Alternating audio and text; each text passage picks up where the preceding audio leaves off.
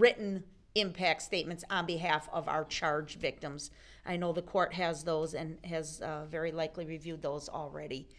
Um, so I don't want to spend a lot of time with my thoughts and impressions right now because I think what's really um, most important for is for this court to hear from these families. And the reason I say that is, you know, Judge, that at trial, um, we asked some cursory questions about the injuries that were received and the impact that these crimes had on the individuals that were directly involved, but we didn't spend a lot of time on that. And I think um, this court is really going to be astounded to hear the level of injury that many of these uh, people suffered, many children suffered, the impact, the life changing impact it's had on them. So this will be different and new information than what we presented at trial. And I think it's very relevant and important for Your Honor to consider um, when you're um, uh, deciding on a fair and appropriate sentence and knowing the gravity of the crime, the seriousness of the situation, and the impact that it had on the community to hear from these families directly as to what they went through. And again, um, this was touched on at trial as far as the physical injury versus the emotional injury and the trauma that has been suffered. So um, I think um, that will be important as well for this court to appreciate uh, this defendant's conduct. We're past the guilty uh, finding. He's been convicted. Now it's time to talk about what exactly his conduct did to our community and to these families. So um, these uh, speakers are grouped not necessarily within um, the groups as they march down the street, but there is some logic to. Um, so we're not going to bounce all over the place, is what I'm trying to say. We'll we'll try and uh, clump them together uh, to make the most uh, sense to the court, and um, with the court's permission, we have a set lineup. Of course, uh, we may need to um, be a little bit fluid depending on somebody's uh, emotional state or um, desire to speak when it's their appointed turn. There are some individuals that have said they're going to try and read their statement to the court, but they may not be able to get through it, in which case I believe Jen Dunn will um, step in and, and read the remaining, remainder of the statement for them. Thank you. Um, Would you please confirm on the record that the state has complied with victim rights? Yes, we will confirm that, Your Honor. Thank you. And then please give the court a heads up when a juvenile is next. Yes. So that uh, the cameras can take the appropriate steps as well. Yes, absolutely. And for the record, we did provide a list to the uh, cameramen from Court TV or uh, individuals from Court TV, and uh, we're trying to assist them in that regard as well. We want to thank them again um, for their uh, high degree of concern for obeying uh, the court's order and their respect and uh, uh, intention to strictly adhere to uh, maintaining the privacy rights of these victims. So they've been absolutely very professional in that regard, Your Honor. Thank you. And then just lastly, because I would like to keep track, and obviously I will honor however they want to introduce themselves, but if you could also tell me which victim they relate to, if it's not self-evident. Sure. That would be great as well, and I'm going to keep a list. Okay, All right, thank Go you. ahead. All right then, I believe our first speaker would be Lori Loken.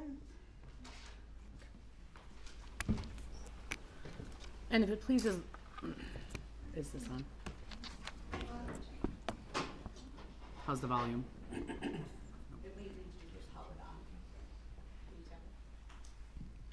There we go. If it pleases the court, Your Honor, one of my staff will actually go let Court TV know when a minor is coming next. Thank you. I would appreciate that. All right.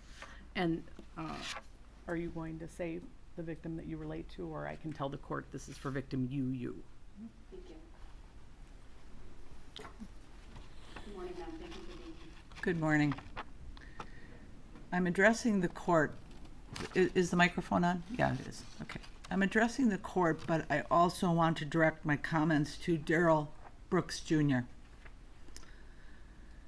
My name is Lori Loken. I was walking with the Catholic community of Waukesha, my church family. We were celebrating the joy of the season in preparation for the birth of Jesus when you made your decision to drive through the parade route.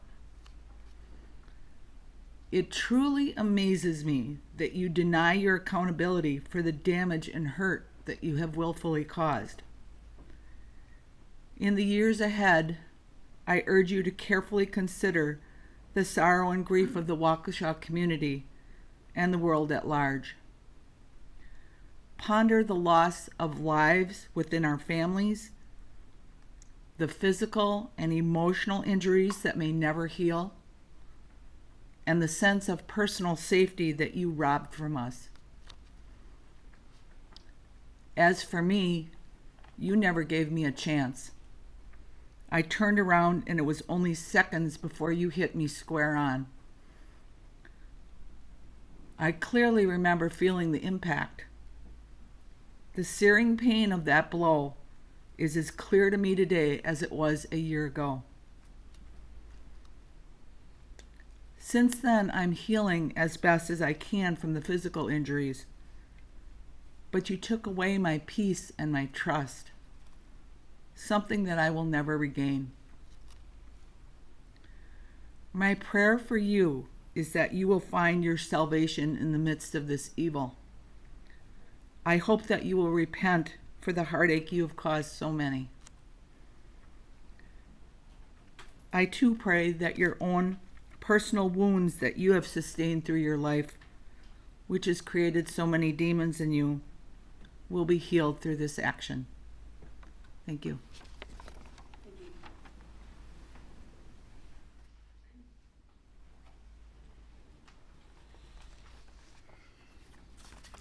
thank the court for this opportunity. Uh, I am Bill Mitchell, formerly known as Victim ZZ. To you, Mr. Brooks, I'm charge 52.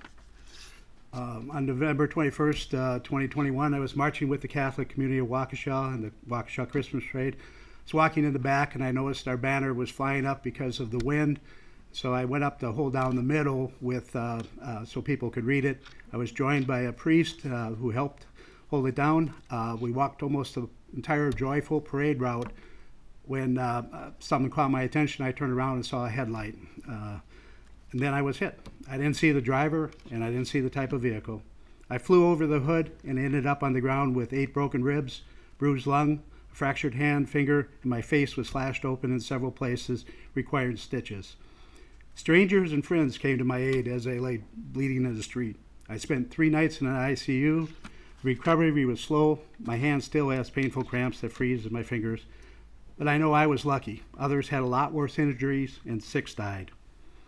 The impact on my family was great. My wife was home recuperating from surgery when she received the call I was hurt badly and on the way to a hospital trauma center. Not able to drive yet, she had to wait for my son and his fiancee to pick her up and drive her to Oconomowoc. And after I was released, she had to do a 180 from patient to be my nurse and help me in even the most basic tasks. The stress had slowed her recovery. The continuing pain was a major factor on me giving up a part time job I enjoyed. We had to rely on family and friends for transportation to doctors for follow up care for months. Neighbors pitched in to do my yard work and snow removal. Youth from the neighborhood decorated the inside of our house for Christmas. This crime had a ripple effect throughout the community. I do want to take this opportunity to thank all of you for your diligent sacrifice to be here. I tell people I was blessed because I didn't see the carnage that night. I just saw people helping me. But the jury and all of you had to watch the entire awful scene on videos and hear detailed reports of what happened. I'm sure that's going to stay with all of you. I wanted to thank the judge for her patience and knowledge, the police, Detective Casey, for their thorough investigation and quick arrest, the prosecution for presenting such a strong case. A special thank you to Jen Dunn, Carrie, and the entire victims assistance team that informed, comforted, and listened to the many people impacted by this tragic event. Finally, I can't bring myself to thank the defendant, but the response to the evil act he did shined a spotlight on how strong, supportive, and loving community we live in.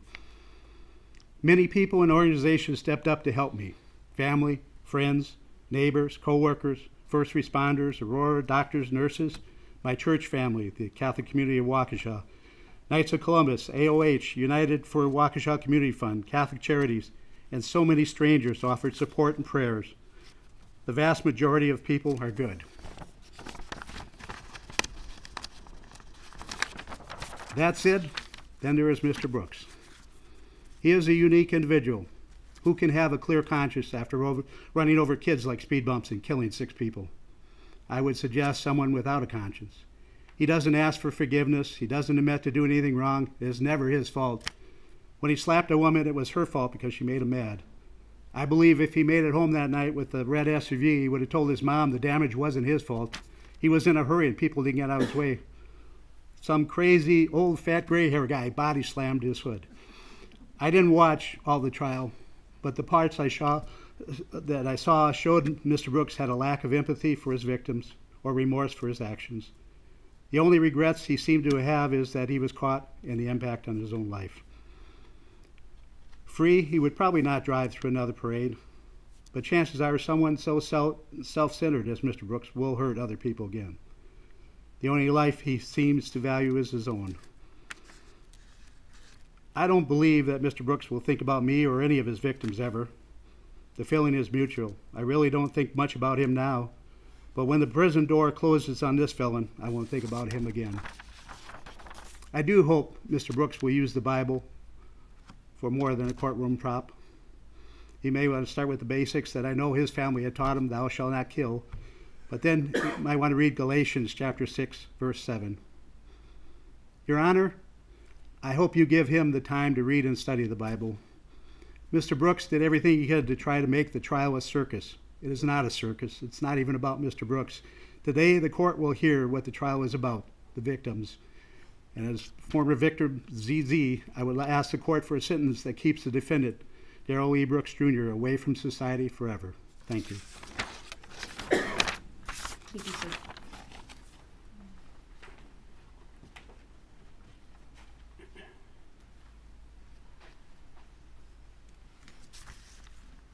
Mr. Brooks, my name is Jason Peckloff, and I'm with the Catholic Community of Waukesha. I was one of the victims you hit with the SUV you were driving on November 21st. What you did to my Catholic community and to the city of Waukesha show that you had no regard for life. What makes it more disappointing that you have shown no remorse for what you have done. While you're sitting in prison, I want you to reflect what you have done. I want you to reflect that you nearly took my life. I almost lost the chance to see my wife and kids again.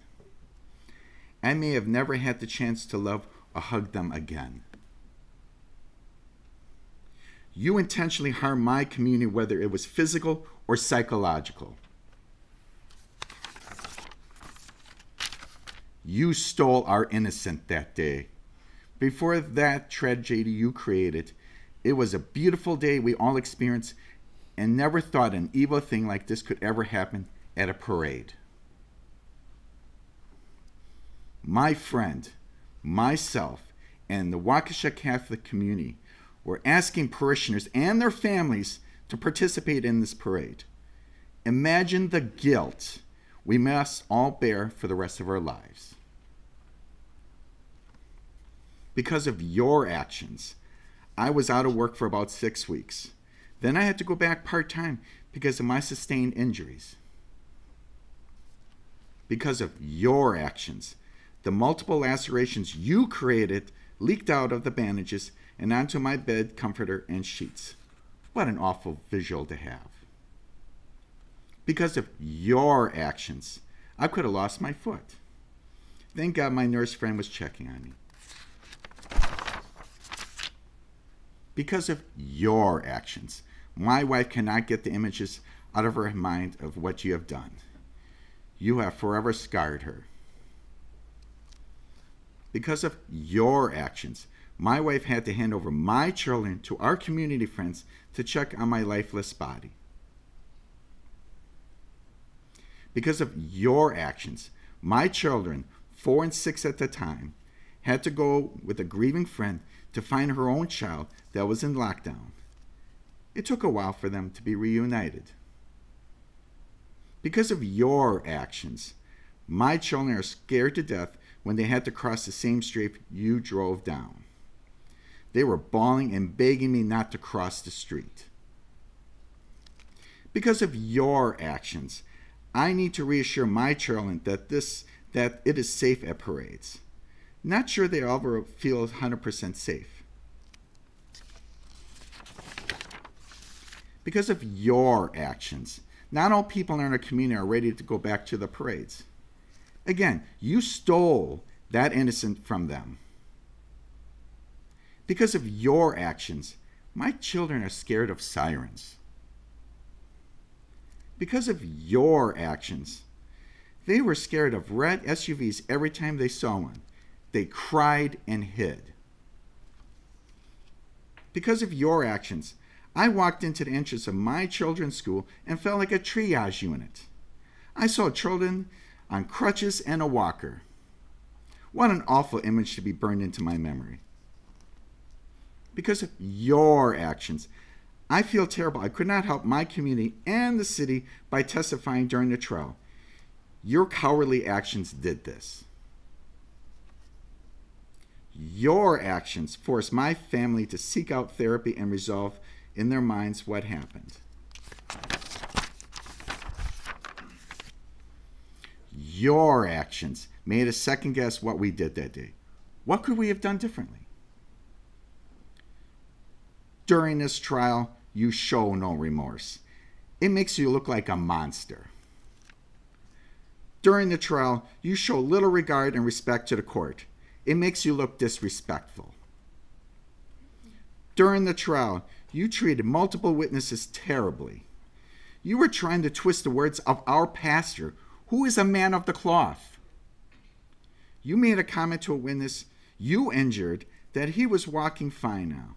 It makes you a, callous jerk. Despite what you have done to my community, I forgive you. Forgiveness does not remove the need for justice. Justice must be served, and you must go to prison. My prayer is that forgiveness will heal your wounds and the wounds for the city. Thank you. Thank you, sir.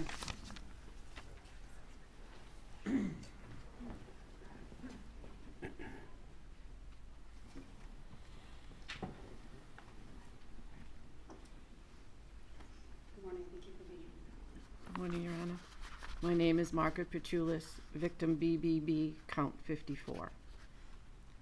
I know I am blessed to be here today to present my statement to the court. Darrell Brooks's choices on November 21st, 2021 took a toll mentally, physically, and emotionally on me as well as affecting my family. I remember the moment someone yelled car, and I turned to see a vehicle behind and to the right of me. My thought was, what is this vehicle doing here? After that moment, I have a void in my memory. My mind won't let me see what happened. I remember my thoughts. Oh my God, this can't be happening. Please, not my hip, not my leg. My next memory is laying, lying on the ground with a person from our group and a nurse talking to me and asking how I was. They worked on keeping me calm and from going into shock. I will always be grateful to them. Every night I would lay awake and replay the incident to see if I could get the memory back. Months of counseling and the passage of time have helped me be somewhat okay with not knowing what happened. One of my fears is that when I least expect the memory, least expect it, the memory will return. After being impacted by the vehicle, I was laying on the ground with severe pain to my left leg. Emergency people stopped by, and one questioned whether I had been shot, and all I could think of is why would I have been shot? I was eventually lifted into a police SUV and taken to Waukesha Memorial Hospital. I was examined and was released after being diagnosed with a broken bone in my left foot. I was instructed to wear the boot provided by the hospital, sit in a recliner, keep my leg elevated, and not put any weight on my left foot. I was instructed to follow up with an orthopedic doctor the following week.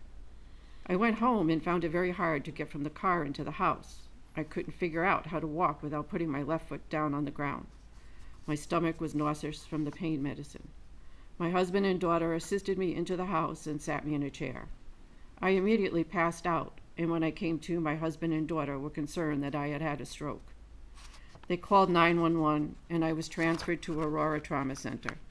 I was, examined head to toe and again released with a diagnosis of a broken bone in my left foot.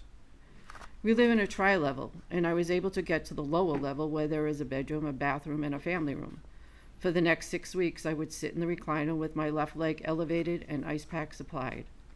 I also slept with a wedge that kept my leg elevated while I was sleeping. After experiencing more pain in my left leg, I was sent for an ultrasound, and the ultrasound found a hematoma on the inside of my right leg.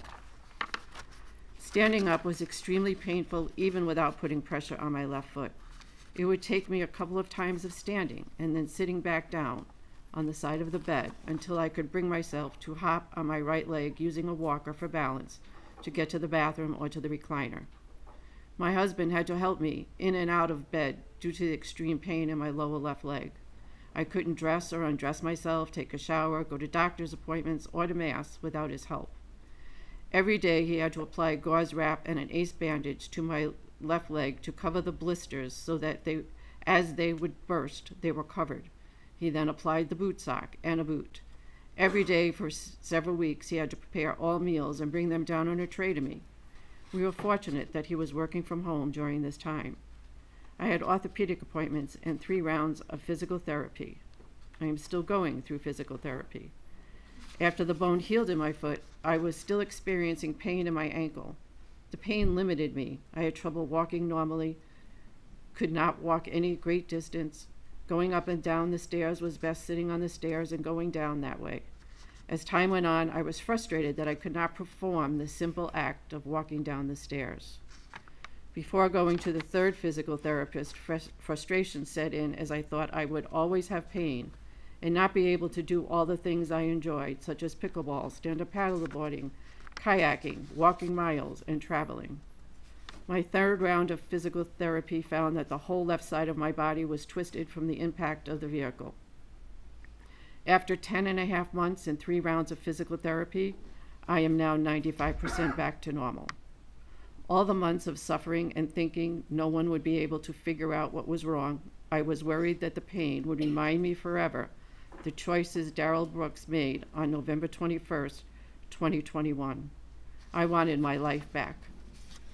During this time of feeling, if a healing, I felt isolated and frustrated that the Advent and the Christmas season were happening, and I was unable to decorate, shop, or participate as I usually would during the holidays. Emotionally, since being struck by the vehicle driven by Darrell Brooks, I have felt like a victim. Every day I was reminded that I was limited by physical pain and loss of self. The world went on, but I was stuck, not able to move forward. Today, I am taking the final step forward in my journey of coming out the other side of this incident. Life is starting to look like it was before November 21st, 2021. I know I am not the same person that I was before this trauma, but now I have an enhanced appreciation for life and a stronger sense of spirituality. I am grateful to have a supportive family, supportive friends, and my Catholic community of Waukesha who have all walked this road with me. Forgiveness is a choice. I know that I can forgive you, Darrell Brooks, without forgetting the trauma you caused, without you apologizing and acknowledging your actions. This may take some time for me to accomplish, but after today, I will not let your actions take over my life. I will move on. Regarding sentencing, Your Honor, I would like to request that due to Darrell Brooks's total lack of concern for human life on November 21st, 2021, that for each count that the jury returned a guilty verdict, Darrell Brooks received the maximum sentence for each of those counts. Thank you. Thank you, ma'am.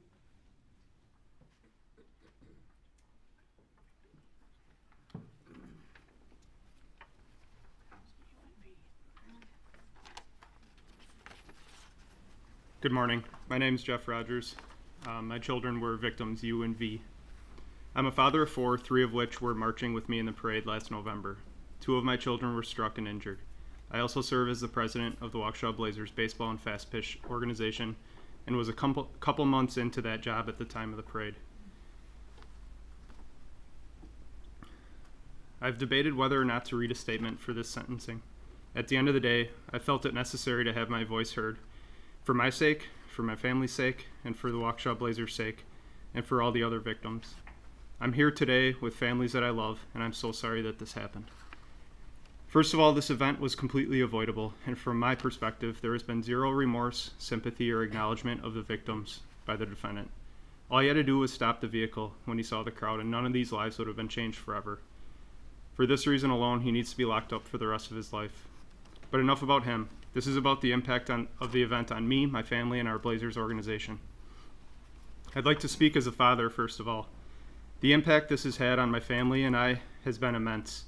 This last year has been full of confusion, irritation, anxiety, and depression. We haven't been able to live a normal life. The trial has been dragged out, and literally we were pulled back through to relive everything, all because this person wouldn't admit it like a man and take what was coming to him.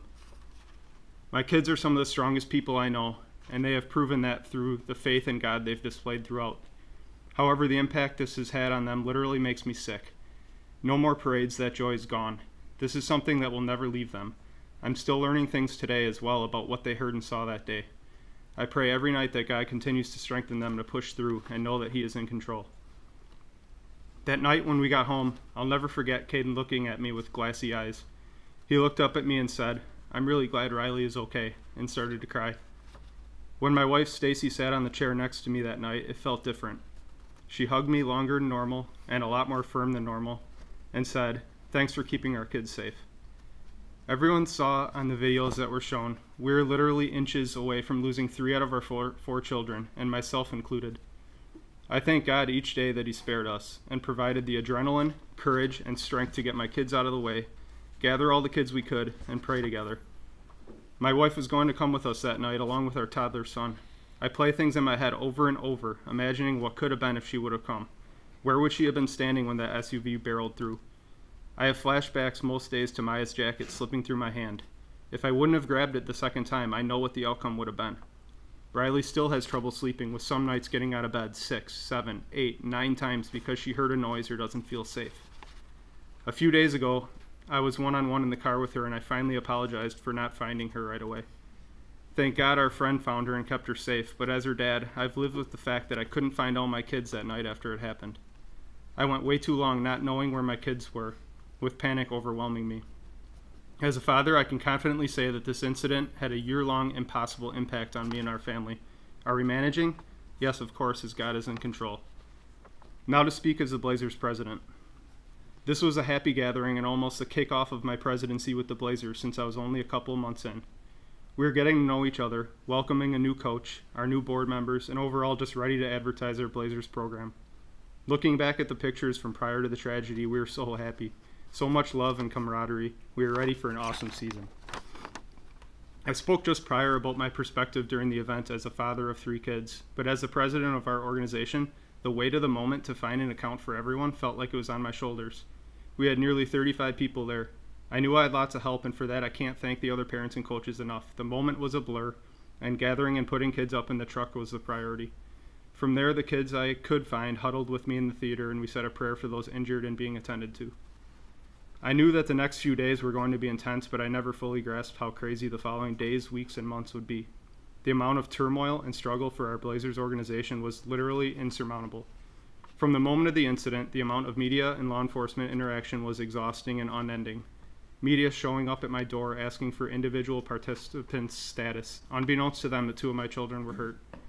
There was nonstop email flow, phone calls, planning, coordinating, and filtering through things. It was endless work. This job went from something I truly loved, from my biggest passion in life, to something I cried about for months. I went from giving speeches on Facebook Live about how cool our new indoor facility was to speaking at Jackson's funeral. From there, the community really pulled together. The amount of love and compassion that came our way was also unending. It was honestly overwhelming. For that, we cannot thank this community enough. Finally, I wanted to briefly touch on the true impact this has had on me. My faith was challenged over the past year, but I can confidently say it's stronger than ever. The hardest part about the whole incident was not knowing where my kids were, not having answers for what just happened, not knowing if more danger was coming. I knew I had Maya next to me, but when I went back and forth screaming for Caden and Riley, that horror plagues me every day. I go back to those moments quite often, and when I watch the videos during the trial, it brought back all those feelings. Pure and utter terror. That's what it was, and that's the impact it still has today. Finally, in closing, I'm a man of faith and wanted to share two Bible passages which have pushed me through. First of all, my confirmation passage, Joshua 1 9, it reads, Have I not commanded you? Be strong and courageous. Do not be afraid, do not be discouraged, for the Lord your God will be with you wherever you go. And secondly, I met with my pastor prior to testifying, and he provided me with an excellent part of Scripture. Philippians 4. It says, Rejoice in the Lord always. I will say it again, rejoice. Let your gentleness be evident to all, the Lord is near. Do not be anxious about anything, but in every situation, by prayer and petition, with thanksgiving, present your requests to God. And the peace of God, which transcends all understandings, will guard your hearts and your minds in Christ Jesus. Thank you for listening, and may God strengthen us all. Thank you, sir.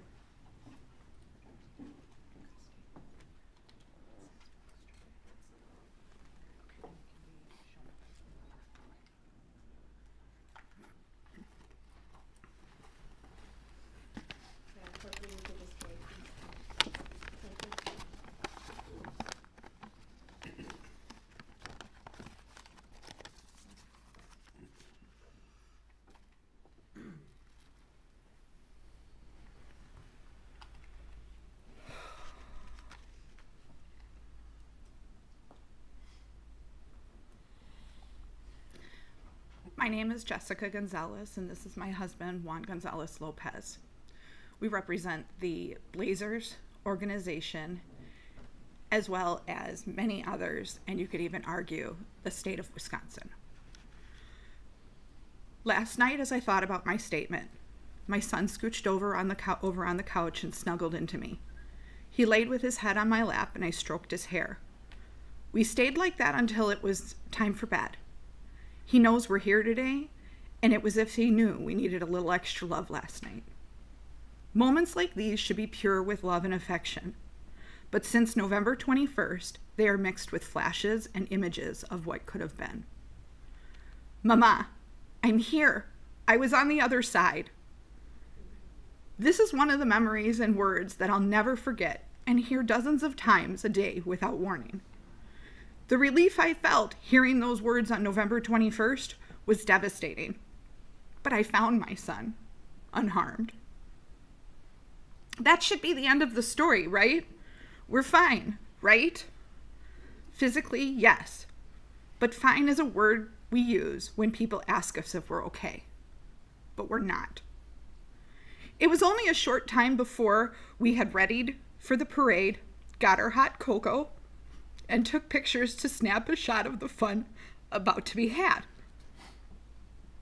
Before the parade, I left him with his teammate and new friend Jackson at the Blazers drop off spot and walked my daughter to her dance team location. With my mother in law visiting from Mexico, she was excited for her first Christmas parade. Stationed at the corner of the Clarke Hotel with friends, my daughter's dance group waved with smiles as they passed us. She was headed to the library where I would pick her up. The Dancing Grannies, one of our favorite groups, performed flawlessly as they passed us. My son's baseball group was after the extreme dancers who were within sight. Then the gasps and screams came from everywhere, and the red SUV sped past us. I yelled stop and put my hands out like I had the power to make it happen. I felt like I was punched in the stomach when I realized the SUV came from the direction of my son's group. Panicked and lightheaded, and knowing my daughter was safe, I ran to find my son.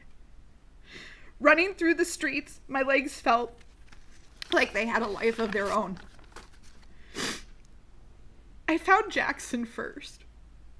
I saw his little body in his Blazers jersey, his eyes looking up, looking nowhere. I knew he was hurt badly. Seeing Jackson on the ground, I began looking for my son amongst, the rest of the bodies. I screamed hysterically, searching frantically. What ifs filled my head. I heard mom from so many directions, but it wasn't him. Finally, it was. I turned to see him with other Blazers who were in the team truck. He called out to me, Mama, I'm here. I was on the other side. Yes, I found my son unharmed, but after, the chaos continued. We ran. I covered his eyes as we rushed back to our group. I called my husband to tell him something terrible had happened, but had no words to explain.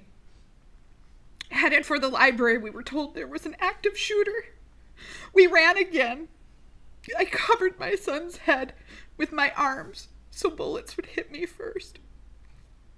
He cried. I tried to assure him and myself that things like this don't happen. At the library, I ran up the stairs and shouted for my daughter, who was huddled with a friend and her daughter. Yes, I found my children unharmed. But after, the pain and terror continued. After the parade, we discovered people had died, and that several people in my son's group were hit, including his coach and teammate. We learned that my son's teammate was in critical condition, but I already knew this. I still see his eyes without closing mine. What does it feel like to attend a funeral of a child your age? I hate that my kids know. I hate that I didn't get a chance to cheer on my son and Jackson during the baseball season last year.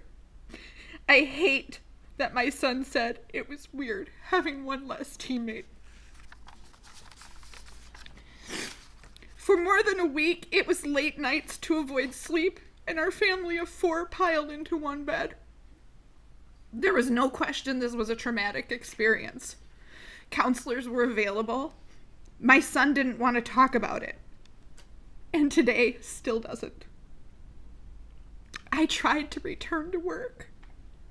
I tried to return to teaching.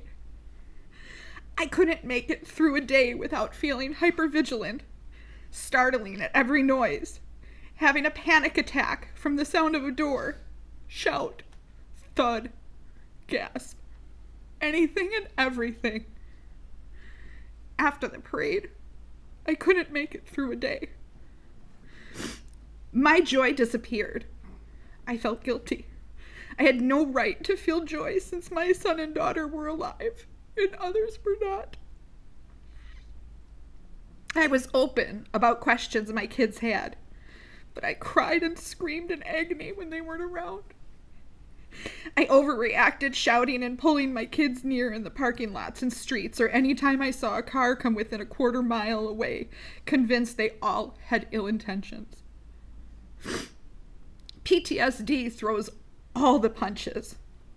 I left my career to work intensively on healing in a program for PTSD. I have only just returned to the workplace, only just a month ago. Something quieter, something with less action. Because after almost one year, some days still feel like November 21st was yesterday. Intrusive memories, hypervigilance, nightmares, anxiety, panic attacks, depression, anger, guilt, shame. These are all things I and others live with daily because Darrell Brooks drove through our joy and turned it to terror. When he suggested he could have hit more, he was wrong. He hit everyone. The toll this event has taken on everyone, physically hurt or not, is tremendous. And it sickens me to know that there are so many others with a similar story as ours.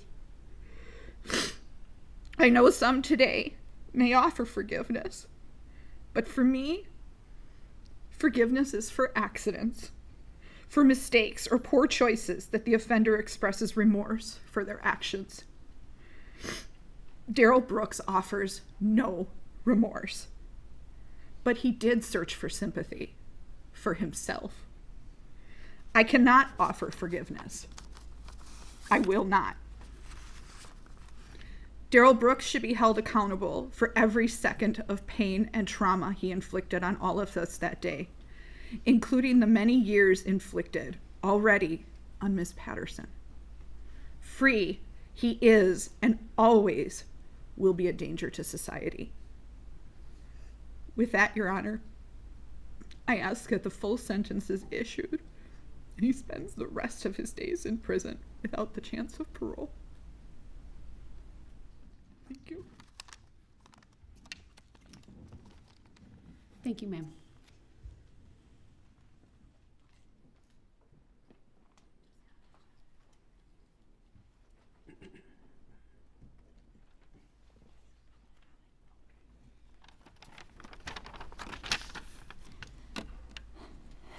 I'm Lindsay Conkle, and my family walked with the Waukesha Blazers. November 21st, 2021, my family walked in the Waukesha Christmas Parade. My boys were dressed proudly in their baseball jerseys, streets lined with smiling faces. The crowd was happy and excited. In a split second, excited cheers turned into sounds of screaming and horror. A trail of bloody bodies were left laying in the road. My family was not physically injured that day. We somehow dodged the path of the car by inches. Our mental and emotional injuries were severe and they remain a struggle for us every day. We have the image and the sound plow- of a SUV plowing through people burned into our minds for the rest of our lives. My children were separated, and I ran through a trail of bloody bodies that were left laying in the road. I will not forget how many people I saw some seizing in an intersection, some unconscious, and some not. My children cried themselves to sleep for weeks after and still do. They still wake up with nightmares, as do I. They could not walk in a parking lot without clinging to me, shaking and terrified that a car would try to run them down. We suffer from major panic attacks and PTSD, all from a day that was supposed to be happy and exciting. As parents, we have to try to help cope with, with our children while we do not know how to cope ourselves. My children, my family, and I, and every person that we know will never be the same after that day. There were many people that were fortunate, fortunate enough to walk away unharmed. However, Jackson Sparks was not one of those people. A child, eight year old, walking next to his big brother with his whole life ahead of him. The next time my children wore their baseball jerseys was to a funeral. A funeral for an eight year old boy, their friend, their teammate, that they have spent many days playing and making memories at while at their brother's baseball games. His family and friends will never see his smiling face light up a room, and his team will never be able to celebrate a win with him on the baseball field ever again. Every moment of Jackson's life that was ahead of him was ripped away by Darrell Brooks. You, Darrell Brooks, you hid in a children's playhouse and ditched your hoodie and a sandal. That playhouse happened to be my children's at the house we just moved out of a couple of months prior.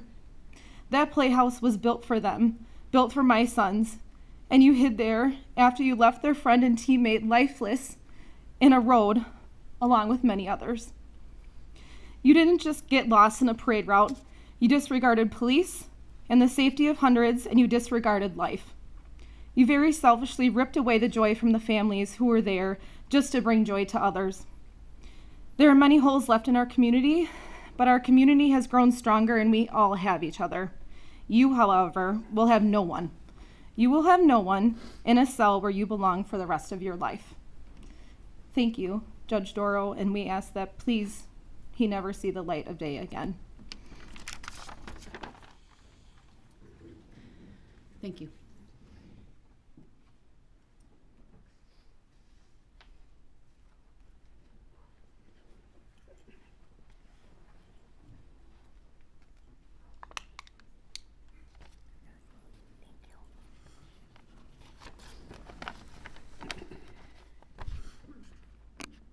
My name is Sheri Sparks.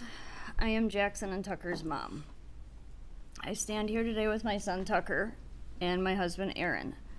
I'm here today to represent my family, but mostly for my boys, who were both struck down by the red SUV on November 21st. I want to give a voice to our son Jackson Sparks. Our family is forever changed. We are hurt, angry, traumatized, and broken. November 21st was a day that was supposed to be fun and filled with laughter and smiles. Instead, it became a nightmare full of fear, screams, and tears. Put the first one up.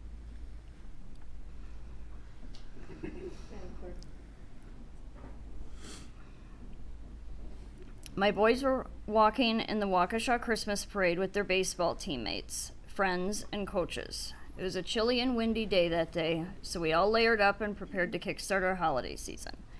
We met up with our Blazers group, decorated the truck, prepared the buckets of candy and flyers for the boys, took some group photos, and then I left to go find my seat near the end of the parade route and wait for our group while enjoying the parade. I had no idea then the nightmare that was coming my way. Nor did I know that it would be the last time I would hear Jackson's voice and see his smile. I wish I would have known then that the hug he gave me before I went to sit down was the last hug I would ever get from him. I would have held on to him a lot longer. After the red SUV flew past us, it was pure chaos. I will never ever forget the horrible sound of the car hitting bodies and the thud of bodies landing on the ground. I immediately grabbed my favorite plaid blanket, ran up the street to find my boys. What I found shook my world. I saw Jackson first in the arms of a police officer. He was running him to get him medical attention.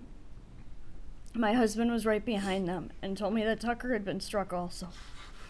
Pointed me back to the direction where Tucker was. You do the second photo, please.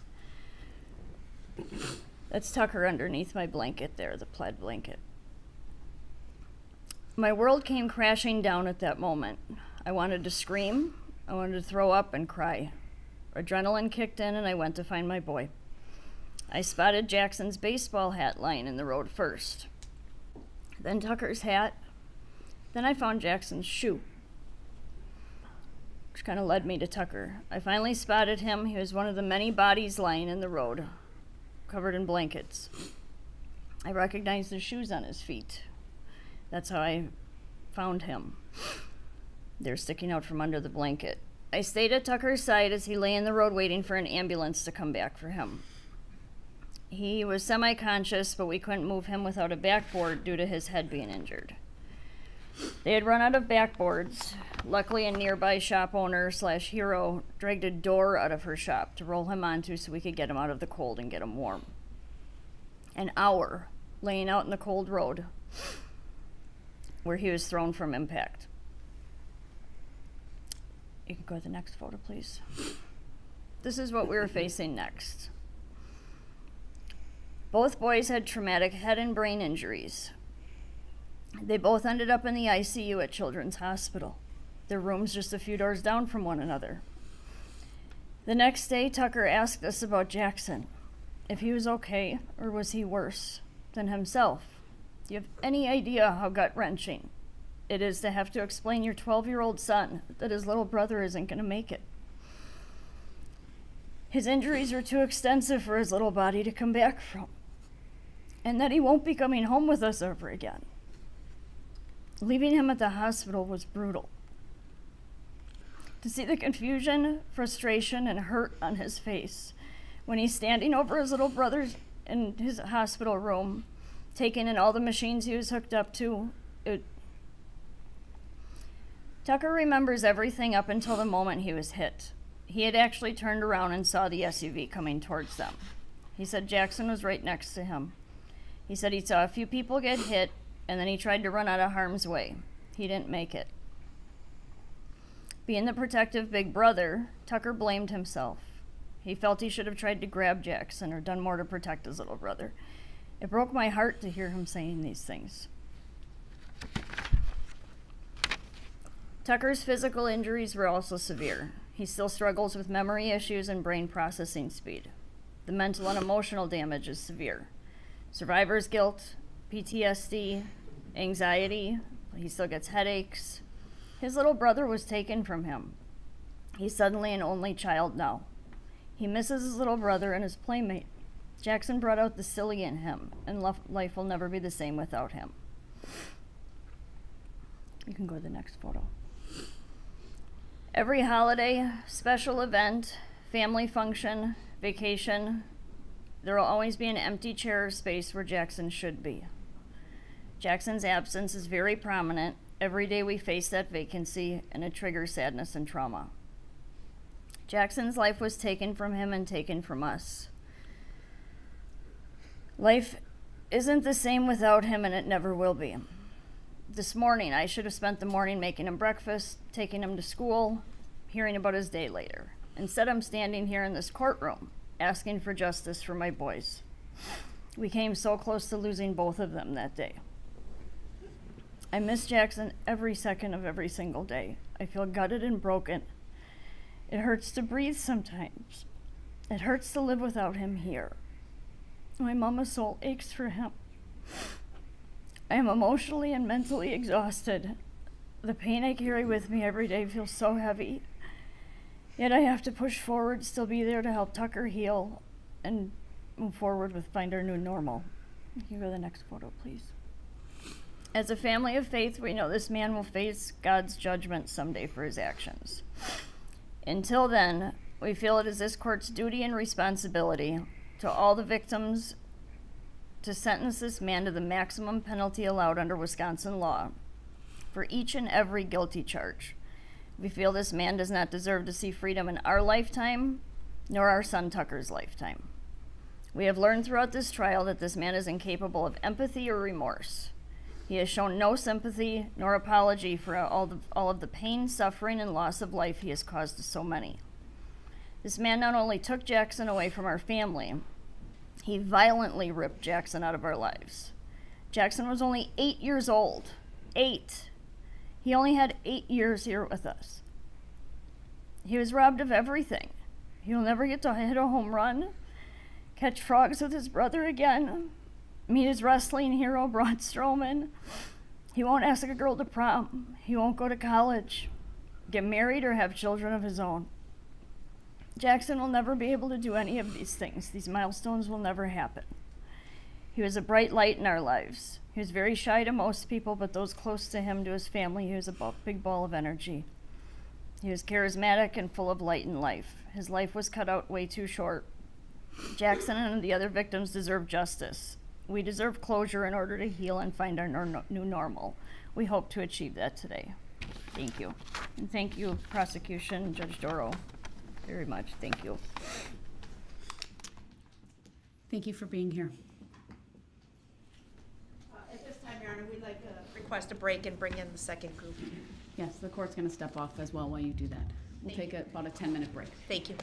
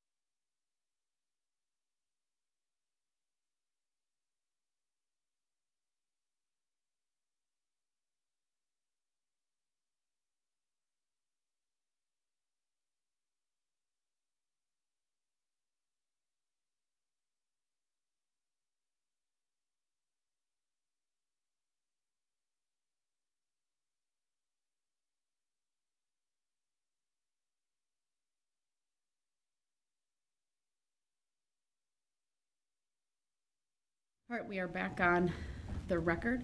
The state may continue. Thank you, Your Honor. Uh, For group two, I believe, Kelly, are you gonna go? Jen's gonna read for you? Okay.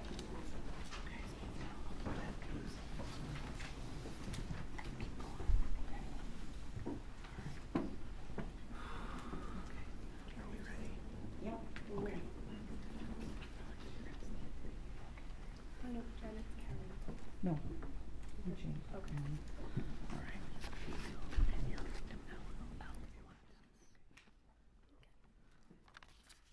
I'm victim LLO, and on November 21st, 2021, me and my family's life changed forever.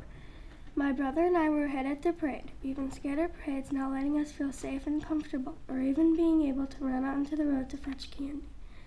For example, when I went to the Arrowhead Parade, all my friends were asking me why I didn't want to go out into the road to get candy, and I said, because of the Waukesha Parade.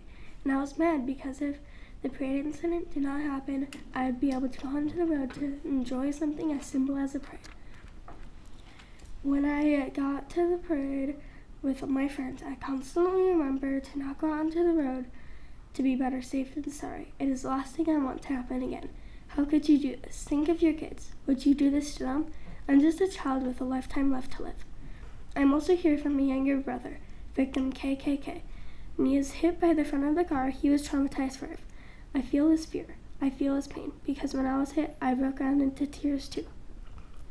On the way to the hospital, we had to lay our head down on the floor because we heard there was a shooter. My fingers, my whole body was paralyzed in fear and fright.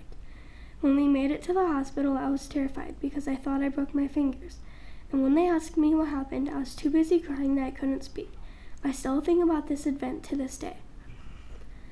The day after the parade, I couldn't even go to school because of what he did. All my friends were worried about me, texting me asking if I was even alive. Sometimes I even think of all the others that were hit and how they were in the hospital for longer than me, and how their parents were probably praying that their kids would be okay and that this would be a once in a lifetime happening. I think this should have never happened to us. The day I went back to school, everyone was asking me a million questions every time I was alone. Everyone was babying me, acting like I was acting like one of my family members was killed. What makes it worse is that almost a year ago my dog died, and I have lived with it my whole life, so I was extra sad and upset. At that moment, I realized that our family had to find justice against the man who hit too many people and caused a nightmare on November 21st, 2021. I ask for this pain to never be caused again.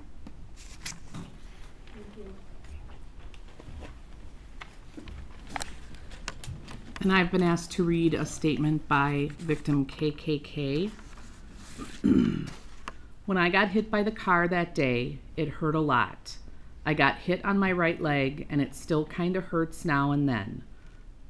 That hit changed my life, and it still scares me sometimes when I think about it. I also feel bad for the families who lost someone and everyone who died and was in the parade. And then he drew a picture of a SUV and it says car that hit me and there's a little figure and candy bucket and bottle and me. So they handed that to me on behalf of victim KKK. Your Honor, we need to take a break for a second, please. I'm sorry. It's sorry. important. All right, thank you. We'll do that.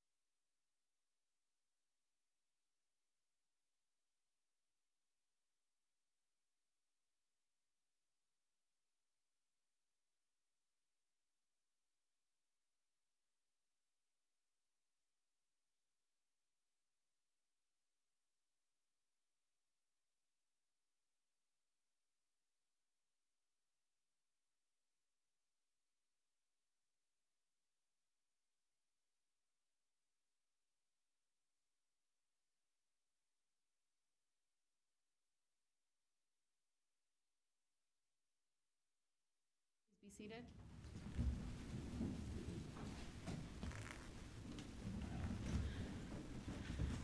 Madam Clerk, do you have the, um,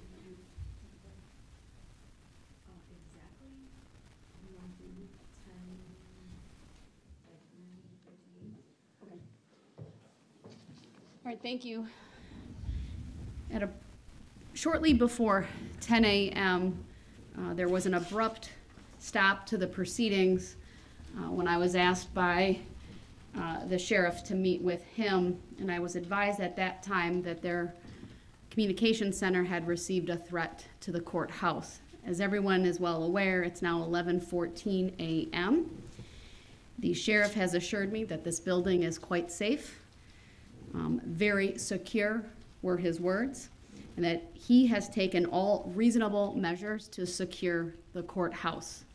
At this time, I am not going to stop these proceedings. We will continue. Um, and I will rely on the sheriff's department and law enforcement personnel to advise if anything changes.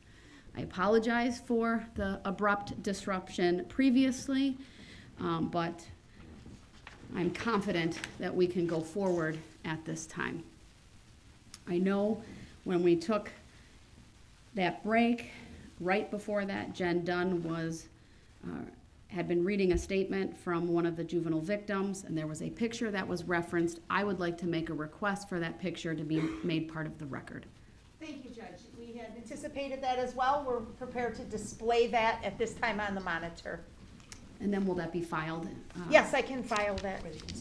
All right, go ahead.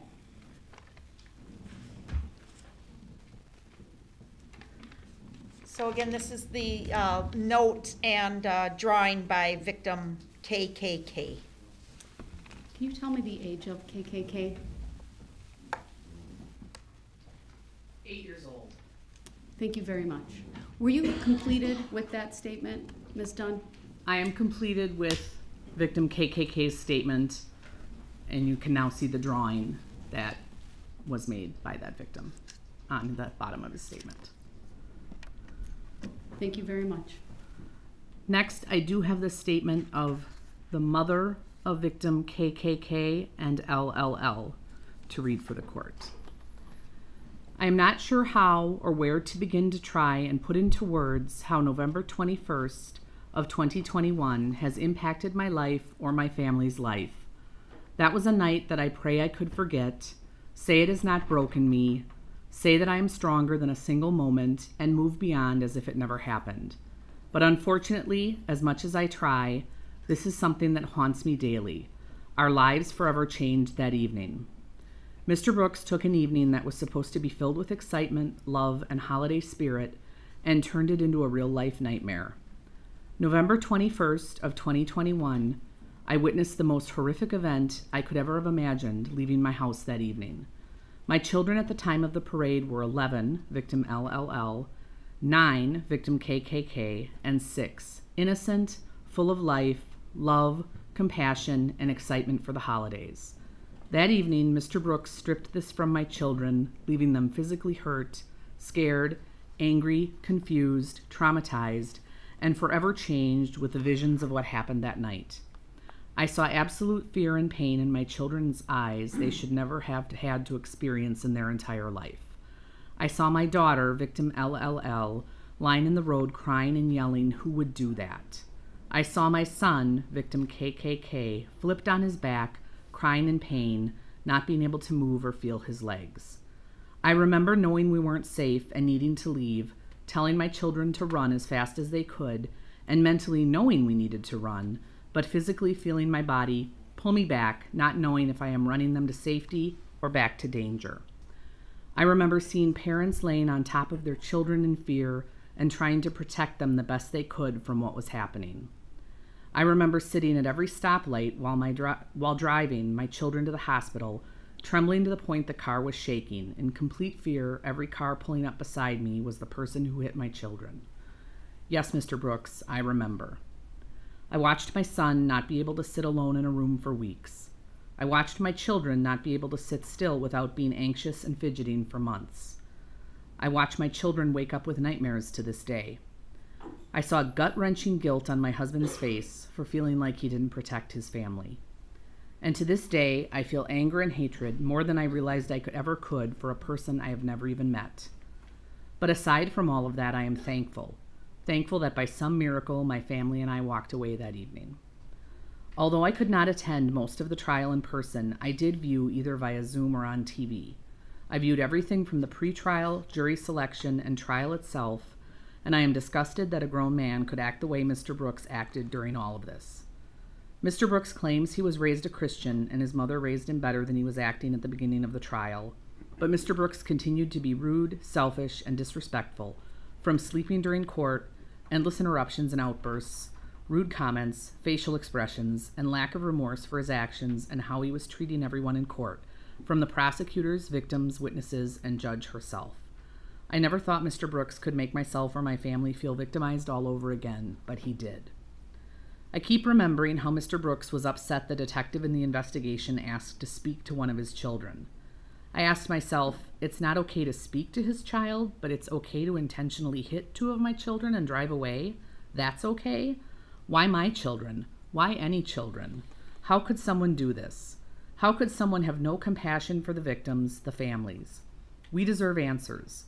Our children deserve answers, true and honest answers. Never once did I see true remorse for anyone but himself or his family during the trial. Mr. Brooks also stated something along the lines of anyone who knows him or spends enough time with him knows he would never do something like that. But Mr. Brooks, you absolutely did. Mr. Brooks hit my children and so many more people and never once stopped.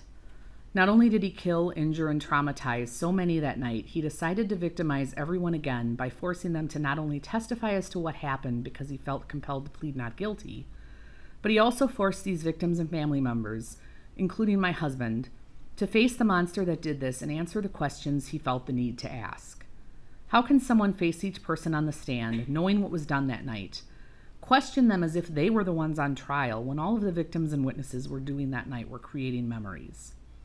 Unfortunately, memories were created, but not the memories I planned to have with my children.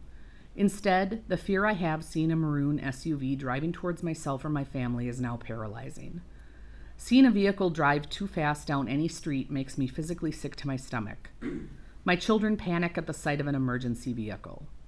Seeing people run and yell unexpectedly, even if just for fun, makes my heart drop, and my mind brings me back to the night of the parade, hearing the screams, yells for help, and cries from that night will haunt me until the day I die. Those are the memories I have from the night.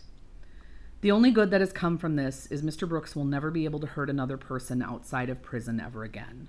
The guilty verdict and hopefully life plus sentence will protect anyone that may have been hurt by Mr. Brooks in the future, and that I can be thankful for.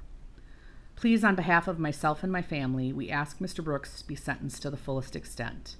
Mother of victim KKK and LLL. Next to speak will be victim S.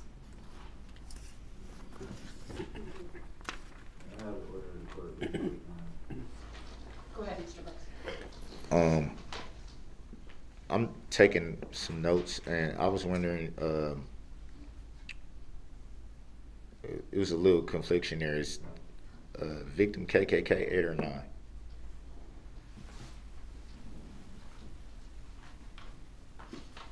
I can't answer that, sir, but that was a written statement read from the mother of victim KKK. I apologize. Ron. I was just taking notes. Right, go ahead.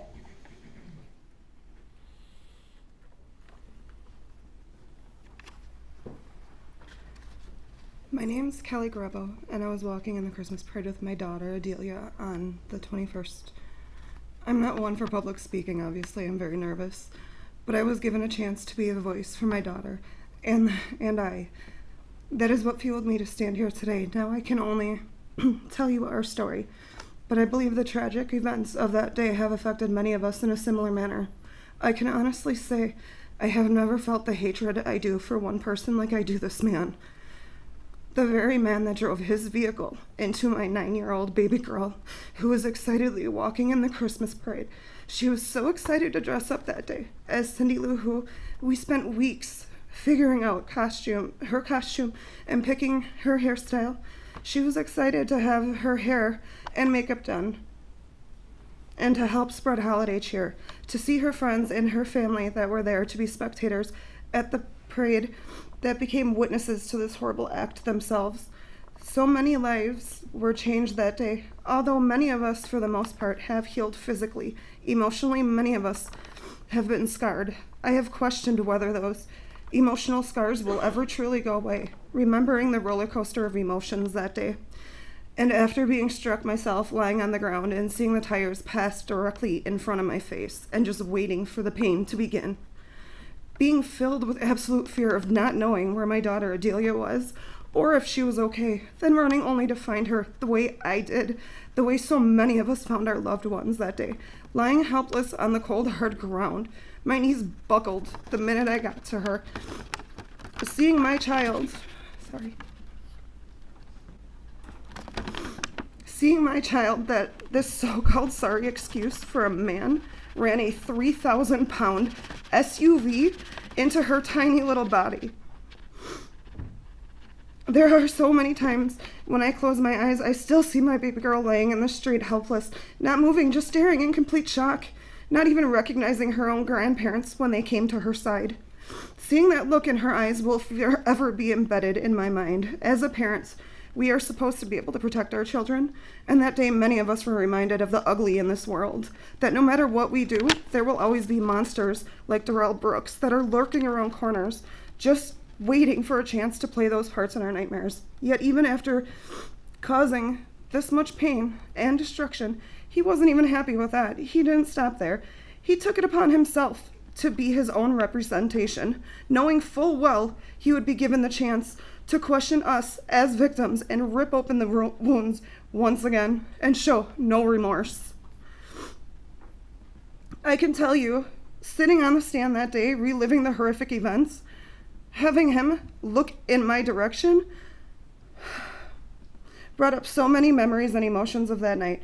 Hearing his voice made me cringe with disgust and anger. He changed our Adelia that day. He stole her innocent, happy look on life and replaced it with fear and hate that no child at the now age of 10 should ever feel.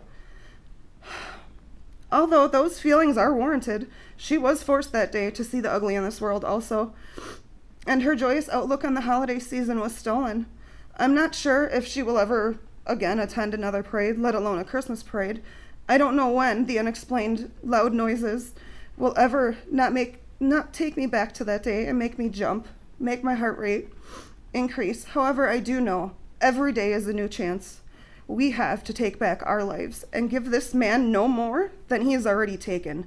We are now stronger than we ever imagined we would have to be as a family and as a community and that we that he cannot have he does not deserve that what Darrell Brooks does however deserve is to be does deserve is to be sentenced to the maximum time allotted for each one of his horrific convictions as he has given us as a community a life sentence of these memories thank you Thank you.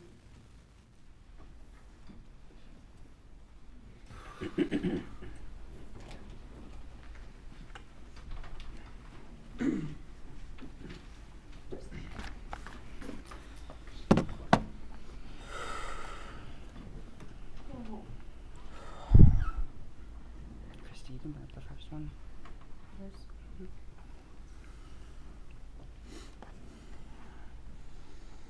Madam Clerk, we the display, please. Thank you.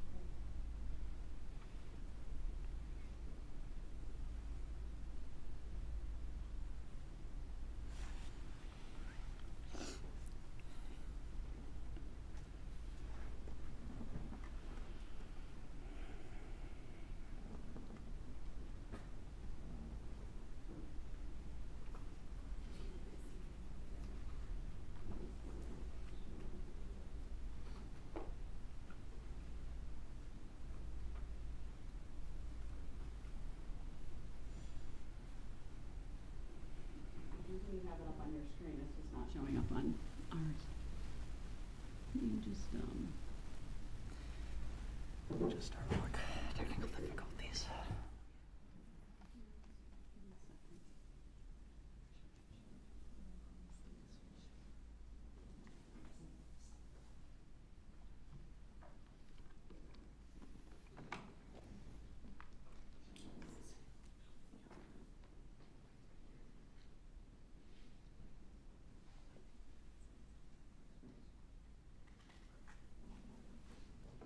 Your Honor, we did um, swap out computers because we didn't have a power cord, but, um, no, that one won't. work. Ms. Gussie's gonna run and grab the power cord and then it, it should work. We had, Okay. there's a change between what we were using earlier and that's why probably it's not recognizing the computer. I apologize for the technical difficulties, Your Honor.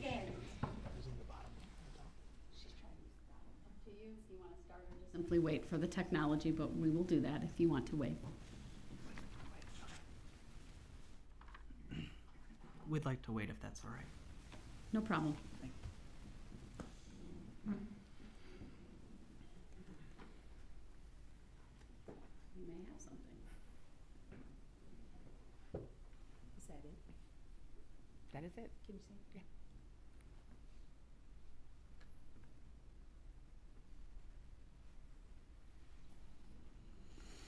Do you have more than that? Yes. You may need Miss Gussie back for that. Just hit, oh. it's PowerPoint, so just hit enter. Thank you. Looking back over the last 30, 358 days, some days are a complete blur. Will you stand or, or turn the microphone closer to you? Your name. Oh, sorry. Katie Pudleiner, mother of Tyler Pudleiner. Thank you, go ahead. Looking back over the last 358 days, some days are a complete blur, others are as vivid as yesterday. At 4:39 p.m. on 11/21/21 changed my life, my sons, my family, my friends, and the Waukesha community. During the closing arguments, the defendant spoke of family. His grandmother released her statement to the media speaking of family. Through the past 360, 300, 358 days, we have heard from the Brooks family that the defendant has a mental illness as a reason for his decisions that evening, except the decision making goes back further than that. It seems the decision was made not to get help, not to stay medicated, etc., instead to use it as an excuse for poor, selfish decisions. My family almost lost the only son, the only grandson, the only nephew, and that was not our decision. As a parent, I have carried the guilt that I debated with my son that he had to go to the parade that day. It was mandatory for his grade. The Packers were playing, it was cold and windy. I had to use a life teaching moment. He made a commitment to the band. This was all part of it. He, reluctant, he left reluctantly. I talked to him shortly after I found a parking spot downtown to make sure he was warm enough and told him the general area where I was going to look for a spot to watch the band perform. From 4:33 to 4:34 p.m., I watched the South Band march and perform in front of me. As I was packing up my blankets and chair into the wagon, I noticed what I thought was between a 2008 to 2012 maroon red Ford Escape driving extremely fast past me. I couldn't believe what I was seeing. I remember making the mental notes about the vehicle, the driver. Turned to a friend sitting with me, and we were both in awe. Then we heard the screams and the sounds of things being hit, like when you bump into a construction barrel on the freeway. From 446 to 458 was complete chaos. Fighting the crowd of people running out of the area screaming shots fired, trying to find my son. As I approached the intersection of Main Street and Barstow, the area went completely dark, maybe only in my mind. As I searched for my son, asking people if they knew where he was. A familiar voice behind me said, He's over here. I turned to see him laying in the street with his feet pointing north. First, enter your PIN to unlock the device. Apologies. We had no idea what had happened, only that he was tasting blood and that his stomach hurt. Soon EMTs were there, and we went for a run up and down Main Street as as he was being helped before they had a true plan where they were going to stage the injured. He was taken off the gurney and placed in the street to await an ambulance. This is where we met our first hero of the journey. A complete stranger came to sit with us and help roll my son while he was vomiting blood from his injuries, helped to keep him calm and confront and comfort his fears. That was the 18 minutes that felt like an hour. I remember looking around as I waited. Not too far in front of me was a very young officer with his rifle standing guard. To my left were two brothers that we had known from the band and baseball. One lying on the street, clearly injured, the other standing by. I felt completely helpless as I wanted to, to go and help them. But I couldn't leave my son injured. They say everything happens for a reason, something I have firmly believed. At 5:16 p.m., we were loaded into the ambulance, as I refer to it as the little ambulance that could. While in the middle of everything, it had a coolant leak. The smell of antifreeze will trigger me forever.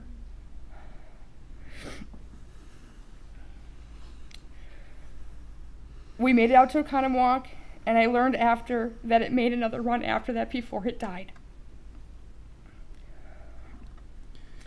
While my son was whisked away to emergency surgery, I had to start making phone calls, returning text messages, figuring out what was next. While he made it through surgery, will he make it through surgery? How bad were his injuries? After six days at the hospital, we were sent home. My athletic son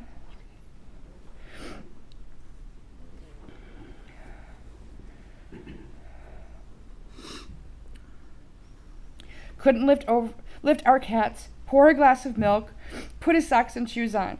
He has a scar almost two foot long. And as a catcher, he questioned his ability to be able to play the sport he loves, the sport that he eats, breathes, and sleeps. After missing school and work for almost two months, we were able to start to get back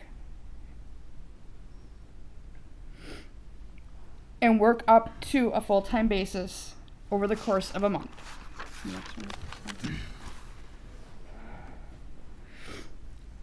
One ling- lingering injury brought questions if he could play ball for what would be the first full season of his high school career. COVID had canceled and shortened the prior two. April 6th, he took to the field with that bandmate that was lying in the street just a few feet from us just three months earlier. As we tried to find the sense of normal in between doctor's appointments and procedures. Next one, please. Through the process and the journey of the judicial system, we have found a new family, one that can relate to the horror, the fear, the trauma of that night, changing our lives forever. The criminal complaint had listed 62 named victims, now survivors, six that gained their wings. What it did not include were the 16 jurors that had also become victims of the defendant's actions that night, while the named victims, their families, and friends had to relive that night they were experiencing firsthand. Mrs. Edwards' statement asked that we forgive her grandson, blaming the mental illness not encouraging him to take ownership for his actions. She said that she lost a grandson, his mother lost a son, his children lost a father. That isn't completely a true statement, as they will be able to talk to him, send him letters, visit him, hopefully in a maximum security prison. They seem to forget there is a mother that can't kiss her son goodnight, a father that can't play ball with his son, a brother that can't fight with his brother and still be his best friend. There are three children that can't call their mother for advice, go shopping, plan their weddings, or have them watch over them as they reach for their dreams. There are numerous grandchildren that won't get to go to grandma's anymore, get spoiled and sent home, hyped on sugar and love. There are teenagers that had to grow up way too quickly, having to make adult decisions about their future. There are girls that may never dance again without fear their innocence taken away by a selfish decision. There is a grandfather that cannot tell the family stories anymore. He can't watch his wife dance. These families will forever be missing their loved ones. They can't call them, write a letter, or visit them. Nothing will bring back the son, the mom, the daughter, the grandma, and the grandfather to these families. Nothing can restore the innocence lost to these to ease their fear. But this community came together to lift up each other up, support each other, looked after those that were in their worst moments, celebrated the wins along the way, returning to the dance floor, dancing in the streets, and playing baseball. The prosecution team did an amazing job representing everyone of the pla- of the plaintiffs in this case. Thank you. The victim witness team was so caring and diligent in keeping us informed. Being whenever there was a question that came up. Pepper, who greeted us every time we came to the courthouse, she put a smile on everyone's face, brought a little humor or a caring snuggle. You can do the last one, Tom. Your Honor, you are the standard that should be set across the country. Your patience, your diligence will never be forgotten. From the self- act- selfish actions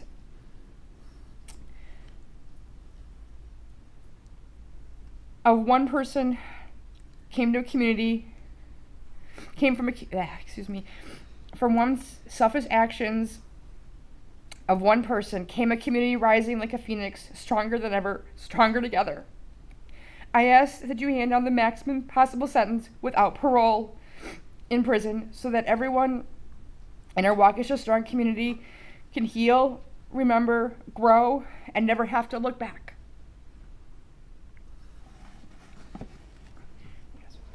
It's a separate PowerPoint. It's, yeah, if you just. Oh, here's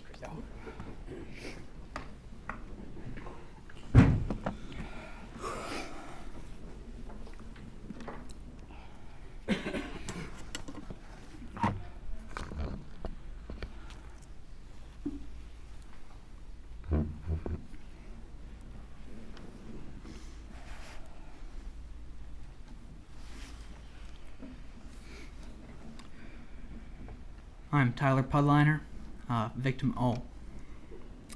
Your Honor, I appreciate the opportunity to speak today and share my impact statement with the court. It has been a long time coming, but I cannot thank the courts enough for giving not only myself, but all of us who have been affected the opportunity to share our stories. First, I would like to start off with you, Judge Dorow. Thank you, Your Honor. We have all been going through these proceedings for almost a year now, and it is almost hard to believe that this is the first time that we've gotten the opportunity to communicate with you directly. I understand now that this is how the process takes place. Now, since the beginning of these proceedings, I've obviously gone through a lot of emotions as having been a victim and survivor in this case. I hate to say it like this, but it seems that, that for a greater portion of the year, and especially throughout the most recent proceedings, and my mother can confirm this, I've been somewhat angry towards you, Judge Dorow.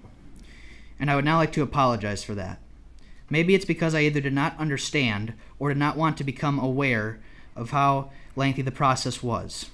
There have been multiple occasions where I have gotten very mad or annoyed due to your rulings that either didn't go the prosecution's way or that I personally felt shouldn't have been made. Obviously, there are also multiple occasions where these disruptions that would continuously be, continuously be made by the defendant would take up way too much time and cause way too many delays throughout the trial portion of these proceedings. It would stress all of us out more than we should have ever been, to say the least. I would keep asking my mother, other families involved, the prosecution, and wit- victim witness teams, why can't Judge Dorow do more to stop the disruptions? Why did she let that one testimony go on for way longer than it should have? But in all thanks to those amazing people sitting behind me, I was able to get the clarification and understanding that I need to calm down and help me understand that we were making steps forward in the process. And I wanted, and that we were going to finally arrive at the finish line as winners.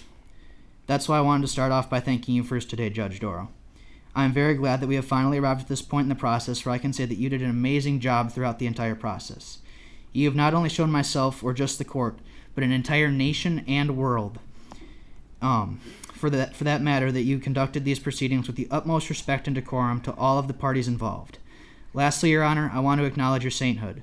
Your devotion to this trial can never be matched. Your fair rulings, passion for this case, and kindness to everyone is more than everyone could have asked for, and for that I again thank you. You have truly become like a mother and a true hero to this community, and that and for that we appreciate you, Judge Dorow.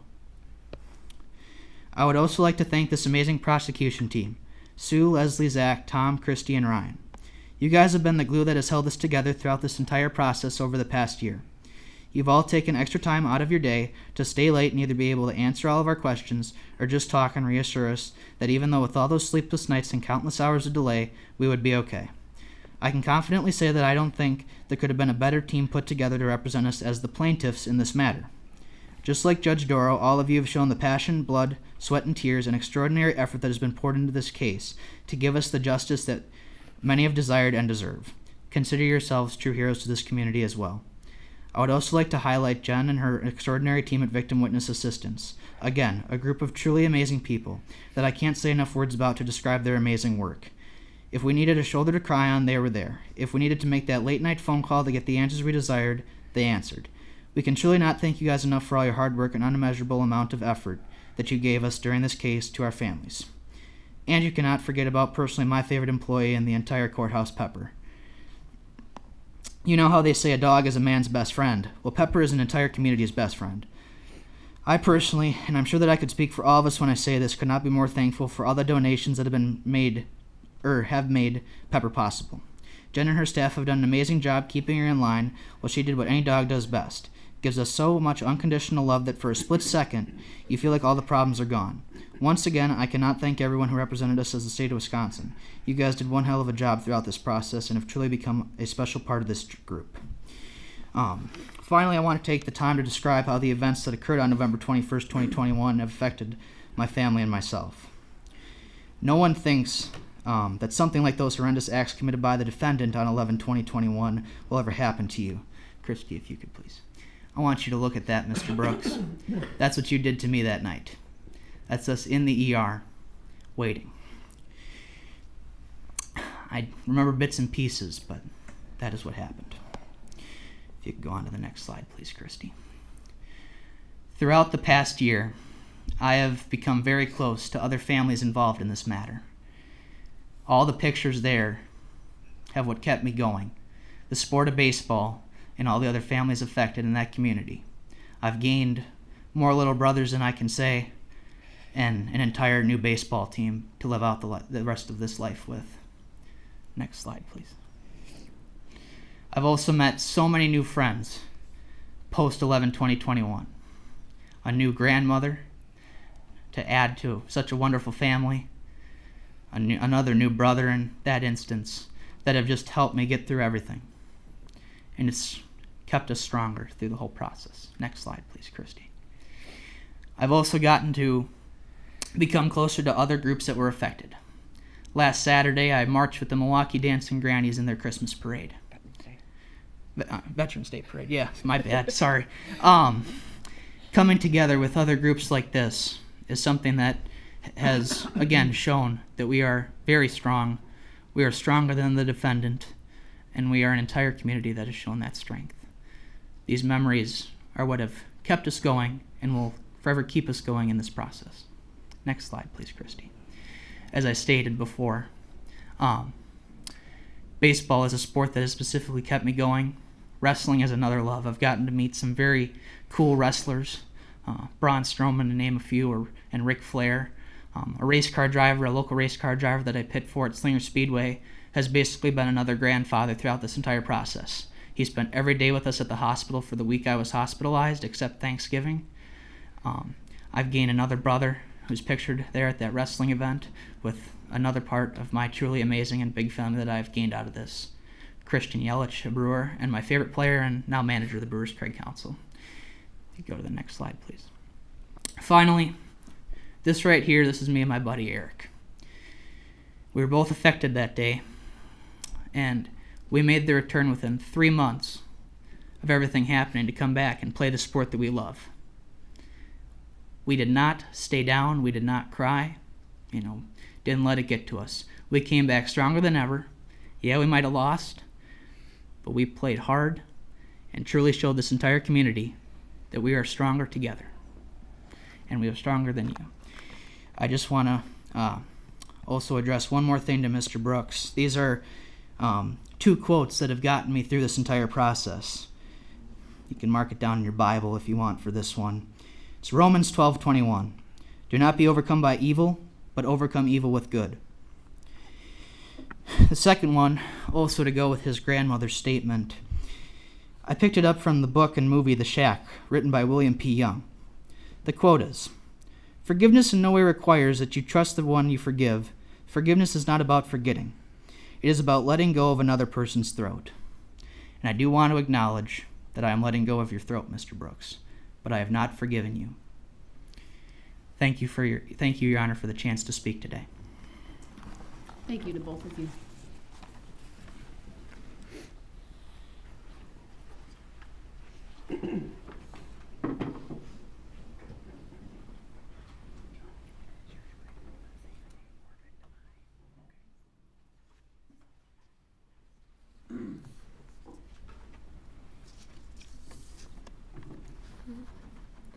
Hello, my name is Sasha Catalan. I was 17 years old when the Waukesha parade incident occurred. I was in my last year of high school thinking it was going to be the best senior year ever. Although I pushed through and made it to the end, it definitely was not easy for me or for any of us of that. After that, one night that changed our lives. I was in the Waukesha South marching band as a clarinet player. How am I doing now? That's really hard to answer because some days I get scared to leave my house, especially now since the holidays are coming around. Even when it's the simplest holidays, my mind always finds a way to go back to that parade incident. Since that day, I don't really know how to act on many events, whether good or bad. What I mean by this is that I don't really know how to show my emotions as much anymore. Before, I used to open up and could easily be read as a book, but now even my mom wonders what goes through my head, and honestly, I wish she knew. But I know that if I were to tell her, she'd be worried for me, which is the last thing that I want. Sometimes I think of what if situations since that day. That if I were to take the place of one of those people who have passed, if it would have happened better. Although I am grateful to have received a chance to continue and to make something out of my life for the better, I get haunted by these thoughts. I used to never think this way, which scares me the most. Not sure whether to live actively and freely, like as if nothing ever happened, or to watch my back on the slightest. Of email and the reason stated in the request. Just would note again, I didn't ask for the email addresses, they were provided, uh, but under the circumstances, I think that's appropriate. Okay, with that, I presume the state has the next group available. Yes, we're ready to go, Your Honor. Thank you. All right, then go ahead, please. On November 21st, you killed my mother. And in this courtroom, I watched you run her down and her broken body slide across the concrete. This woman loved and she was loved. You ran her down like she was nothing.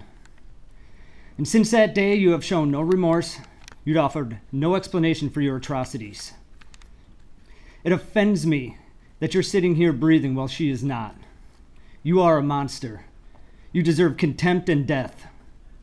Sadly, with no death penalty in this state, I can only hope they lock you away someplace so deep the rats chew on your fingers at night. As for me, this will never be over until the day I'm pissing on your grave. I think it would be fair to say that for your crimes, even God hates you.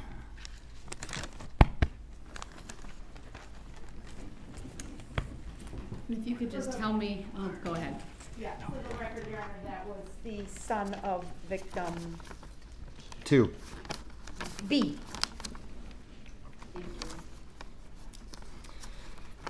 Um, if I could first thank the court, uh, you, Your Honor, and your staff for getting us here today. I don't know how you did. Uh, you kept this under four weeks, and uh, this is all going to be wrapped up, you know, before the first anniversary, and that means a lot. So I thank you for that. And uh, if I could thank everybody at the prosecution table, our real life Avengers, I mean, you guys did everything you could for us, and I'm I'm forever grateful. Thank you. And uh, I couldn't not thank Jen Dunn and her staff. I mean, she took all of us, supported us, made us into a family, and with, without them, I don't think I could have gotten through this trial. And Mr. Brooks, I hope as I read my statement, you continue to roll your eyes. I hope you continue to laugh and just show how bored and unmoved you are by all of this, because I think that's important. It's important for the world to see that evil can be a tangible, living, breathing thing. I think it's important for the world to see what human rot looks like. And to all the survivors, every time he puts his hand on that empty cavity where his heart should be, I hope you all smile and I hope you take solace in the fact that today is our day. Today is for us. Today is so we can take our handful of dirt, throw it on his grave, and move on. Because that's what we all need and that's what we deserve. My name is Chris Owen, and I am the plaintiff. I'm here on behalf of another plaintiff, my mother, Leanna Joy Owen. Lee Owen was a mother, a grandmother, a best friend, an apartment manager, and a dancing granny. The reason none of the witnesses saw her in this courtroom is because she was executed by a child killing sex offender. And we are both injured parties. My whole family is an injured party. To my kids, Lee Owen was nanny and Nanny spoiled her grandkids every chance she got. On every birthday, she would call and sing happy birthday to their voicemail so they could hear it the first thing in the morning. She went on a tour of my son's summer camp. She danced in the same parades as my youngest daughter. She wanted my oldest daughter to use her car to learn how to drive so she could teach her like she taught me. And all of that has been ripped away. But the defendant's conscience is clear. To my dad, Lee Owen was the love of his life. They met when she was 16, and he taught her how to drive. From that point on, they stayed in each other's lives.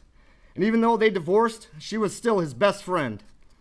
They spent a lot of time together, and she was the only one that who could get him out of the house. Now my dad has nightmares of her body flying through the air and shattering against concrete. But Mr. Brooks' conscience is clear. To my brother and I, Lee Owen was our mother, a mother who, even when she was str- struggling, was always there for us. She was supportive of us. She always told us how proud she was of us. Growing up, all my friends and my brother's friends knew they were welcomed at our house. When they were in trouble, having problems at home, or just had to get away, she always let them stay as long as they needed to. And for years, every time I came home from the Marine Corps, she got all those same friends together so I could see everybody and spend time with them. She was the one that made sure everyone got their Christmas list out on time. She made the best eggnog I ever had. And she made my grandma's mac and cheese whenever we were together. She recently renewed her passport so she could visit my wife and I in Turkey and travel the world with us. She also couldn't wait to visit Machu Picchu with my brother. It was her dream trip. Out of all the places in, in the world, that was the one place she had to visit before she died. And now the best we can do is lay her ashes there. But Darrell Brooks' conscience is clear. And I believe him. Out of everything he said in this courtroom, I believe that is the one truth he told. I mean, how else could he make a witness look at each of his battered friends that he ran over and ask, How do you know who this is? Throughout her life, Lee Owen was a hardworking woman. That's why when she found herself on hard times, she was able to overcome them. Even though it took years, she dug herself out of a deep financial hole so she could live the life she wanted, the life she deserved. And she was in the middle of doing just that on the evening of November 21st, 2021. And I know this is corny and cliche to say, but Lee Owen wasn't 71 years old. She was 71 years young. She was one of the most active people I knew. She just didn't have it in her to sit still. She always had to be moving or doing something, and this often involved people. She was very social and loved being around those she cared about, and people loved her back. She had a knack for making you feel good about yourself without even trying because she always found the good in people. Even when it was to her detriment, it never dissuaded her from helping people any way she could. Without judgment, without demand for repayment or feeling she was owed anything. She did it because she knew it was the right thing to do and it made her feel good. She accepted people for who they were and made people feel good about themselves. That is what the world lost, and you have the audacity to tell this court that your conscience is clear. I'm sorry, Mr. Brooks. There's not a human with a soul on this planet who could snuff that light out, who could steal Lee Owen from this world and have a clear conscience. And that is why you hear the term monster. That is why you hear the term demon. You know, I saw you that day. It was just after you ran over the Catholics. I saw you hanging out of the window, looking back with a smile of satisfaction on your face, laughing at an inside joke that at the time I didn't get, the punchline escaping me. I didn't get it when my mom didn't respond to my texts. I didn't get it when she didn't answer my phone calls. I didn't get it the first couple hours my brother spent looking for her. I didn't get it until my wife sent me a video of you running over children in the parade. That's when I got the punchline. And it hit me like your red SUV, Mr. Brooks. I saw a pure, unrepentant evil in your face that day, and it disgusts me that you are allowed to exist. And I know the answer to the question that everyone keeps asking. I know why you did this. You did this simply because you were not in a cage. That is what I find mind boggling. And how dare anyone say the system failed him? The system failed every one of us whose only mistake was to bring their families in the vicinity of Mr. Brooks. That poor excuse for a man should not have been on the streets. That is the failure, period. But enough about him, because today is not about him. It's about us and what we lost. I lost my mom, Lee Owen, and I wasn't always a good son. I could be selfish sometimes. I could be mean. But no matter how angry or standoffish I got, she would bend over backwards for me, even when I didn't deserve it. And now I can never tell her I'm sorry. I can never tell her I should have been more grateful. I can never tell her how much I need her in my life. Yeah, shake your head. Shake your head. You know, because that is what you took from me. And there's there's nothing this court can do that would provide justice in my eyes. So all I ask is that you rot, and you rot slow.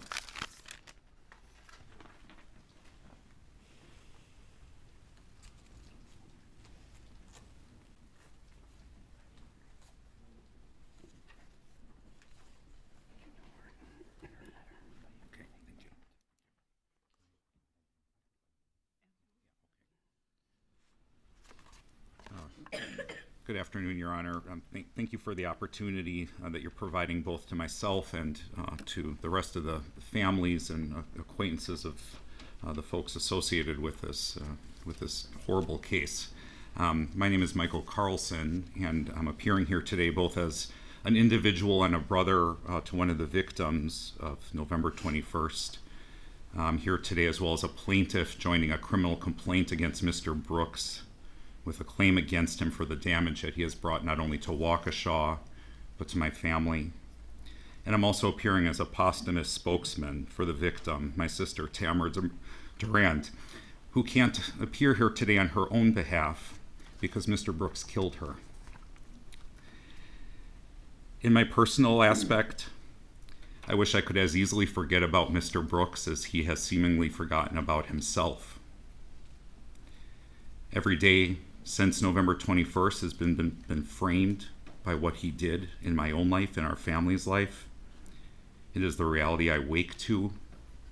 It is the reality I head to work to. It is the reality I confront as I try to fall asleep. It's the reality I confront as I go about the things I do during the day, my attempts to work, attempts to manage a household and be present for my children, and maintaining any sort of notion of normalcy in our life. But all these actions are simply a pantomime, Mr. Brooks, to forget that my sister was so stupidly and so needlessly killed by you. Perhaps you can forget what you did, but I can't. November 21 looms as a ground zero day in the story of my life, as I know it does in the life of so many others. I appear today also as a plaintiff. Mr. Brooks, you asked the court to identify a plaintiff many times during the, the course of the trial. Here I am. I'm one of many. We, the people, have brought this case and these judgments against you, Mr. Brooks.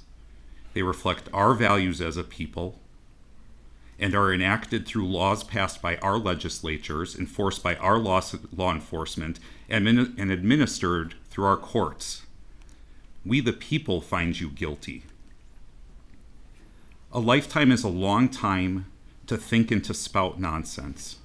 And Mr. Brooks, I want you to take no comfort in your in your future here in this comic book cartoon world that you've created for yourself involving involving the flags and and barcodes and birth certificates.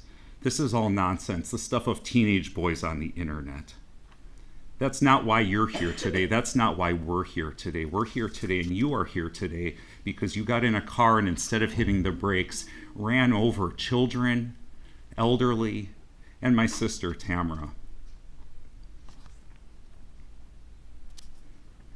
I don't want you to live in the comfort of that delusion as you live there in the court, as you live there in the prison, convincing yourself that you're the victim of something, of some crazy internet conspiracy. You're not Mr. Brooks.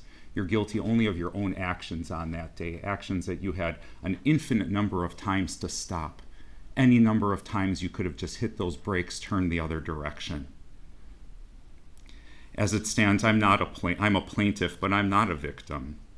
The victim is Tamara Durand, my sister. She can't appear, appear here on her own behalf because she's dead. She died when Mr. Brooks killed her on November 21st. Because Tamara cannot be here to speak, I will speak for her. Darrell Brooks, you took my life. I wish you hadn't. I had people to live for, people who needed me my parents who are aging, my children who need their mother to help them make sense of their worlds, to cheer them on, to help them into their adulthood, to become friends with them. I have my grandson who relies on me, his grandmother, as much as I relied upon my own grandmother as I was growing up. I had people who needed me, people who needed me to cheer them on, to have me bring goodwill to the hospital bed where they were in, or their families in the waiting room who needed the comfort and prayers I brought to them in their moments of pain. I have friends who need to hear from me and families that need my early morning phone calls. I had places I wanted to see and things I needed to do. The only saving grace is I didn't know what hit me and who would have ever guessed? Who could ever believe it? It's no surprise to anyone who knew me. After you hit me in that car, I got back up and kept dancing. I hardly skipped a beat. I didn't know you, Mr. Brooks. If the picture were reversed, if you were the stranger in the street in pain, needing care or comfort, know that I would have helped you. I ran towards pain and I ran into danger in my life. All you had to do was ask, and you might have danced along with us. It was a parade, after all. We both died in vain on November 21st, Mr. Brooks. I died to life, and you now die to the world. We leave lives behind, family behind, children behind us. We both leave dreams, we leave choices, we leave successes, we leave failures behind us. I die to mine in an instant, you die to yours over countless days. May the God I'm with grant you the courage to confront what you've done and to remember your own name. It's the least you might do for all these that you've left behind us who will never, who can never forget.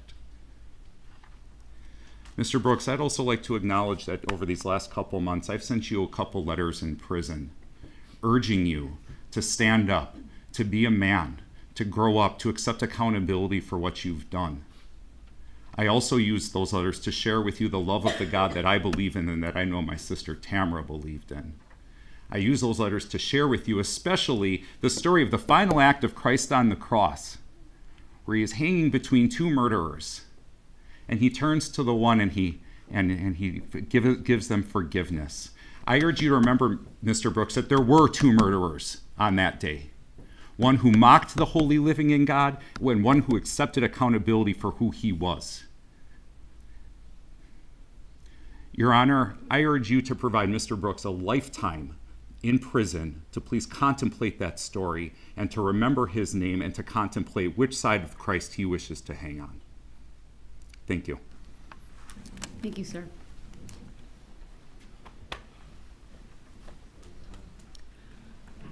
The family of victim A is going to speak next. Um, they do have some minors with them, so I'd just like to give the um, camera a second to adjust for that. And also, one of the minors um, does wish to make a statement and is somewhat vertically challenged. um, I'm wondering if she should stand over so that you may see her, or Um, sure. She- taken out. Before I ha- uh, have them come up, believe Mr. Brooks was uh, attempting to get the court's attention. So let me address him quickly. Um, I wanted the uh, order of the court, if I may, really quick, pertaining to the um, the last speaker. I have an issue with. If you would, if it pleases the court, we can address it later, or if you want to address it now, I don't. Mr. Brooks, sure. this is- these are sentencing remarks. I'm not going to interrupt those sentencing remarks to have you address him individually. No, I'm not talking about addressing him individually.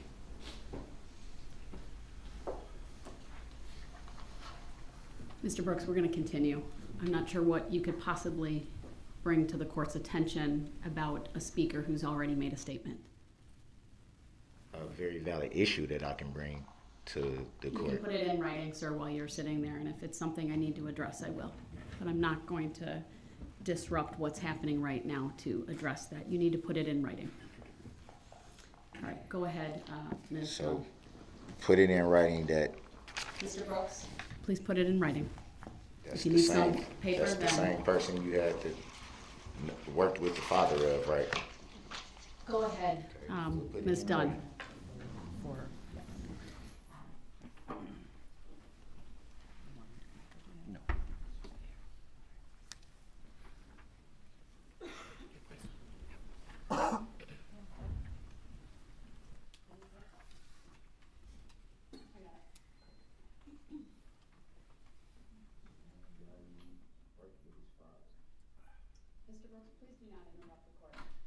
Like I said, the same record speaks person. for itself. All of those issues were previously put on the record.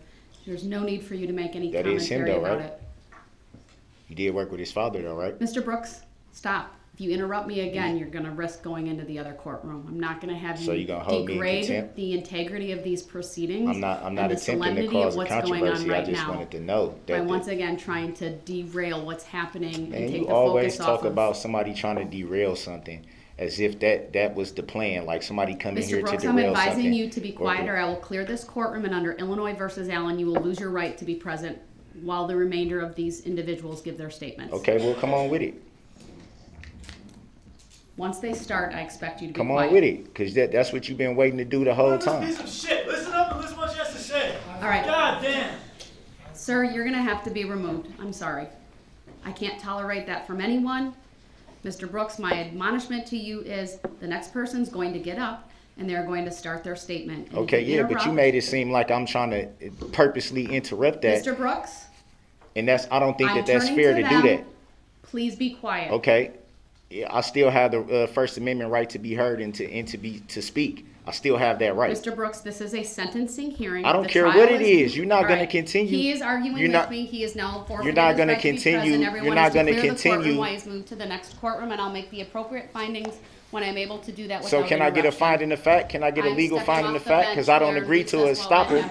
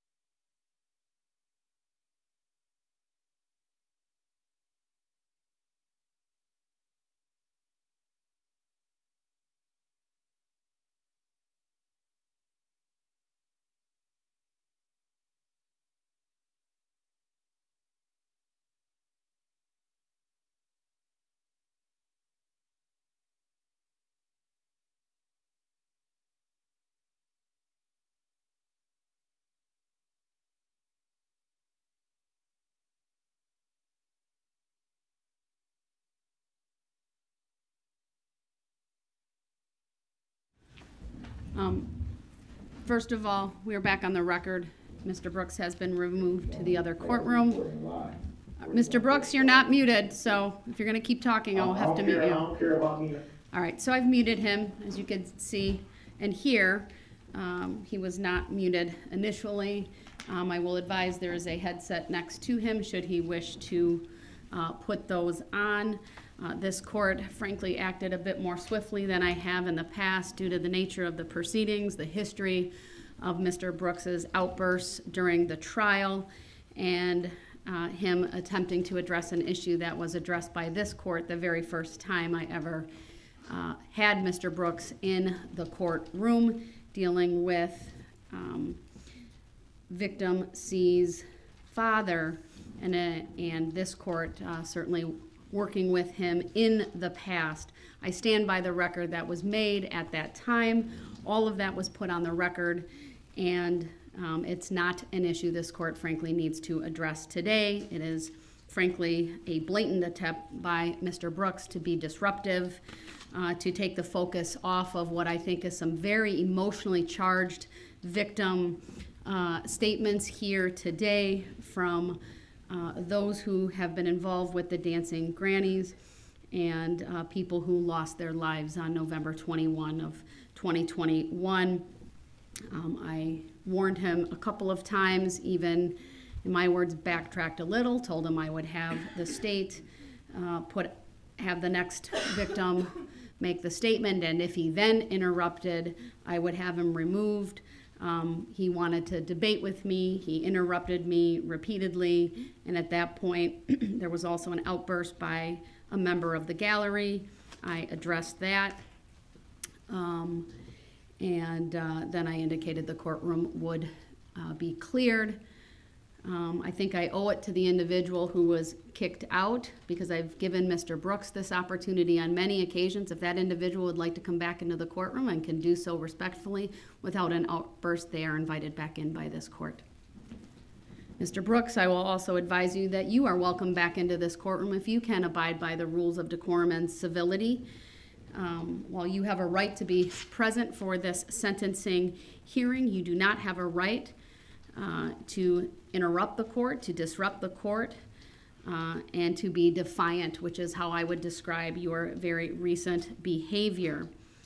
Um, and that is why this court, under the authority in Illinois versus Allen, uh, did remove you from the courtroom. I have the ability, of course, with the technology. He's able to hear, he's able to see. We are able to see him. He's muted right now. Um, and uh, while I attempted to have him appear without being muted, he uh, spoke over me. Um, if he wants to come back in before it is his turn to speak to the court and present uh, individuals who wish to speak on his behalf, he needs to simply ask the bailiff and then, of course, uh, abide by the rules of civility and decorum. Um, it's, of course, a very emotional day for many people here, if not all. Um, and I think even more today than any other day, um, respect needs to be what guides everyone in this courtroom um, and not interrupting and not having outbursts, no matter how difficult the situation may get at times. So I've made the record. Um, I will unmute, um, but if there is any interruption whatsoever, I'll have to uh, mute him once again. So the unmute is off. And once again, I've confirmed that the technology is working and um, um, all right, what do you need to do?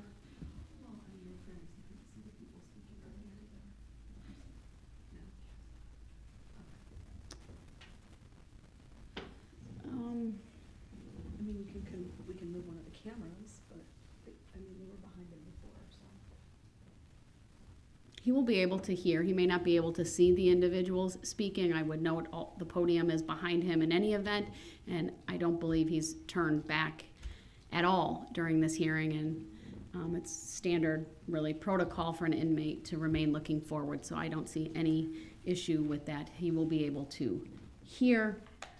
Um, with that, um, We, we will need to screen share, um, for the next speakers, Your Honor. There's some photos that we'd like to display, just to All give you a heads up on that. I believe Madam Clerk will be able to do that for us.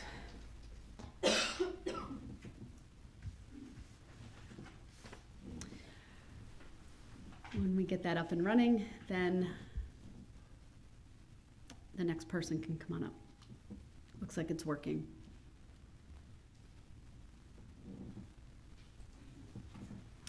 All right, thank you, sir. If- As a reminder, if you would at least let me know y- your name if you want to, or son of victim so-and-so, that would be very helpful as I am trying to take notes of everyone who is making a statement. Um, no, you are not muted. I expect you to be quiet as the proceedings continue. I was just asking, was I muted? I didn't know. You just said I was muted. I'm sorry for the interruption, sir. Please continue, or please start. My name is Marshall Sorensen, and I am son to a murdered mother, Virginia Sorensen. On a day that I was planning to put up a Christmas tree with my family, I received a call from my dad that would turn my whole family's world upside down. When I answered the phone, my dad told me something happened to your mother during the parade and she didn't make it. I said, What do you mean she didn't make it? My dad proceeded to tell me that she was killed. Of course, I didn't believe him at first, but when I hung up the phone, reality set in. As I wiped the tears from my eyes, I thought to myself how I was going to tell my two little girls, as they wait in the other room to put up the Christmas tree, that they will never see their grandma again. As a parent, one of the hardest things to endure is to see your family in pain. Witnessing my daughter's hearts get shattered into million pieces in an instant that night, trying to understand what happened to their Grammy, is something I wish to this day I could make go away. I love my mom unconditionally, and so did my family. My mom would jump at the opportunities to spend time with my daughters. I was blessed with having that opportunity with my mom, but my girls were cheated out of that because of the acts of one evil person. Mr. Brooks, you had mentioned that you will never get to be able to get the chance to hold your grandchild. To that I say good. Maybe then, while you're locked behind bars, you will experience a little bit of the pain that you inflicted on six families when you killed their loved ones during a Christmas parade. My family will never get the chance to hug my mom one last time and say goodbye because of your actions. You will never understand what you took from my family, and by your actions in court, you don't seem to care either. You murdered my mom, and for that reason, I'm asking the judge to sentence you to life in prison without parole. I continue to have a hard time understanding why such a loving person like my mom had her life ended in a tragic way. But I do have some peace knowing that she left this earth doing something she loved. I encourage people now, after a year, that if someone asks you how my mom died, Virginia Sorensen, that you respond with, Let me tell you how she lived, because that is what made her so special to so many people.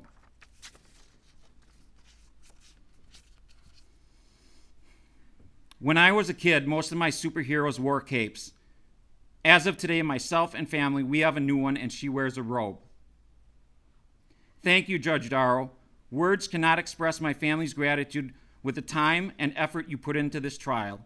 I want to also thank Sue, Zach, Leslie, Detective Casey, Jen, Pepper, the witnesses, the jury for the sacrifices they made so justice could be served. Lastly, I want to thank the city of Waukesha for their community of love and support they displayed towards our family during this time. Going forward, my family re- will refuse to live in fear because of the acts of one evil person. My family will continue to attend parades, and at this year's Waukesha Christmas Parade, we plan on walking with the dancing grannies. We will do this in remembrance of my mom and show that we are stronger together. I ask you today to please remember the picture shown on the screen during this year's Waukesha Christmas Parade. This picture was taken before a previous parade. My hope for you is that it reminds you of the true representation of what the Waukesha Christmas Parade stood for before this tragic event, which is the unconditional love between families while celebrating the spirit of Christmas. May angels watch over you and you remain strong. I would like now to bring up my daughter, Brooke, to say a couple words about her grandma. She held the banner with my mom at previous parades, as shown in the picture above.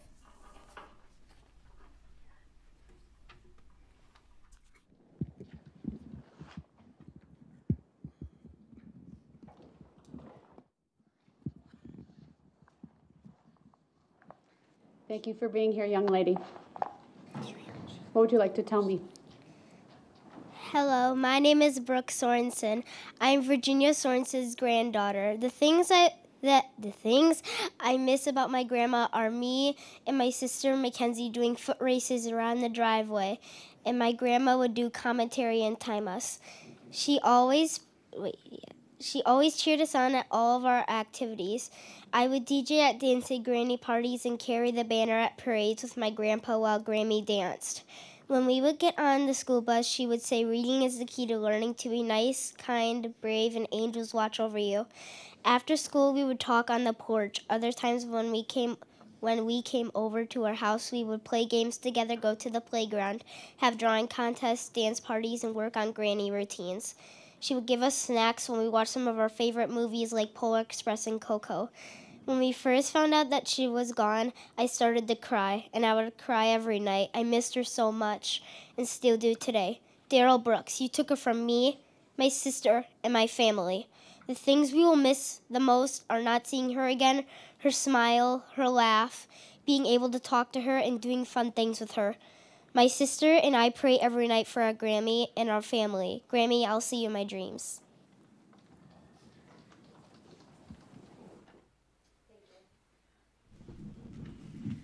I'm being told Mr. Brooks would like to come back. Before I do that, sir, I need a pledge from you that you will abide by the rules of courtesy and decorum and you will not interrupt. Can you do that, sir? I'm not gonna interrupt.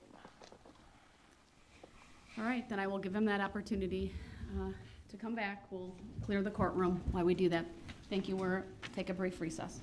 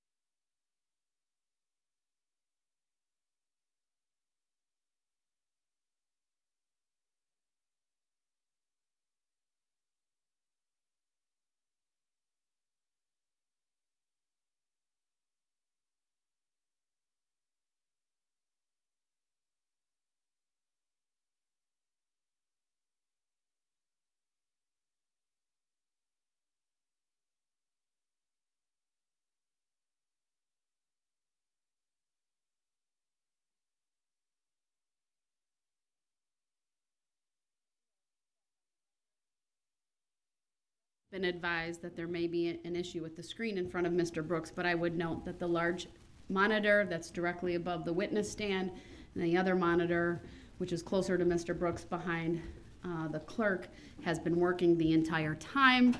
Um, Zach may be coming in to look at it, but we'll keep going while that happens since uh, we are able to see and hear that way through the monitors. So, um, please, go ahead, sir. Thank you, Your- thank you, Your Honor.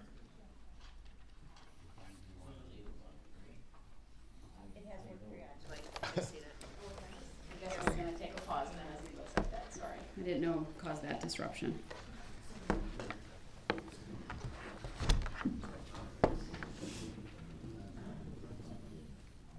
Can the state put something up and I'll,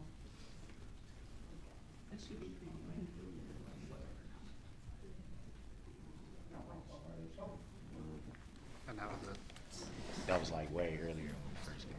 There you it's working. Okay, great, it's working.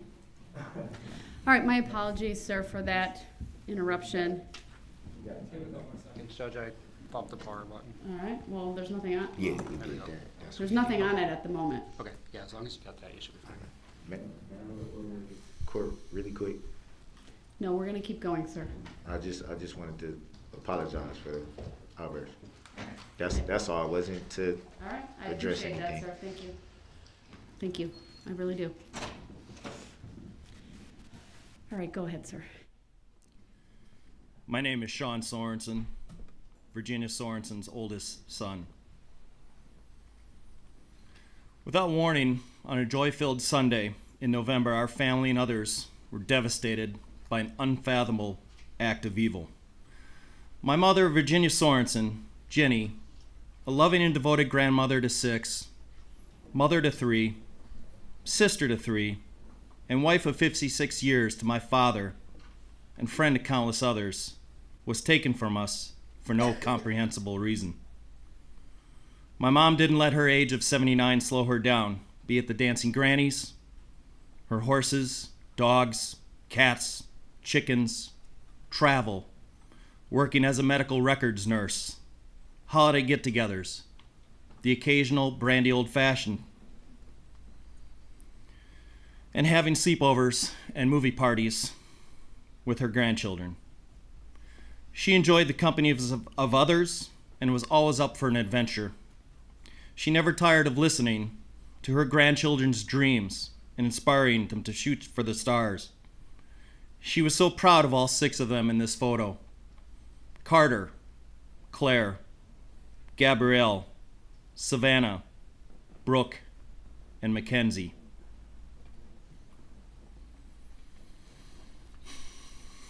She was killed doing something she loved and enjoyed with the dancing grannies. And although we were denied the chance to be her with her when she passed, we know she was surrounded by friends and the caring strangers who sought to save her life. So we find comfort that she did not die alone. She was a compassionate person. She was always telling us, God bless you, or angels watch over you. She will be missed with an aching emptiness in all our hearts. Judge Dorow, thank you for overseeing this trial. You define excellence in your profession, and we are so grateful you were assigned to this case. Thank you to the 12 jurors of this strong community who carefully and unbiasedly listened to the evidence and brought back 76 guilty verdicts. Thank you, Sue Opper, Lesli Boese, Zach Wittchow, and the entire Waukesha District Attorney's team for ensuring Mr. Brooks would not escape the consequences of his despicable actions. Thank you, Detective Tom Casey, and the many law enforcement officers of Waukesha and other jurisdictions who investigated, collected evidence, and testified to ensure Darrell Brooks will never be a free man. Detective Casey came to my dad's house in the early morning hours of November 22nd to deliver the heart wrenching confirmation that my mother had passed, and he has greeted us every day in court since then. I want to thank the Victim Witness Program, Jen Dunn, her staff, and their best comfort dog, Pepper. for their kindness and constant comfort to all the families affected this past year. She and her office have been a rock for us to cling to when events have threatened to emotionally overwhelm us. I want to thank the Waukesha Women's Center for supporting Corey Runkle and Erica Patterson in their testimony against Mr. Brooks and his abuse, and the good that the center does for other abused women. I want to thank the first responders and medical personnel at the parade who rendered aid to the injured and attempted to save my mother's life that night. And a nurse that we met at the memorial one night by chance, Sarah, who held my mother's hand that night. But she was already dead. A severed spine, multiple skull fractures, pelvic fractures, and her Christmas hat wedged under the windshield wipers of the Ford SUV. There was no ambulance ride or hospital stay. She was gone in a split second after Mr. Brooks smashed into her. But she will live on forever in our hearts. Finally, I would like to thank the Waukesha community and thousands of others for their outpouring of love and prayers to the families and victims of this unspeakable tragedy. I have few words for Mr. Brooks. Just saying that name brings anger and hatred into my heart. And I want to move forward after this sentencing with the happy memories I hold of my mother. I sat silently almost every day in this courtroom, bit my tongue, restrained myself from jumping over this divide to administer my thoughts of justice. As Mr. Brooks droned on about where the plaintiff was in this case, who the plaintiff was in this case. You've already heard. There are many plaintiffs here. I'm here, right now. I've been here all along. And now he gets to hear from me and will from many other plaintiffs before this day is over. He is simply a repulsive man who has shown zero remorse for his actions and depraved indifference to life. His fake tears in court were never for those harmed, but only for himself and the freedom he has lost. His narcissistic behavior, disgusting trial antics, and defiance to accept any accountability displays how truly unworthy he is of anyone's forgiveness. While we lost my mom instantly, I hope his 76 sentences pass in a slow, miserable, depressing existence as a reminder of the many lives he shattered. There are two others I hold culpable in my mother's murder. Dawn Woods, the mother who knew her son's felonious criminal history and penchant for violence, yet bailed him out of jail for $1,000 after he had assaulted Erica Patterson by running her over with Miss Woods' Ford Escape. She continued to allow him to drive it and enabled his violence and murders that Sunday afternoon. The other is John Chisholm, the Milwaukee County District Attorney, whose misguided and ill conceived bail reform policies led a violent, multi convicted felon back into our community and onto our streets while already out on bail from a previous violent felony. Mr. Chisholm disregarded his duty to keep the people of this community and state safe from repeat criminal offenders and allowed a career criminal to snuff out six innocent lives. He is a coward who hides from the accountability for his office's negligence. If he had a tiny, single sliver of integrity, he would resign. Not once has Mr. Chisholm said three simple words to these victims and families I am sorry.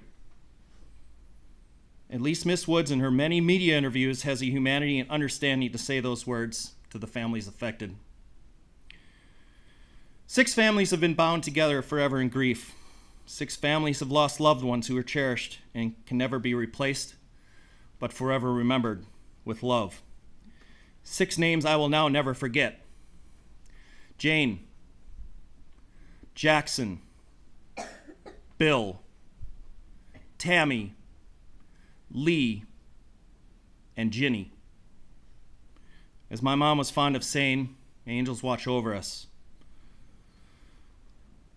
And I know now there are six more watching over us.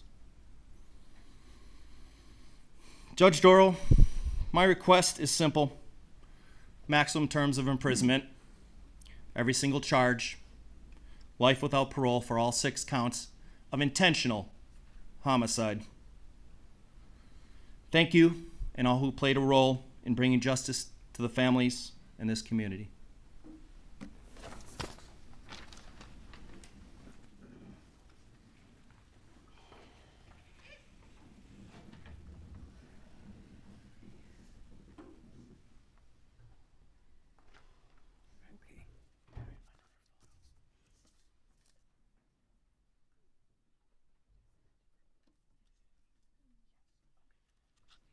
I'm David Sorenson, Virginia Sorenson's husband of 56 years, and I'm wearing this Dancing Granny sweatshirt in her memory. Few thank yous, first of all. Thank you, Judge Dorow. You earned your angel wings in this trial.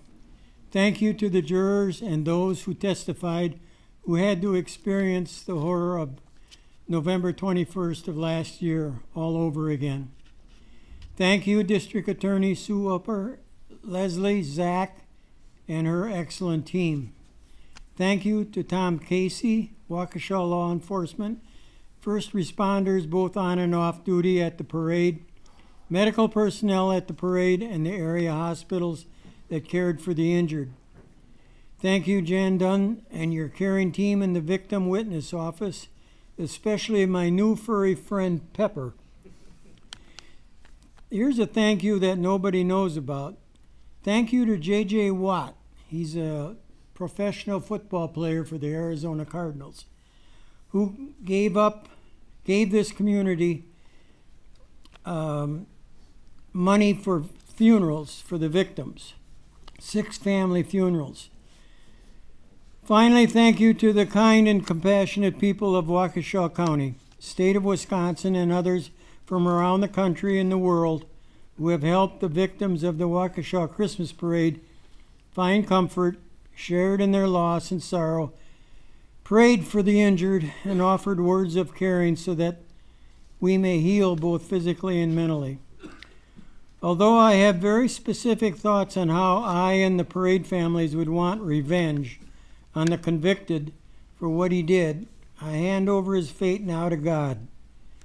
So I will let God determine the revenge I ask for, be it a week, a month, a year, a lifetime.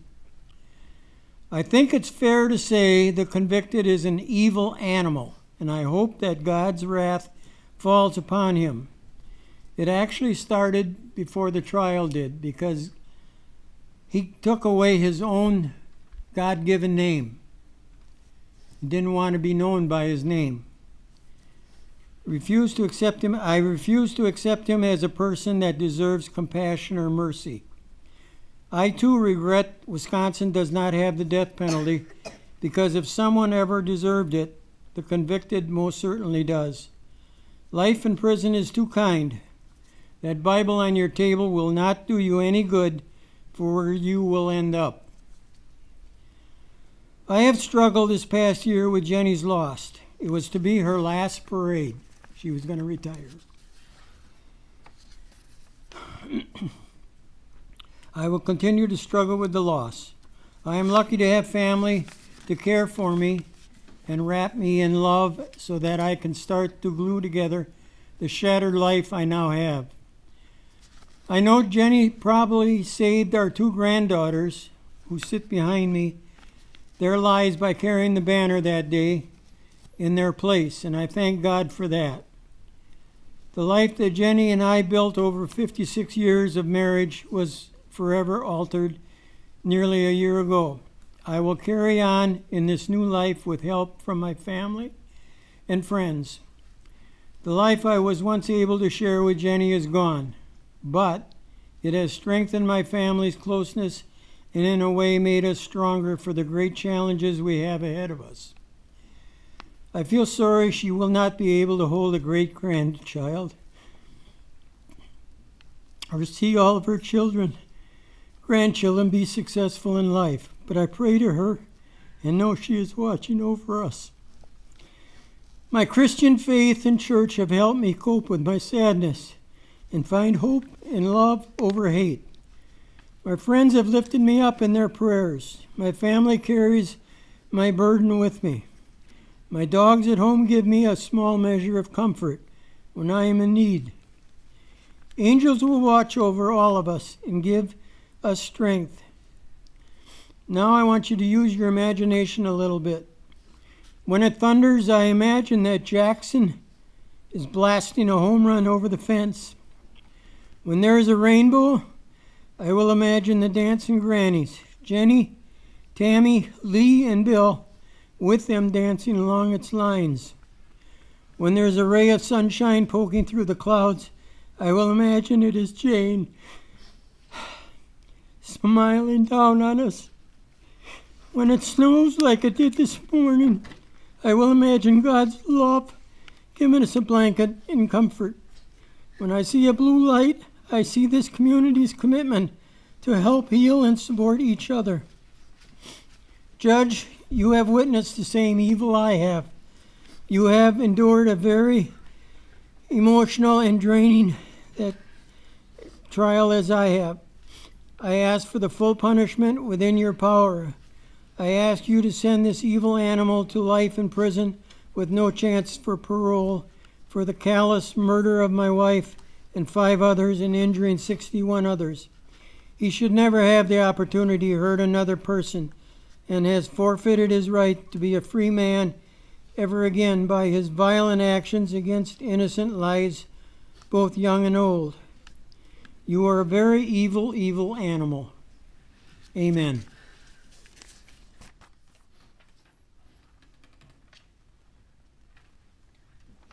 Thank you.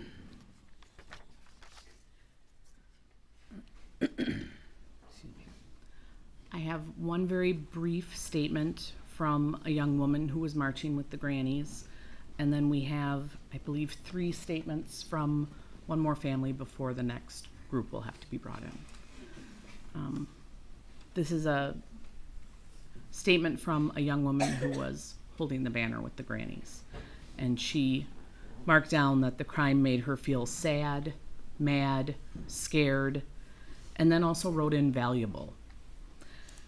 Asked if you were the judge, what would you do to the offender? She checked send them to prison, and then her own idea of make the offender go through the physical and emotional pain I went through.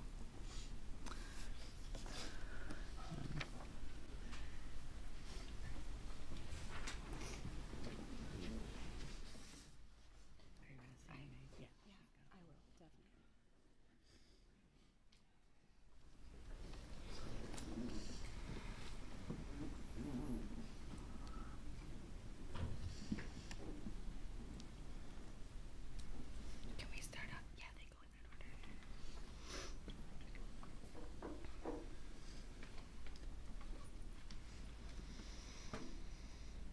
Oh. I guess they're not in that order. I don't know.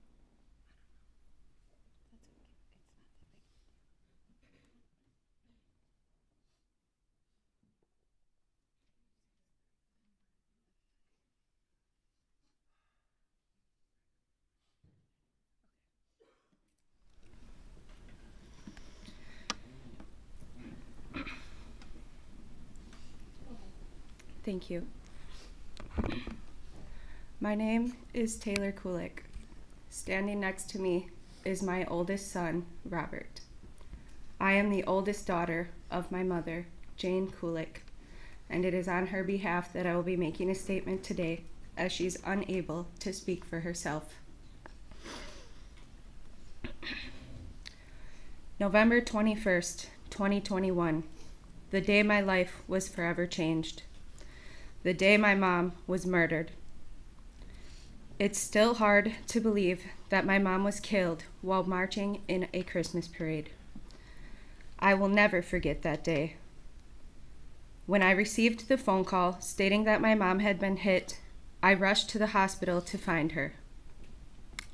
Within minutes of arriving at Waukesha Memorial, people of all ages flooded into the ER. Many injured, many searching for their family members, just like we were. It was complete chaos. After three hours spent searching and waiting, finally, a nurse came and asked us to sit down. My heart sank. I listened as they told us how my mom was unconscious when she was loaded into the ambulance, that they tried to save her, but the damage was too severe for her to fight. She was dead upon arrival. She didn't even make it to the hospital. It hit me like a ton of bricks. My mom was just murdered. She was dead. I did not sleep at all that night. All I did was cry. I sobbed for the loss of my mother. I bawled for the pain of my children losing their grandmother. And I wept for the rest of my family as, we had all just lost an absolute gem. Next picture, please. I still cry, even as we approach one year without her. This year of all the firsts without my mom has been difficult to say the least. Every holiday, birthday, and monumental life moment, each of those moments another reminder that she's not here. She was known for giving cards on every occasion, and she showed up to everything she was invited to. She was always present because she genuinely cared. You could tell by the way her smile lit up the room or how contagious her laughter was. Her presence alone was just a sense of comfort, a feeling of home. She was supportive, encouraging, and just so laid back that you couldn't help but get along with her. These are just some of the reasons we all love and miss her so much. Next picture, please. Her name was Jane, Jane Kulich. Her sister called her Pain, so she was Auntie Pain to my cousins, hmm. And known only as Grandma to my kids. But for me, her name was Mom. Mom and I were super tight. I could talk to her about anything in the world. We used to text each other almost every day, talk on the phone almost at least once a week, and go out to lunch, just her and I, every other week. Every day, I'm missing those text messages. I miss hearing her voice on the phone and receiving her adorable voicemails or seeing her face light up when I unexpectedly pop up at the house. To simply say I miss my mom is a dramatic understatement of my true feelings. I'm devastated, a bit lost, and I can't fully describe how it feels other than a piece of me is missing.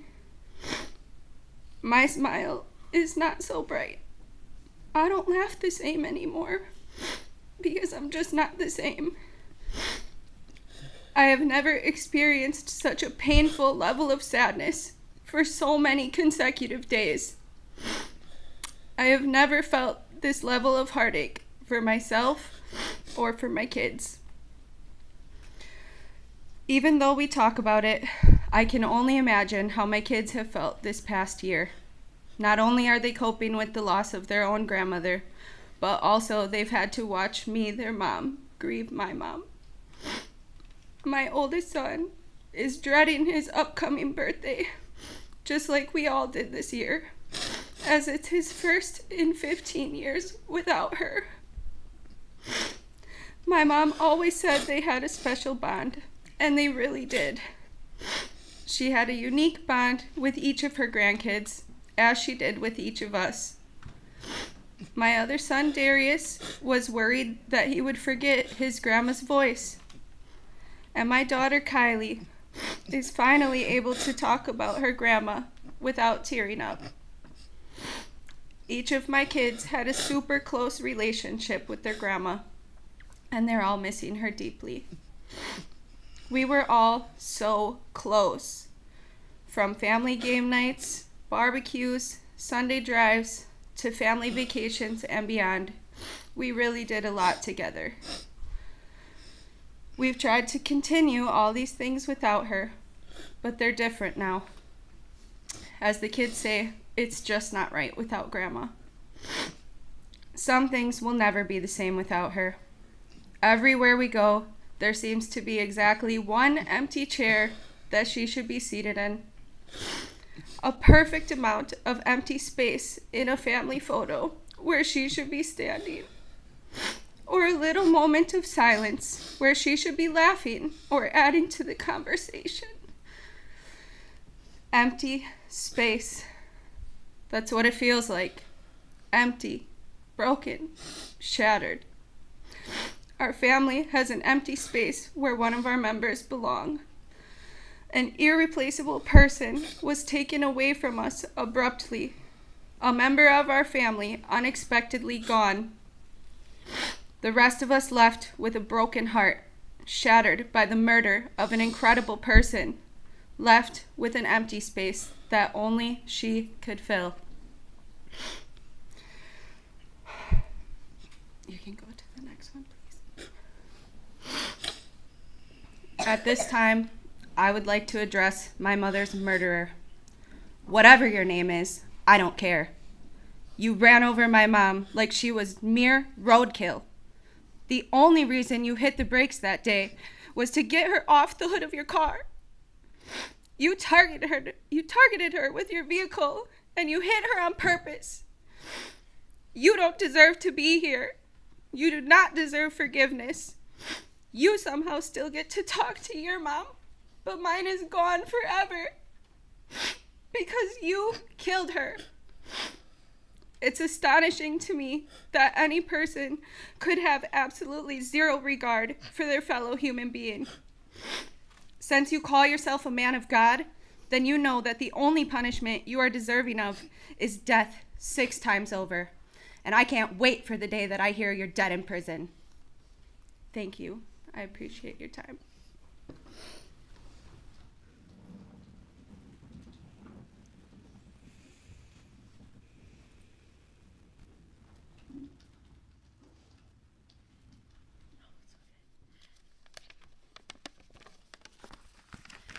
My name is Alicia Kulich, and I am the youngest daughter of Jane Kulich.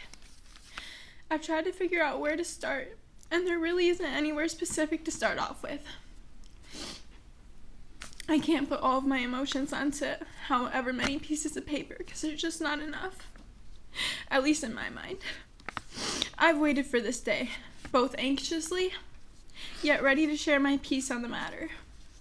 I'm here I'm here speaking upon behalf of my mother and the rest of my family and my twin brother standing right next to me. I've been to most of the trial that I could make it to, as it is my first year in college, and I, my mom would want me to put my schooling first. I have many emotions on this subject, but without a doubt, the most ex- um, the most expense- extensive emotion I feel is grief.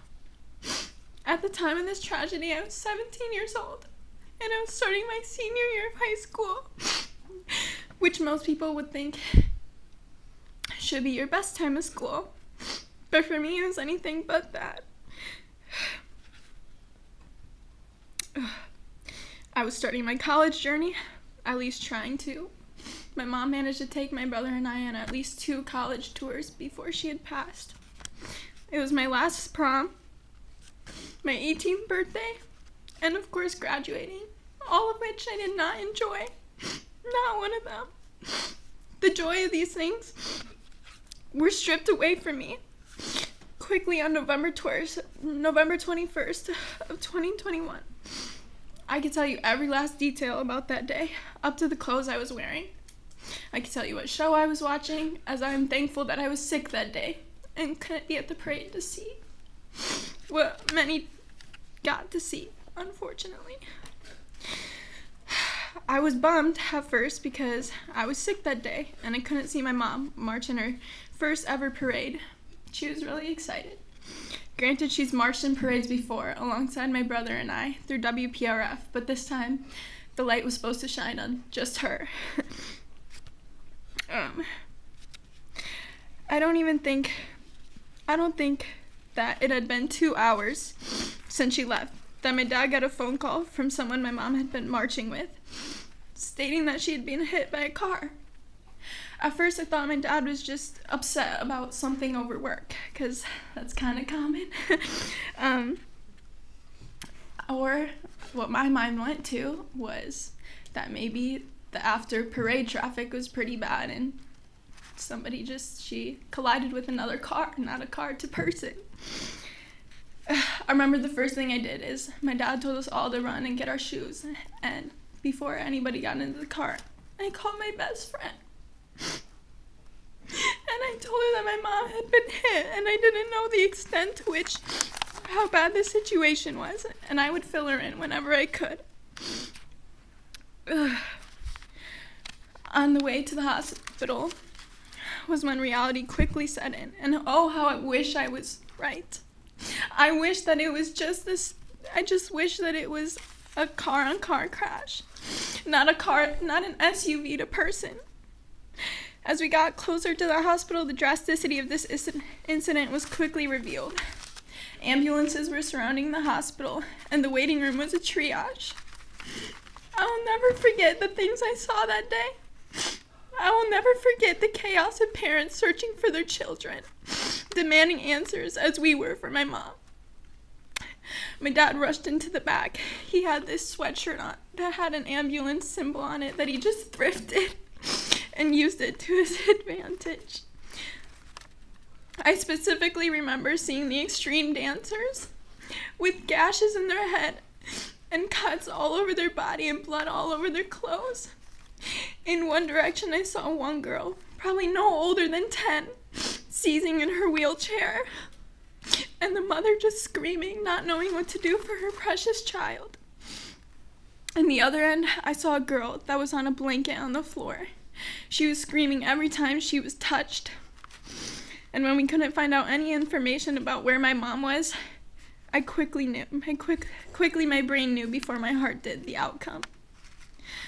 I'd never thanked my dad for this, but I appreciated the, optis- the optimism and the composure he kept during the longest waiting period of my life. He was optimistic, saying that God would make everything okay. And we'd even joke around a little bit about my about my mom while she was well while she was dead. When a doctor finally approached us, I was in the bathroom. I had to take some time away from my family as I didn't want them to see I was upset. My older sister, she pulled me out and she told me that they finally had some information. And when they told us, when they brought us back to the room and told us to sit down, you just know. You just know. I had to prepare myself for what I was about to hear. Hearing that my mom had deathly in- injuries in her head and her lungs and all the rest of her organs, and she was deceased. That is the words that he used. He was she was deceased. That is something that I will never be able to unhear, along with what I saw in the triage of that hospital waiting room that day. Oftentimes, when I hear sirens, I'm scared. I'm scared that another family has to go through what I went through, what my family went through. And it's terrifying that in the world we live in, something like that can happen in the blink of an eye. We were driven home by a squad car that day, considering none of us were in good condition to drive. And I'll never forget all the phone calls I had to make to tell our loved ones that my mom was dead. That she didn't get the chance. She did not get a say in the matter. I remember calling my best friend, all of my best friends, and they stayed with me till three in the morning, and my boyfriend. They all did. And the next day, I didn't even want to get out of bed. I couldn't. I don't. I. I still spend every day just waiting for this nightmare to end. As I think that second day, it still hasn't fully processed yet that my mom was no longer with us. I never would wish on my worst enemy to have the burden to share such horrible news that nobody ever prepares you for. After all is said and done, I couldn't get out of bed for a few days, nor did I have much of an appetite. The next few days consist of me trying to put together this new life, all of which still doesn't still doesn't sink in sometimes. But other days, believe me, it does. Even though I've received so much love and support from the community, my friends, and my family, I've never felt so alone. I don't think I'd ever be capable of feeling this much pain in my life. But here I am. I'm watching my siblings and my nephews and niece and my cousins and my aunt and all the rest of my family going through this. is just terrible. Up to today, I've experienced every holiday officially, besides my oldest nephew's birthday, without my mom. And they've all sucked. Every last one of them. I slept through most of Thanksgiving. Christmas was probably the most depressing of all. It's supposed to be a time of cheer and joy, but how was I supposed to feel any of these things with my mom being dead? It was her favorite time of year, which made it even harder to enjoy. Every time we went to church, the song Silent Night came on, and she'd always cry. And now I do the same. I also had my 18th birthday, two months after she was murdered. If it wasn't for my sister planning an amazing party for both my brother and I, I don't think I would have gotten out of bed that day. She was the woman that brought me into this world, and it didn't feel right celebrating without her. I had my senior prom without her, and she didn't get the chance to tell me how beautiful I looked, and then embarrass me with a bunch of pictures. I had to walk the stage at my high school graduation without my number one supporter cheering me on in the crowd. I received scholarships, and my mom didn't get to tell me how proud of me she was. I spent most of my senior year in the guidance counselor's office, catching up on all the missing work that I had, simply because I couldn't focus in class or at home because I was too sad. There was a classmate in my school that truly understood what I was going through besides my friend and family. The day after the parade incident happened, she called me and she asked if I was okay because she her family had experienced what I had. Her little sister was part of the dance team and she was there and saw her sister get hit by this SUV. And as bad as it seems to say, I was glad in that moment that I had somebody that could relate to my situation that wasn't family. I felt for once that I had somebody that I could bond with that truly understood the emotions that I was feeling. I'm so glad that she didn't get to experience the extent of what I did and having to lose a loved one from the moment, but she came close. I love you guys. Quite often, I also think about my future as I think about my past memories with my mom. And although I wish I could say present memories, I don't have any. I think about how my mom won't be at my wedding, and I'm gonna save a seat for her, but she won't be there, and she won't get to see me say my vows or get married to the love of my life, and she won't ever get to see my future kids, and they won't know what it's like to have a grandma that spoils them and how I have to be uh, how I have to be the one with the burden to tell them of what happened to their grandmother and why they don't have one.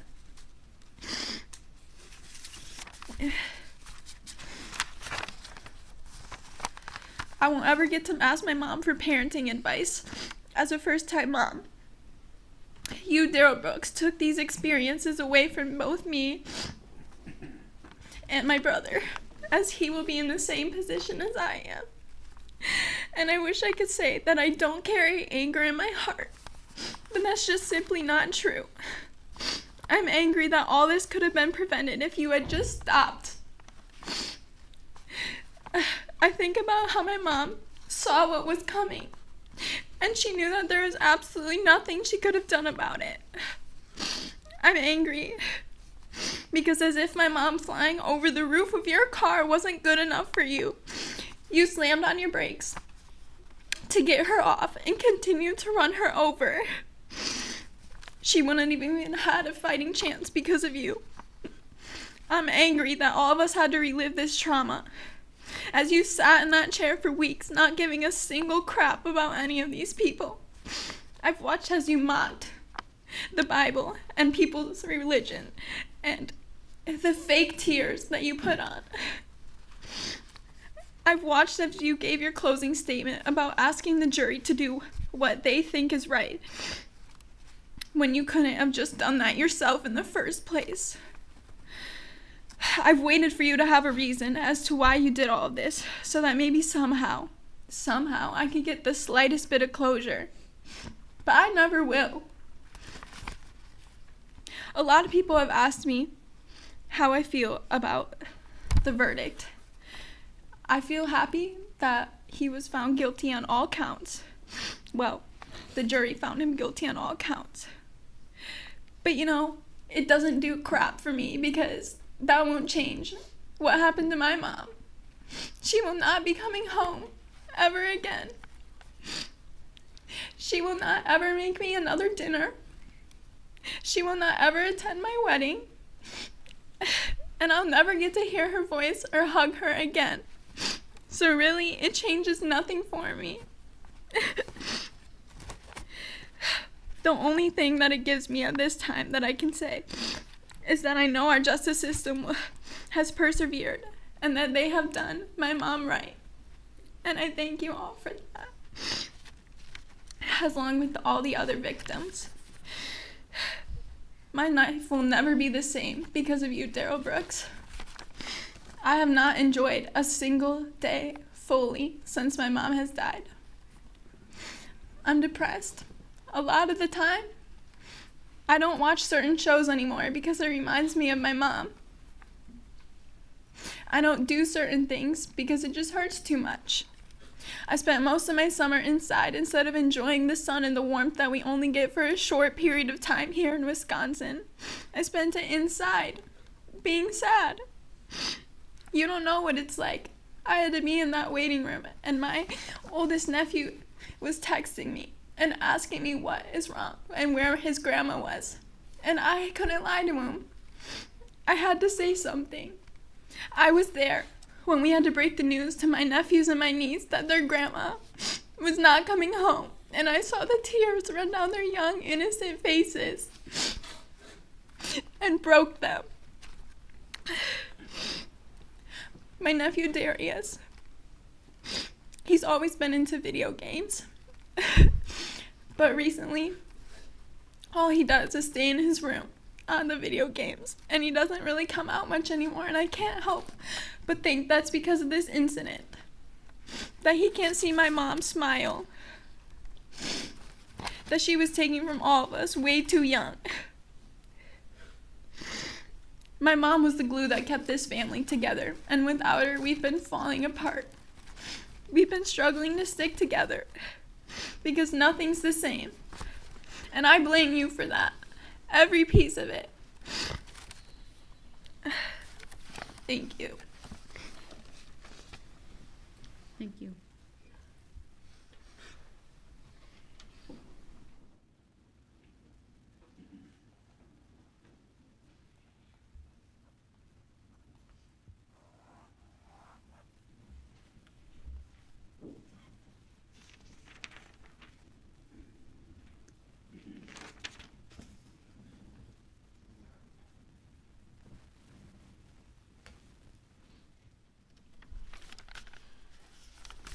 My name is Greg Houston. This is my wife Carrie, family members of Jane Kulich.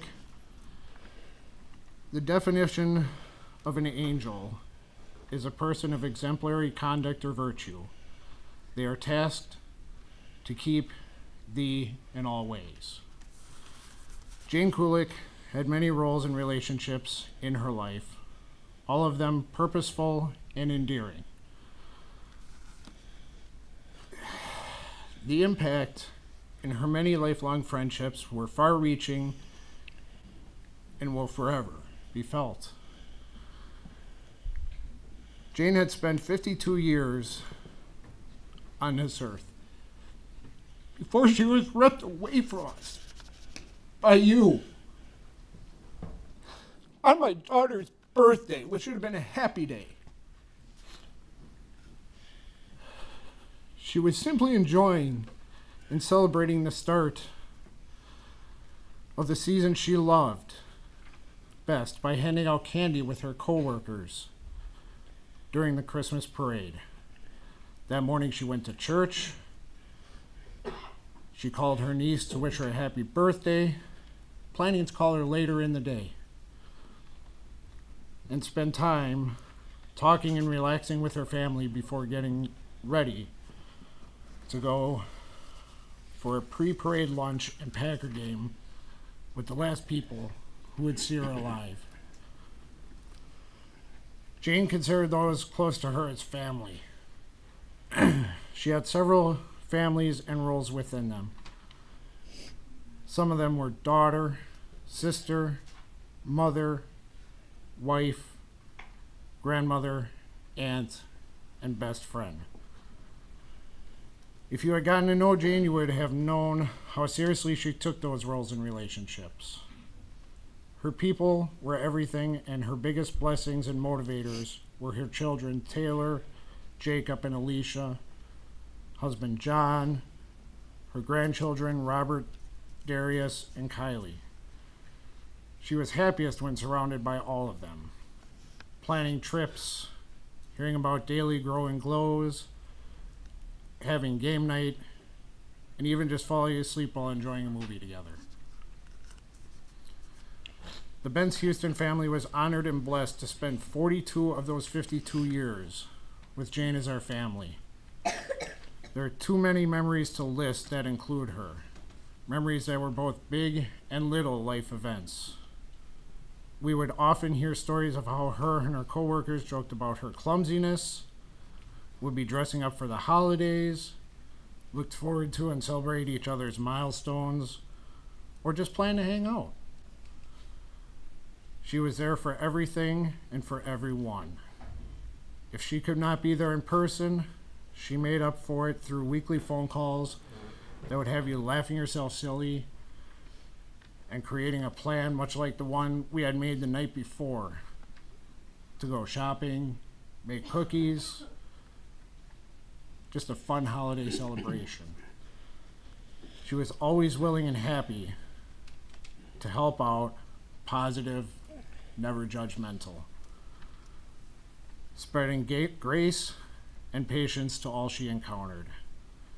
She loved, honored, and held dear her people and their places in her life. Our places in her life were forced to change instantly on November 21st, 2021. Our places in her life became now the people that were responsible for helping to keep her family together and keep them strong. Help her children and her grandchildren make it through everything. You changed our place in her life. You made it forefront and you made us helpless because we don't feel that we could do those things the way she could have. We feel inadequate and broken because of you. The evening of November 21st, 2021, everything changed. That evening, Alicia sent me a message saying, Auntie, Mom's been hit and we don't know where she is or where they took her. We immediately drove out there to find her and helped make several phone calls to area hospitals to find her. After several hours of not having any answers, we finally decided to go sit in the lot of Waukesha Memorial, where her children and husband were trying to find out information and were under a lockdown. We couldn't even go hug them. After hours of not receiving confirmation, Taylor finally sent the hardest message I have ever had to read. She's dead. She's dead.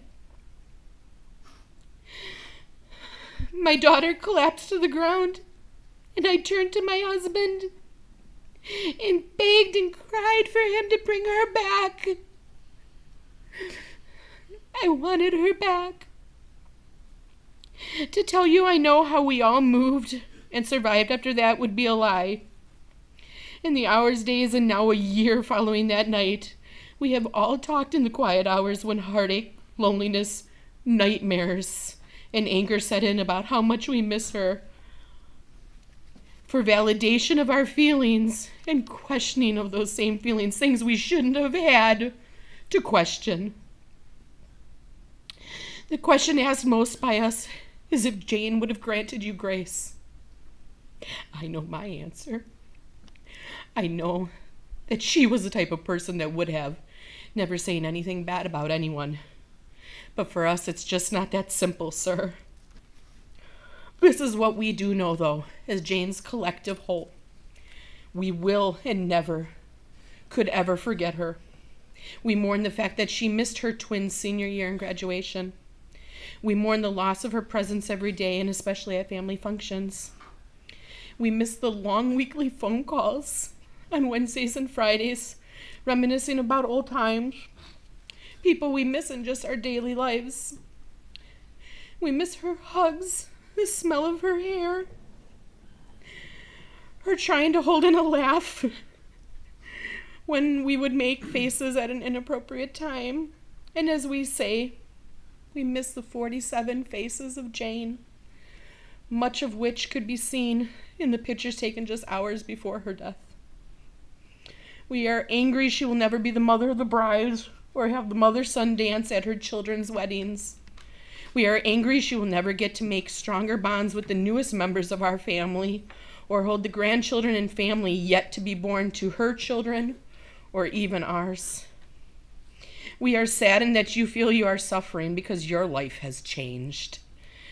For us, it changed the night you ripped her away from us and drove by with her body on top and slowed down and ran her over. You say you have a clear conscience. How can you suffer if you have a clear conscience? At least you will always still be able to make the phone calls, write the letters, and visit with your people. We simply cannot, sir. Above all else, we are angry that Jane became known by people more because of the day she died and the way she died than because of who she was. Taking all of that into consideration, we ask that you please hand down the maximum sentence for each conviction that you possibly could. The definition of an angel is a person of exemplary conduct and virtue. They are tasked with keeping their people safe, keeping them cherished, and keeping them loved. Those are all the things she did, so by that definition alone, Jane was an angel on earth. Thank you. Thank you. Three, Your Honor. All right, then we'll take a 10-minute break and have you set up for the fourth. Thank you.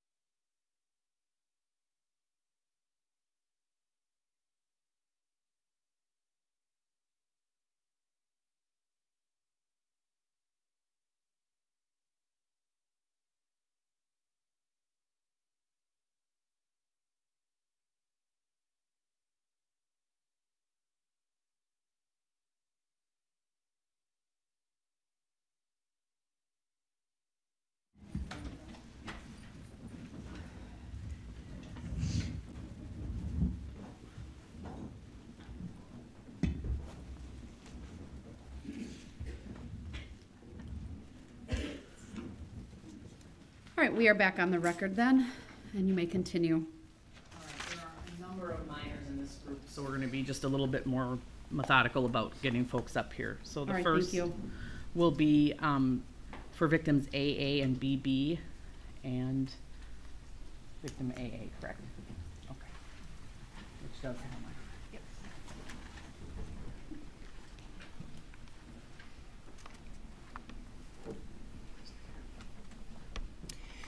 Good afternoon. My name is Leanne Hollingsworth, the mother of two victims. I want to start by thanking everyone involved in this case by bringing justice for us as victims. I want to thank all of the officers, first responders that helped us that day, especially the amazing Waukesha County Sheriff who was willing to transport me and my daughter to the hospital so quickly.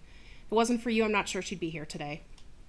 Thank you to all of the staff at Children's Hospital for the amazing care for my daughter, and thank you to the Waukesha community. Thank you to the Good Samaritans who stayed with my daughter until I arrived, covered her with blankets to keep her warm, tried to comfort her. To all of you, I'm forever grateful. November 21st, 2021 is a day that will forever be etched in our minds and hearts as one of the worst days of our lives. On this day, you, Darrell Brooks, made the conscious decision to drive through the Waukesha Christmas parade and destroy the sense of security and safety of my family and thousands of others. My two daughters were doing what they love most, dancing in the parade with their teammates, when you destroyed that fun. My oldest daughter watched as her teammates went flying through the air, one of which was her sister. She had to make the frantic call to me to tell me that her sister was injured. Not only that, but because you, Darrell Brooks, continued driving and didn't stop, no one knew if the danger was gone or if they were still at risk. I remember the terrified phone call from a couple of blocks away telling me to get inside the nearest building to stay safe. As a mother, I knew in that moment I couldn't leave my kids alone, so I had to make the choice to risk my own safety, run all the way down Main Street to get to them.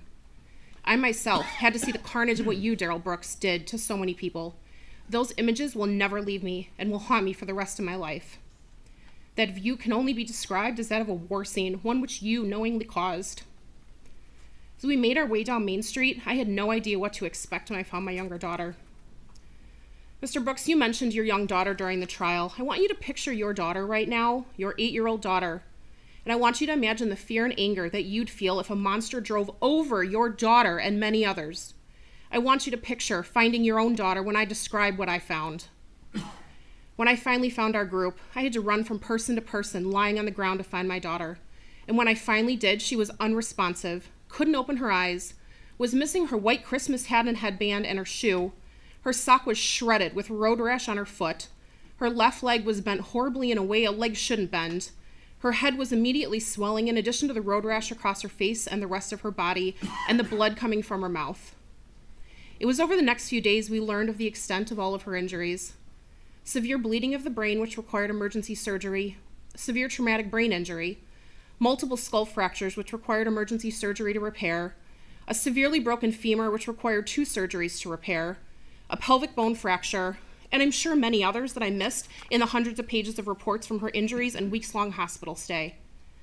While my husband and I stayed in the hospital with our youngest daughter, unsure of whether she would live to see the next day, my family stepped up to take care of our older daughter and help her try to feel safe after the trauma that you had just inflicted. I cannot begin to expect a narcissist like you to understand what it's like to sit in the ICU staring at your daughter with tubes and wires from every part of her body trying to keep her alive, watching every monitor and test result, hoping that things are going the right direction. Not knowing if your daughter is going to wake up the same bright, bubbly girl she was before a monster plowed through at her Christmas parade. When she did wake up, the real struggle began. Our then nine year old daughter had to learn to eat, talk, move, and walk again. She had to use a wheelchair and walker for months, even as she returned to school. Instead of playing in the snow with her friends at recess, she sat in a wheelchair. She couldn't dance. She couldn't run around playing with her friends. Even today, she deals with the effects of this day. Her leg still hurts. She struggles with the neurological effects of her injuries, is on seizure medication, and worries about every little symptom for fear it is something bigger related to her injuries. Your own mother and grandmother, Darrell Brooks, have claimed your supposed mental health issues are to blame, but you, Darrell Brooks, were found to be completely competent and fully aware of exactly what you were doing. All you had to do was hit the brakes instead of the gas pedal. Yet, like the narcissist you are, you claimed you honked the horn, but in your eyes, somehow it was their fault. They didn't get out of the way. You were so fully aware of your wrongfulness of your actions that you ran from the vehicle, tried to change your appearance, and lied in an attempt to get away from the scene. You knew exactly what you were doing. Darrell Brooks, you have destroyed our sense of safety and security in our own community. You are the reason my kids are afraid to cross the street. You are the reason my kids don't sleep at night.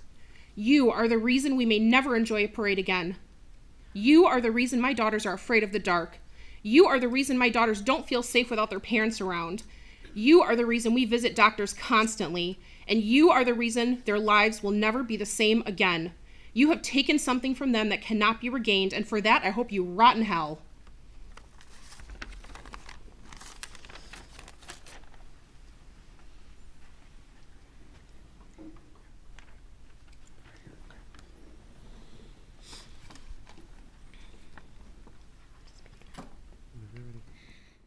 The Waukesha Christmas Parade, November 21st, 2021, impacted me both physically and mentally because of you, Darrell Brooks.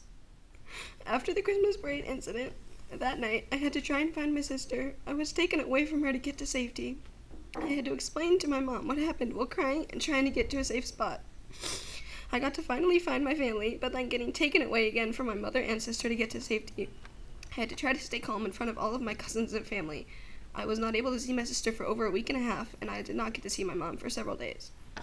All of these things and many more were very hard for me. I was so worried, not just about my parents and my sister, but about all of my friends and family that were either at the parade or in it.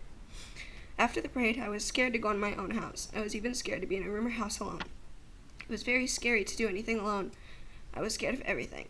I didn't sleep for the first night, even though you, Darrell Brooks, were arrested. I was still worried about that something might happen. I no longer felt safe.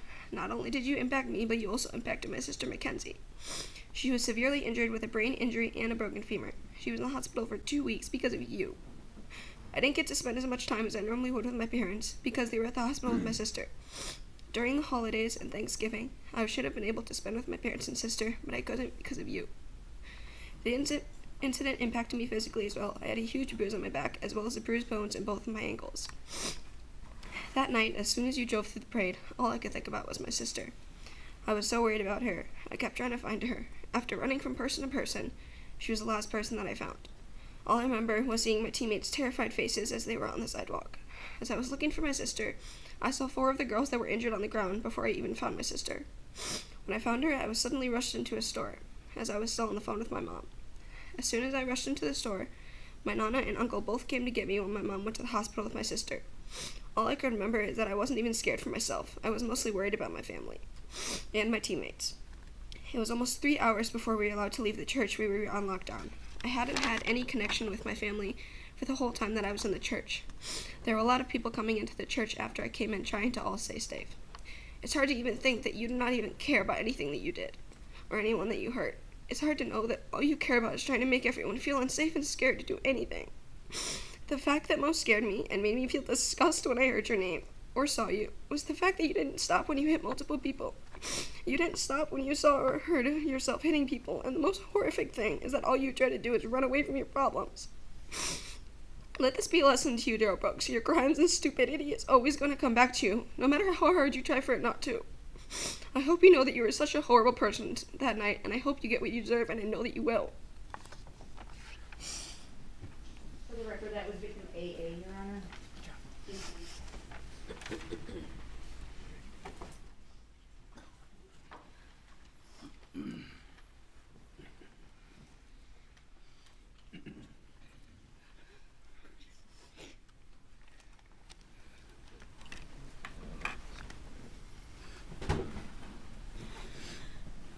Let me start off by saying I am one of four siblings that were victims of Mr. Brooks. In fact, I am the oldest child, and with being the oldest, that comes with an unhealthy ambition to protect my family. But that night on November 21st, I felt like I was unable to achieve that goal. My siblings, fortunately, don't remember that night, but unfortunately, I do. I remember everything from celebrating my sister's birthday beforehand to meeting her unconscious at the hospital. I can't help but feel guilty for what happened to my brother that night, everything up to his open compound fracture and his shadowed humerus. Something deep inside me is still believes that it's my fault. He wasn't supposed to be there that night. He wasn't supposed to be walking in the parade, but he wanted to because his older sister was there. He was right next to me through the whole parade up to when we got struck. I can't help but feel like some of my mental and physical injuries, or some of his mental physical injuries, are my fault. I still remember screaming his name while being carried into burlap and lace on Main Street. I would like to say I had hope, but with all the frustrated, confused, and what if statements and scenarios in my head, that hope eventually turned into doubt. That night, I realized the love I had for my family. I still have regrets and struggles, but so does my mom, dad, friends, and community. We all have regrets, but the struggles we faced are laying on your hands, Mr. Brooks. My uncle always told me to show kindness through times of trial, but I am not able to give that to you. Even through school, I've been taught that forgiveness is the moral way to forget, but I will never be able to forgive and forget. I mean, how can a man not know the difference between good and evil, right and wrong, good and bad? Basic things you were taught in kindergarten. Brooks, your behavior before and during this trial, your ignorance and arrogance to the victims of your crime is so disrespectful and just unbelievable. Fun fact you, Mr. Brooks, brought my mom to testify on your behalf. How could you believe that was the civil thing to do, knowing that she had four kids injured and hit by your SUV? You knew that this would affect her and my family emotionally and physically. How could you be so stupid, egotistical, and delusional? You bring up mental illness, but what I find unacceptable is the fact that you had the choice, but you kept going. I will always have the simple question of why. But that might never be answered. My sisters had a passion for dance. My brother played baseball and soccer. I am a dancer and I will always be a dancer, but because of your actions, it will never feel the same. I know my siblings, and I have accepted the fact that we might never be able to regain our passions and dreams. We know that we now have lifelong challenges, but we also have people that support us and help us regain our hope and goals that we lost that night. Overall, I want people to remember that this is not about the parade, this is about the man. That depression, anger, sorrow, all these negative feelings shouldn't be directed towards the parade, instead, directed towards the man. This is not the parade's fault, and I think we need to come together as a community and realize that. With all the media and all the press, reaching out to my family in the past year has brought anxiety and stress. But I want that, or I want to thank my family, friends, and community one more time for supporting my family through these trying times and also giving me the confidence to stand here and say I want to punch this man in the face. Your Honor, I need Darrell Brooks to serve the time he deserves without parole. I need him to be locked up for life, and that is my statement. And that was victim JJ, Your Honor. Thank you.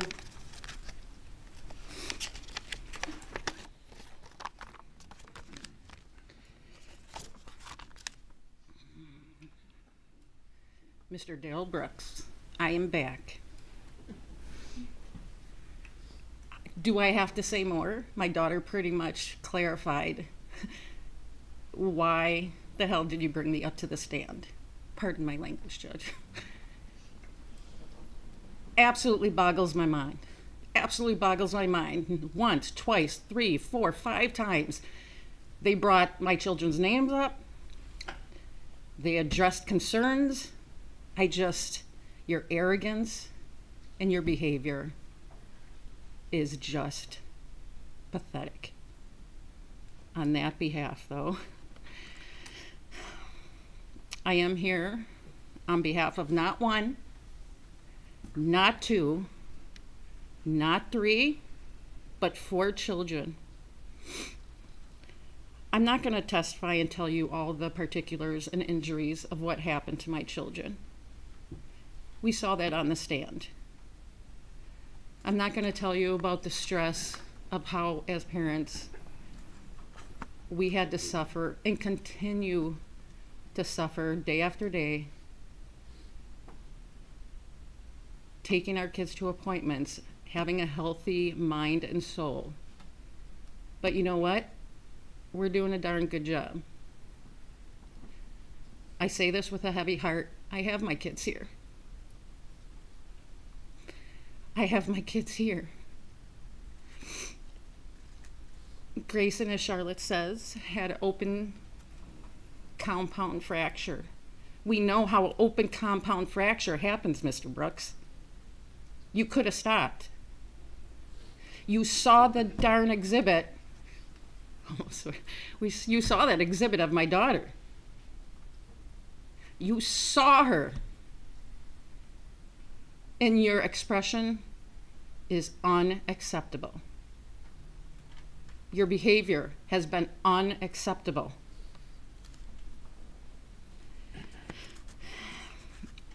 Emotionally, as a mother,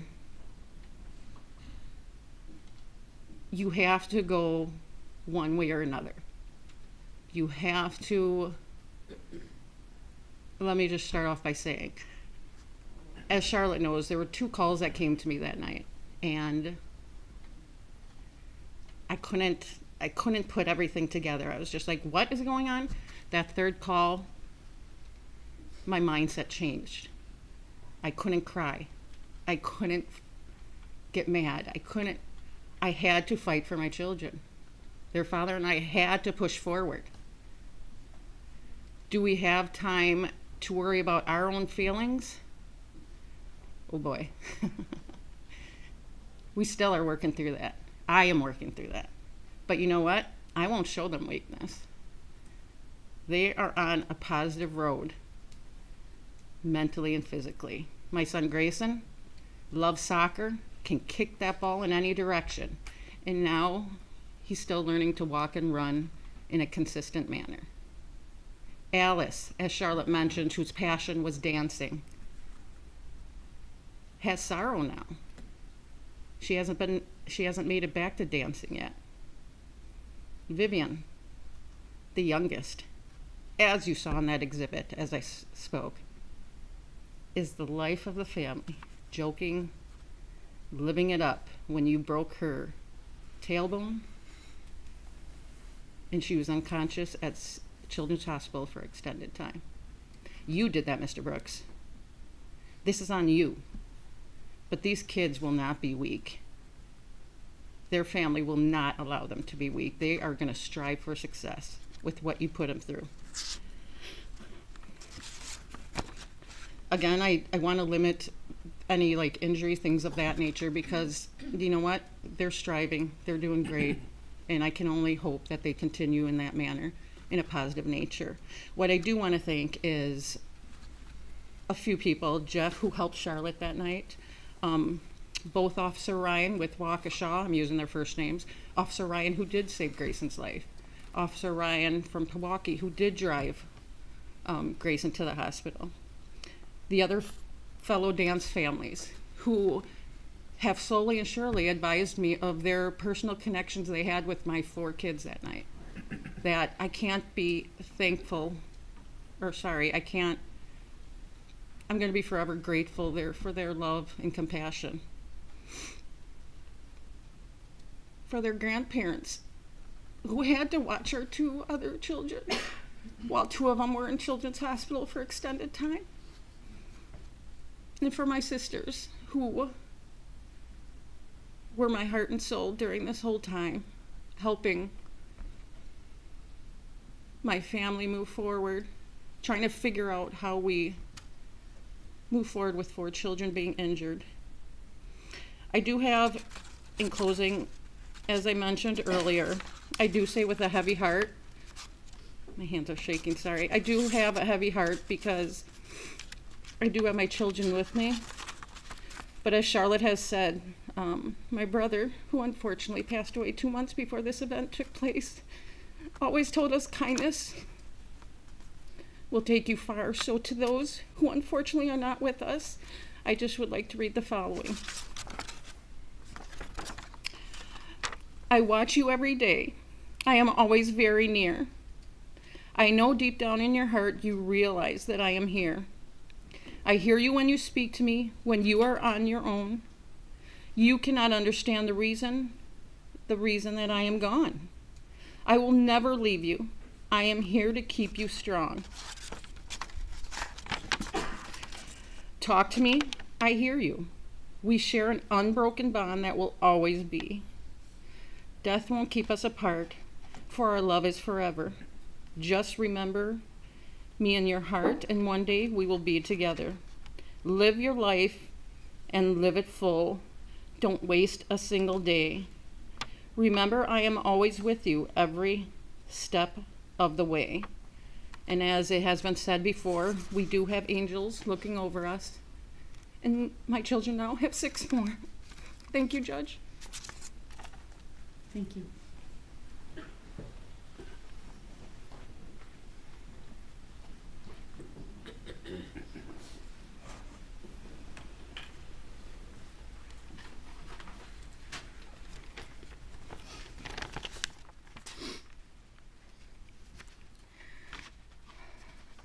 I have struggled to write down words to describe the impact November 21st of 2021 has had on me.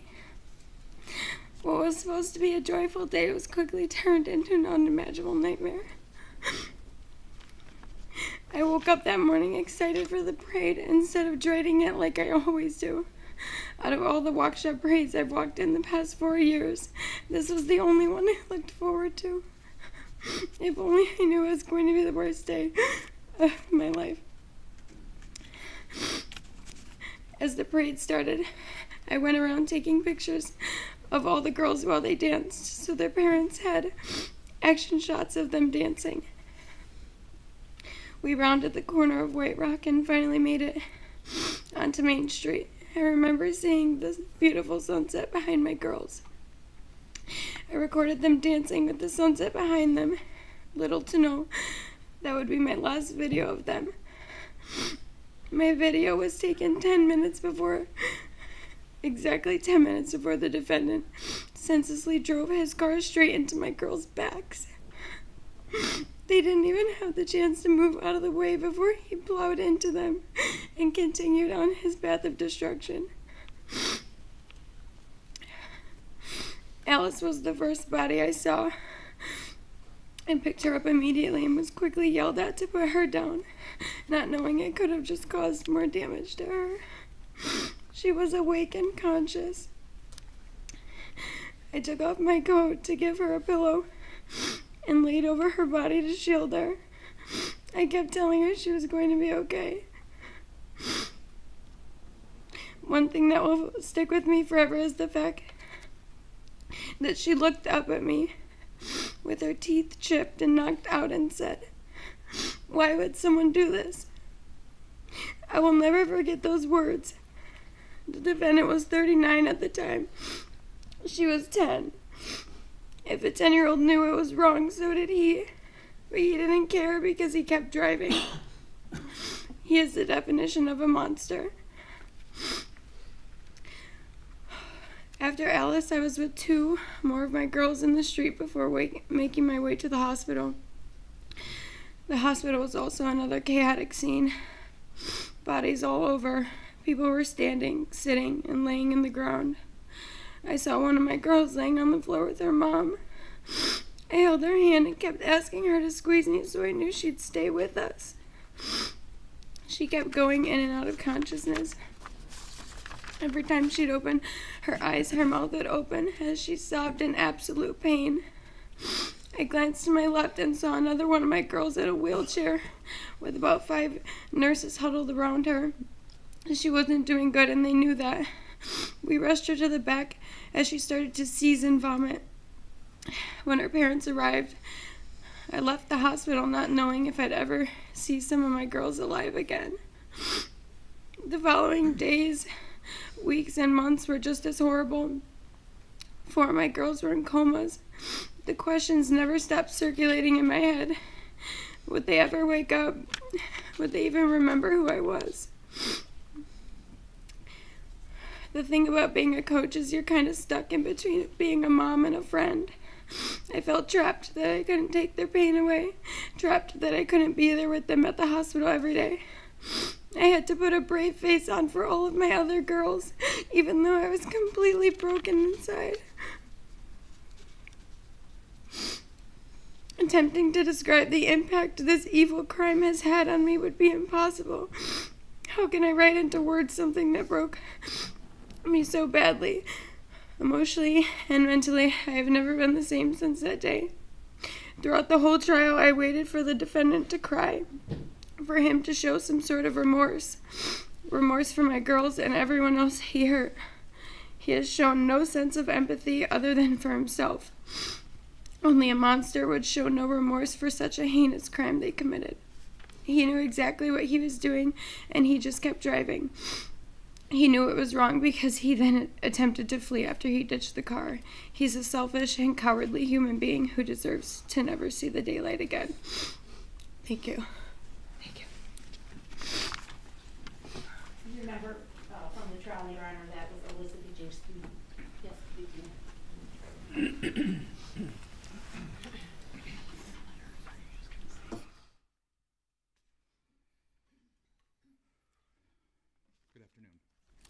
My name is Dylan Urell. I'll read their symbols that I was given II, JJ, KK, LL.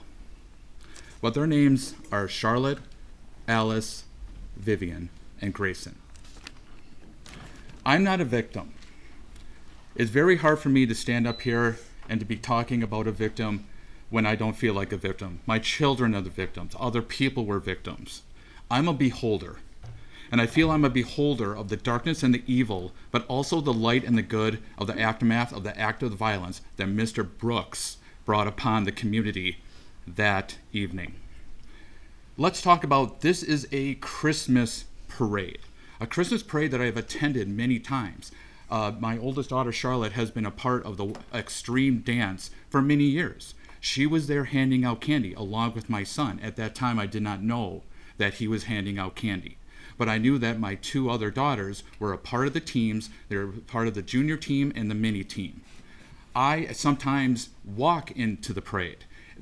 I do not like walking in the July 4th parade because it's too hot.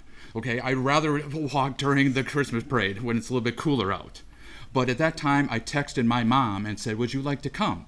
I was not supposed to be at the parade. I was supposed to be up north hunting that weekend.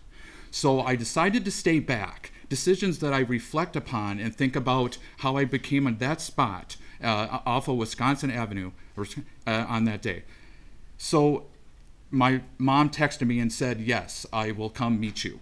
So I was not, and if she did not do that, I was going to text my oldest daughter, Charlotte, and say, I'm going to meet you in the staging area and I will come walk with you and hand out candy.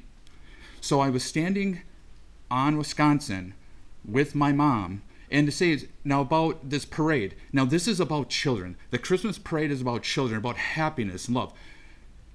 That evening, if people remember, was very cold and windy, very bitter wind, where sometimes that wind gets you and you're almost just standing there. But even through that coldness and the bitter wind, you can really truly feel the happiness within the crowd of the parade. And I thought about that and it's just about, I knew that possibly around the corner, standing over on, on Wisconsin, that eventually the extreme team would be coming around that corner and, and, I'd, and I'd see them.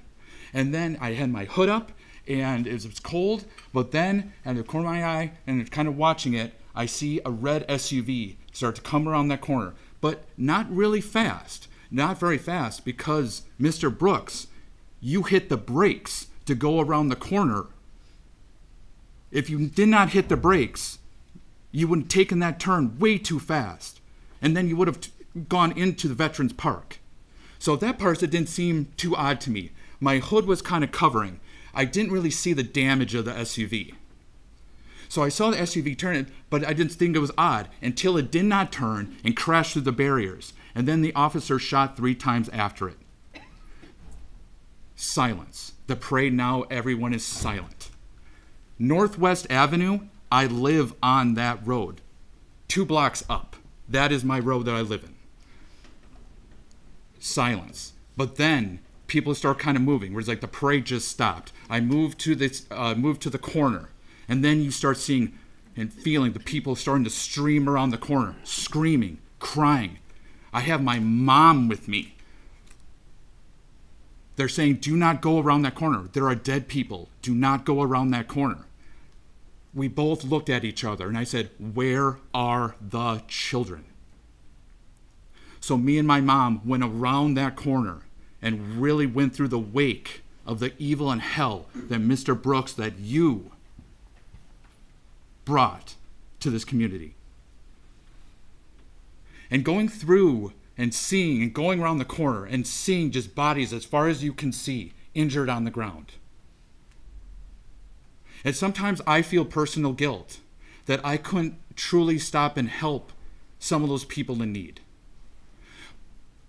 I had to keep going. Times I paused and paused. I have my mom screaming, crying, seeing women, adults, people injured, deceased bodies. Once we passed through that section, that's where, Mr. Brooks, you changed me. Because at that point, there's a difference where they talk about an active shooter. Not everyone saw the officer shoot. So in that case, they didn't know. There's a lot of chaos. There's a lot of misunderstanding. There's a lot of just in that all the realm.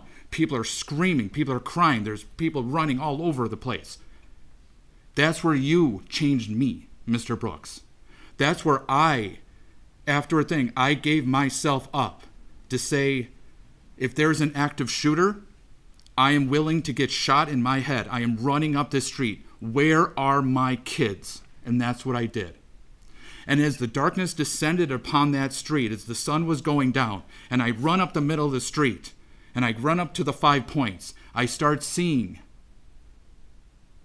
the extreme truck that they use, pom poms on the ground, but you can't see around there, around. And then I come around. I left my mom, which was a decision that I had to make. She caught up, but I took off running. I found my daughter Alice first, and it was mentioned. She had broken teeth, blood on her face, facial. She's so brave. When I came to her, I screamed her name two to three times. There were people around her trying to help her. She looks at me and she goes, Daddy, I'm okay. I'm okay. And I didn't know what to. And she looked at me and I, I just, at that point, I didn't understand. And she goes, and I go, Where's Vivian? She's over there. And I look around, and there's my youngest daughter over by the side of the curb, motionless. Her limbs weren't moving, but yet her body was shaking uncontrollably. So I went over there to help there. And from my daughter Alice, I learned that my son, for the first time handing out candy, was in the parade. I did not know that. I was also told by her that Charlotte, my oldest, was was there and was she was injured. you did this.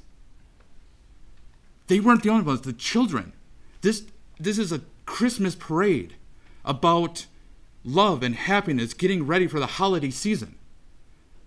I'm sitting in the other room watching other statements and watching you roll your eyes to people's powerful statements. The hurt that people have in their souls and you're rolling your eyes at them and making facial expressions. If I look around this room, no one else is wearing a mask. What are you hiding from? You're wearing a mask. I don't see anybody else. Forgiveness. I do not forgive you. I do not forgive you because I have not heard these three words from you through this entire trial. I am sorry. Not once. Not once have I ever heard anything. What I've heard you do is be abusive. Abusive to the judge, abusive to the prosecution, abusive to the witnesses. And I think that's what you have. You're an abuser. And then when people stick up to you, do you want to become? Now you're the victim. You carry your Bible and you say you're a God fearing man. But I feel those scriptures are hollow and empty to you now. Just like God has left you. You can pat your chest and have that book open, but I don't believe those, those words and those scriptures mean anything to you anymore. My children are healing, and the community is he- healing. If there is no verses between me, between my children and the other people that hurt, the people that lost their lives and their families. But we're all in this together now. Every all of us, the community. It isn't just people that live in Waukesha. What you did have these this energy that went across, it goes so far for the people that you hurt. And I don't think you truly understand that, or maybe you don't care. For the sentencing, as other people have said, I feel the maximum is appropriate in this situation. The terror, the horror, the pain, the fear that you've caused to so many individuals. And everyone has their own unique path for healing. And I hope that you will get sentenced to what you deserve. Thank you. Thank you.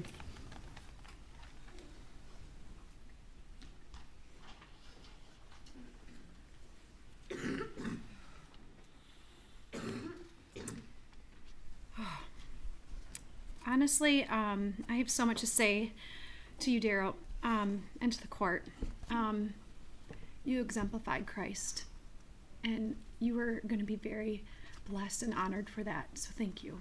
Okay, you guys were amazing, honestly. So thank you. Um, my daughter was not listed as a victim. Um, she was dancing with Extreme Dance Team on November 21st um, with my niece. Um, she was on the right side of the route um, and did not get hit. Um, but she did get she did not get hit by the car. She got hit by another team member. And that wasn't revealed to me, Darrell, until I watched the video and I, I struggled to understand how my daughter got injured. And I'll get more into that. But that day, you impacted thousands. And I know this is just another story for you. And I wish it would impact you. And I really pray that it does, okay? So, as the parade started, we were by the library. I dropped my daughter off in her position with her team. And I just remember when the parade had stopped, and I knew immediately. My sister in law got a phone call from my niece. And my niece, who was 13 at the time, said my whole team is dead. Our girls were living in fear, thinking their teammates were dead, Darrell. They thought they were dead. The images that they saw of their friends will never be erased. we got the phone call, and I did not see you hit anybody. When I hit the main street, I saw the dancing grannies dying. I didn't know who they were until the names were released, and I had to figure out in my own head who I saw dying. One of the moms, who's an ICU doctor, was working on one of the dancing grannies. There was blood everywhere, Darrell. You have to see what you did. I had no idea what I was walking into. And I honestly am so sorry for all the families who lost their loved ones. Um, what I saw, no human being should ever see. Everyone that was in the court witnessed what you did, but I, I lived it, I walked it. Heard things I didn't want to hear. Um, I heard someone screaming over Jane Kulich. Um, and I no longer could remember anything after that, after I saw Jane dying, till I got to my daughter. We were ushered into the bakery, and I screamed for my daughter. She was safe, but I have survivor's guilt over her living, and that's not fair. Six people died. There's a mom who doesn't have her baby boy anymore, and I got to go home with her that night. Once we were released from the bakery, we had to walk back through the nightmare. It was a crime scene. There were bodies covered up that my daughter had to see a dead person covered up because it was a crime scene.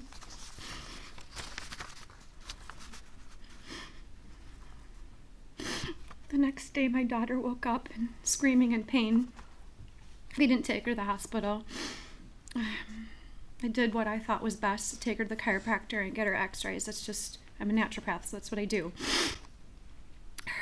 Her doctor has never seen such a twisted spine, neck, pelvis. We had to put her back together. She was, but emotionally, she was broken. She had nightmares. She missed school weekly.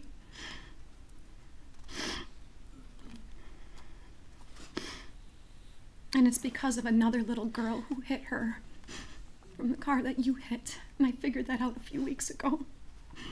I didn't know what happened.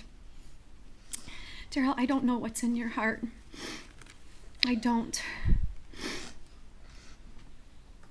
But also, God tells us that we will know them by their fruit. I'm a Christian. I believe in the Bible. I believe in any everything that the Bible has to say. I'm not perfect either. But what we witnessed during the trial was you reading or holding your Bible, even in anger, saying that you were reading the book to the judge. What is hard to witness is that reading that Bible has not brought you to repentance. When I read that Bible, the things that I've done, I'm repentant and I say sorry for what I've done. I'm not perfect. So when the Word of God convicts us by reading the Word, it produces change. I have not seen that in you. Not once have you repented, even asked for forgiveness for what you've done. Not once have you admitted what you've done. Can you not face what you've done? You have to. You have to face what you've done. You presented to the court that you didn't want to be called by your name.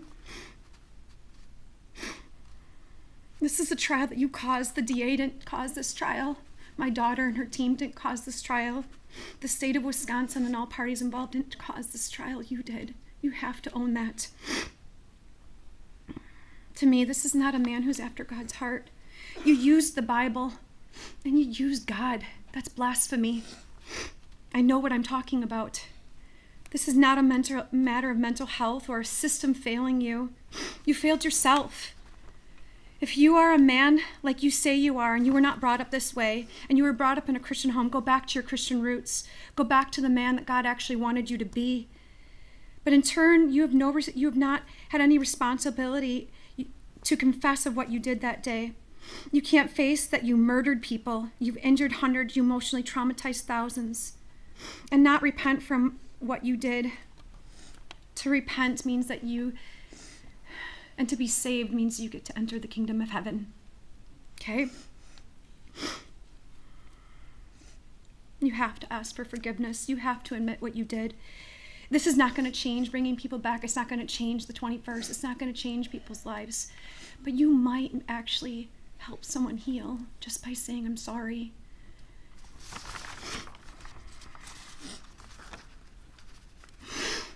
You also said in your closing statement that this was God's will for what you did that day, and that I believe is a false testimony of the God that I know.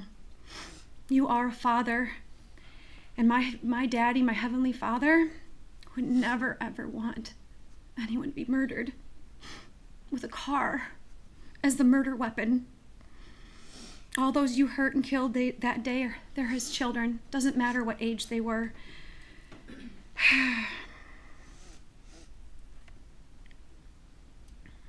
John 1 9 says, If we confess our sins, he's faithful and just to forgive our sins, to cleanse us from unrighteousness. That includes you, Darrell. You must confess to all these people in God so that you can be saved, and that's not popular. For you to enter the kingdom of heaven, it is possible. The man hanging on the cross, like the earlier statement, he was saved that day, and the other one wasn't. And that I want you to sit with. For the wages of sin is death. That means hell. That means hell but the free gift of God is eternal life in Jesus Christ. So I'm angry for what you did. I'm sad that a lot of people don't get to spend another day with their loved ones. I'm sad that a lot of my dance family, we don't know. I mean, we don't know the outcome of their brain injuries and what's their future. You've traumatized families and people that have witnessed. You've thousands. You killed six people.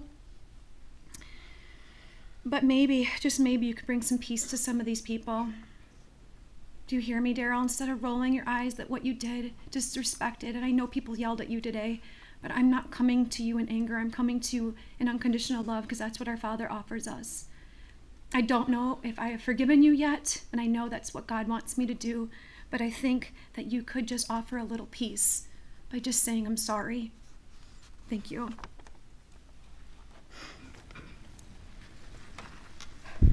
November 21st will never be the same.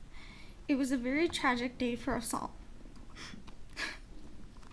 With this day being the day after my birthday, November 20th, I was thinking it would be a good day.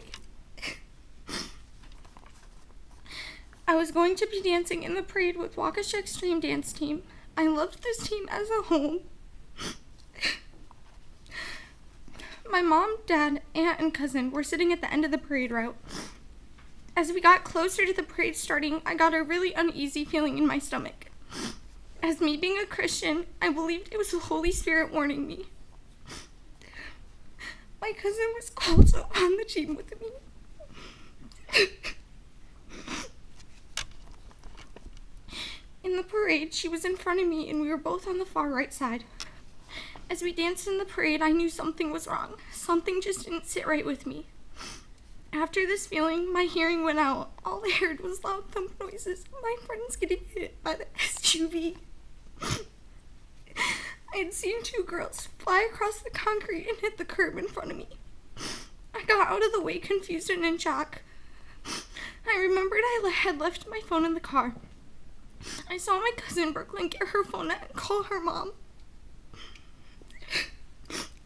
As a 13 year old, the words she spoke on the phone are words I would never want to hear someone I cared so deeply for say. As her mom answered the phone, not knowing what had happened, Brooklyn spoke and said, Mom, my whole team is dead. People then told us there was a shooting and we needed to get to safety, so we in- went inside of a bakery. They told us all to go into the back of the bakery for safety. I called my mother off of somebody's phone and told her to get inside and be safe. But she told me no, she was going to find me. I told her the building name I was in. I sat there drowning in my thoughts until my mom had got there. As she entered, I heard her screaming my name. She hugged me, and a few seconds later, somebody screamed that there was an active shooter, so we all dropped to the ground. I moved to the corner where Brooklyn, my aunt, and other friends were sitting. It felt like we were sitting there for hours when it wasn't that long. As we sat there, my best friend, my cousin, was saying something that would haunt me forever. She sat there with her head tucked in her knees, repeating over and over and over again to herself how she thought she was gonna die. I thought my best friends had died that day, and this thought will forever be with me. We eventually got let out to walk back to our cars. As we were walking out, I saw one of my best friends laying on the ground of the bakery. She had not been taken to the hospital yet. I stayed calm that whole time up until I saw her. As I walked back to my car, linked, link armed with my friend, we tried to look at our feet and not up at the street, but I couldn't help looking up. I'd seen bodies covered up in the streets. That image will never leave my mind. I woke up the next day not being able to move my body. I screamed and cried, thinking I was paralyzed. We didn't go to the hospital, but to the chiropractor. I got x rays done, and they came back showing the worst whiplash my chiropractor has ever seen. My spine was thrown off and twisted in ways it should not have been. It was so bad my spine could barely support holding up my head. It was the worst pain I've ever felt. My mom asked me if I got hit in by the car, but I told her I couldn't remember. For the last year, I've been recovering still. Many days I'd feel pain unimaginable. I also had got horrible migraines a lot. Many days my whole arm would go numb from the injury. Some days I couldn't feel any of my left side. These days were some of the scariest. We couldn't figure out how I got injured until a video was released. It showed how a girl that had got hit flew into me, injuring me. Not only did this day change my, my, my life physically, but mentally too. I struggled with depression afterwards. I blamed myself for this awful tragedy. I told myself there was some way I could have stopped it from happening, even though it was something I had no control over. My mental health declined majorly. I tried my best to act okay so people wouldn't worry, but many days I just couldn't. I skipped school so many days weekly because I couldn't mentally go. I was in so much darkness I couldn't find any light. I tried my best asking for help, but I was too scared. I thought about you every single day, Darrell. I thought, how could any man do this to any other human being? I'm sorry to all those who lost people they'll never get to see again. It angered me every day. It hurt to think about. This day will always and forever have a place in my mind. The days after we waited to find out info about my friends. Some of them had horrible brain injuries and other horrible physical injuries. At one moment, I was told my friend Julia would maybe not make it. It broke me hearing that. Knowing I cared about all these people so much, it hurt me to know they were in a situation like this. As I continued to try to heal, I realized it takes a long time to heal physically and mentally. I didn't think my mental health would ever get better. I thought this up until I surrendered my life to Jesus. I leaned on him for help. A verse that stuck with me is Philippians 4:13. I can do all things through him who gives me strength. This verse reminded me that I can get through this and will get through this with the help of God. I knew if I could that my friends could as well. As I wrote this here, I finally realized this all truly happened to me. I guess I never really allowed myself to believe it because I never wanted to. But we must all face things in our lives. As I watched the trial go on, you always had your Bible, but you never repented, you never asked for forgiveness for ruining people's lives. John 16 13 states, When the Spirit of truth comes, he will guide you into all the truth, for he will not speak on his own authority, but whatever he hears, he will speak. He will declare the things unto you that are to come. And as you sat there with your Bible, all you had to do was declare what was true, to confess what you had done, when you knew you had done it and you knew it was wrong. But you sat there, you rolled your eyes, not caring that you killed innocent people. So I'm so horribly sorry to all that had lost, to all people who had lost things that day. Loss of friends and family members, loss of being able to be the same person ever again. I'm sorry to all who struggle with health problems for the rest of their lives. I know that I lost a piece of myself that day, and I'm still trying to find it. This day was supposed to be a happy day filled with smiles and laughter, but it had got turned into a tragedy. This day will never be the same for any of us.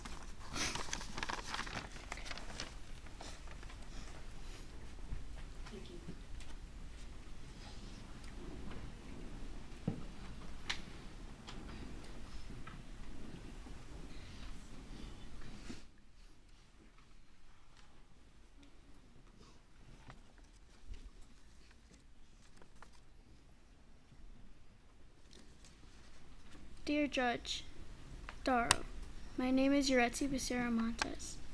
On November 21st, 2021, my life changed, my life and my family's life changed forever. The day that was supposed to be a day of joy that became a nightmare to me, my family, and our community. On that day, my parents and my siblings witnessed the red SUV that drove into my dance team. My mom my mom ran without thinking she could be hurt too. She remembers the red SUV that almost hit her while, while running into the road because he was coming her way, but he swerved.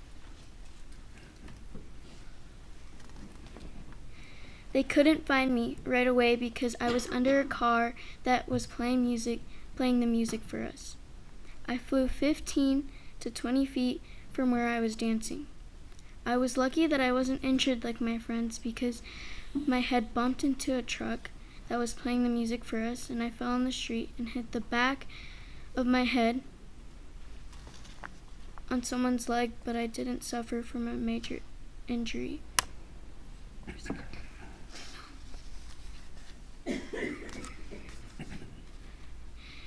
My family calls me a miracle because things would have been worse and maybe things would look would look different if my injuries were more severe.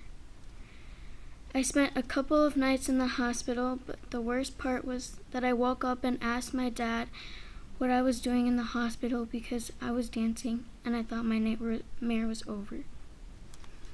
It was a trauma it was a traumatic experience that traumatized all of us. While I was in the hospital, I, I was remembering what really happened. I was dancing that day and I had a smile on my face. Once I heard what I thought were fireworks, it were gunshots. But at the moment, I knew that nothing happened in Waukesha and that I'm safe. And so I kept dancing. I was hurt that day. I was struck by the red SUV. I felt like I was going to die. I woke up on the ground to my family surrounding me, thinking it was all a dream, not knowing what was going on. My body was hurting and I couldn't move. I saw the looks on their faces. My mom was crying, and so was the rest of my family. My mom kept telling me the paramedics to go help go help others other people that were unconscious. My daughter is awake and is talking to us. Please go help other people. Others. My mom was a hero. She helped a little girl that was hurt in the middle of the road that was being stepped on. She carried her and put her on the side of the street and asked people to help her because she was still looking for me. I remember someone holding my hand in my head, telling me it was going to be okay. Then I heard someone yell, active shooter. Scared and shocked at the disbelief of what was going on, my dad had to carry me into a bakery for our safety. All I could hear were ambulance sirens and screaming. I couldn't understand what was happening because there was so much going on. I wasn't sure if it was real life or a dream. But at the moment, I was really hoping it was a dream because I didn't want it to be real. I had to witness everything around me and my friends on the ground unconscious, not knowing what would happen to them and if they would even wake up. Since that day, I've been traumatized with sirens, screaming, fireworks, being in big crowds, and hearing the song I danced to when the tragedy hit. After that day, it was a very hard topic to talk about, as well as now. To this day, I still struggle with pain and nightmares and PTSD. I don't know when my body is going to feel normal again. All of this made me sad, angry, and anxious because I cannot understand why someone could do this to our community. All of Waukesha has experienced this tragedy even if they weren't there to see it. As in losing loved ones, having to go through an injury or families that were injured as well. People who watched it happen and see their loved ones get hurt, or even just seeing this tragedy on the news. This affected our community of Waukesha to the point that some people weren't and still aren't ready to go back downtown or even participate in a parade again.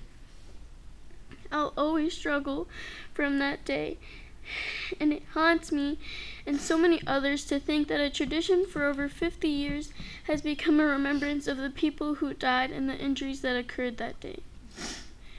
I forgive him after everything he's done, even though he never apologized for his actions, because I'm thankful justice has been served and that he won't do damage to anyone again. I thank you, Your Honor, and everyone in the jury for making justice for all of us and our community. I ask you, Your Honor, that he won't ever see the light of day again. I thank you for everyone who supported us through difficult times. Thank you.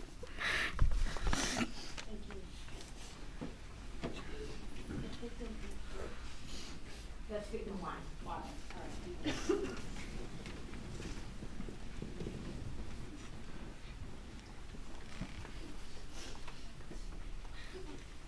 We do have.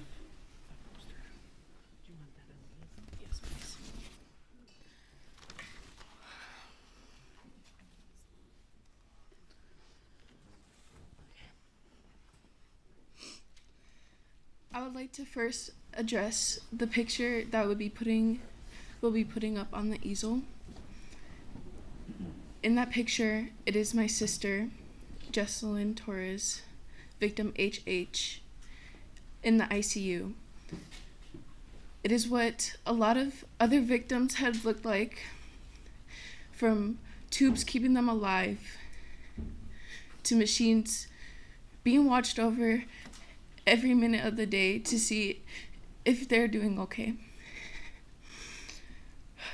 November 21st was like any other Christmas parade. My sister was dancing, my mom was pulling my baby sister in a wagon, and my brother and I were walking with them throwing candy. Everything was so normal in the beginning. Everyone was lined up in their ordered orders and people were taking pictures, laughing, talking, dancing. The mood was very joyful, and then all of a sudden it wasn't. The images and events from that day still weigh heavily on my mind.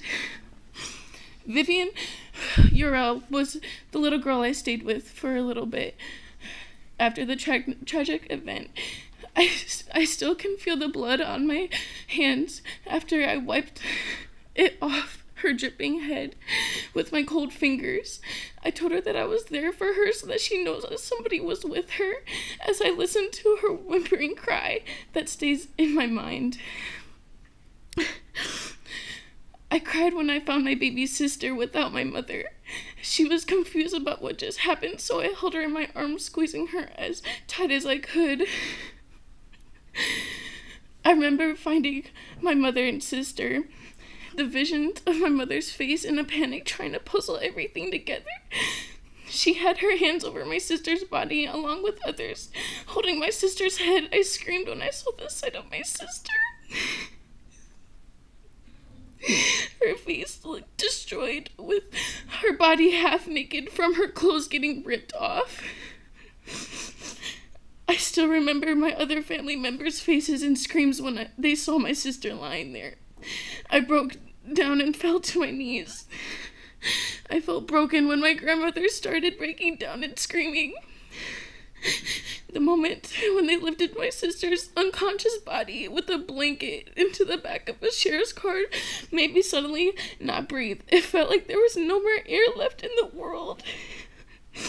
It felt like I was being stabbed in the heart when I read my mother's messages about all the injuries my sister had. It was one text ever after another. I couldn't believe it was all real. From the trauma, I couldn't go back home because I knew my mom or sister wasn't gonna be there. So I went to my friends, and my friend held me that night as my body shook. The pain of not being able to see my mother and hearing the cries of my two year old sister constantly saying that she wants her mom broke my heart into little pieces. The whole time my sister was in the hospital, it was a blur, a tunnel vision every day, hour, minute, and second. We were lucky to have a Thanksgiving miracle to be able to see my mother for this first time after the incident. It relieved some of my pain and anxiety, and it felt nice to have so much weight removed off my chest when I hugged my mother, even with it being a short visit at Children's Hospital. My family had so much support from friends, other family in the community. Even though we had so much support, I felt like I was alone. I should have been getting the support from my own mother, but she couldn't leave my sister's side at the hospital. I felt forgotten. I was trying to give my other siblings support when I thought. Oh, sorry.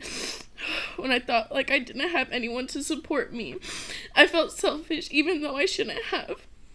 Crying in class every day, I didn't want to be anywhere but home, wishing that my mom and sister were with me. Not being able to physically move from the hurt that I felt. I felt drained. My mental health was declining so much. I lost interest in the people and things I loved so dearly. I was miserable. Finally, two weeks later, getting the call that my sister was awake felt like my heartbeat got back to normal again. I showed everyone pictures with pure joy on my face that my sister was awake. Two days before Christmas, they came back home. Everything was going okay until one night my sister felt like she suddenly couldn't breathe. My mother rushed her back up to the hospital. They found out later she had built up scar tissue in her trachea from being on the ventilator for so long and getting so immune to the drugs that she was on. She would wake up and move around in a panic. My sister has a, has had around 15 surgeries on her trachea since. One day, my mom was looking on the scab on the back of my sister's head. And when I saw everything from the parade came back to my mind, the images of that day happening over and over and over again, it brought back all the pain and anxiety. I laid in bed alone, crying because I couldn't sleep. I was back to the beginning where I would cry all night. The images were so vivid in my mind. My mom called me upstairs and held me in her arms.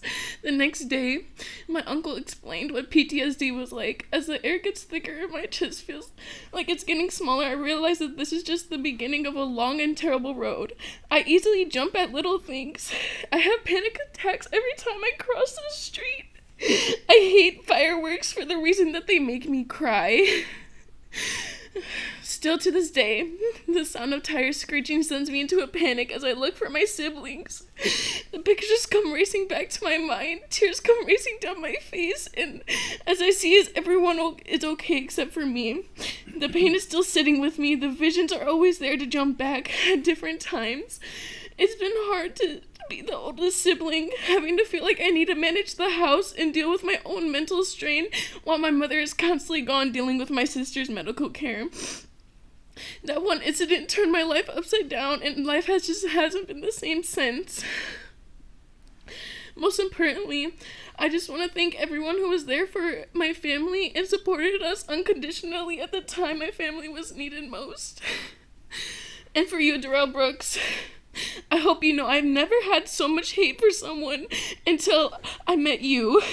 Everyone saying that they wish Wisconsin had the death penalty for you. I simply disagree because you do not deserve a simple death. Those six people who passed did not have a simple death. I hope you sit and suffer every minute of your day. Thank you.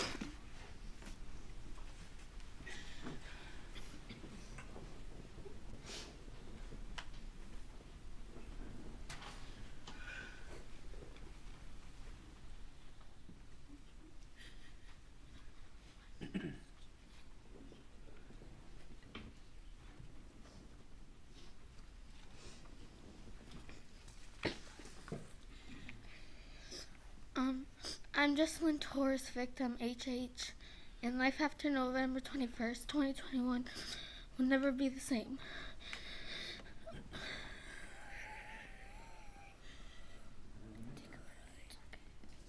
I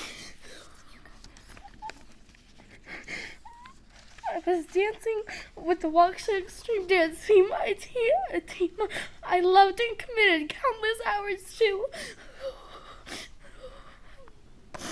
Two weeks after the parade, I woke up in the hospital, confused, uncomfortable, and in pain.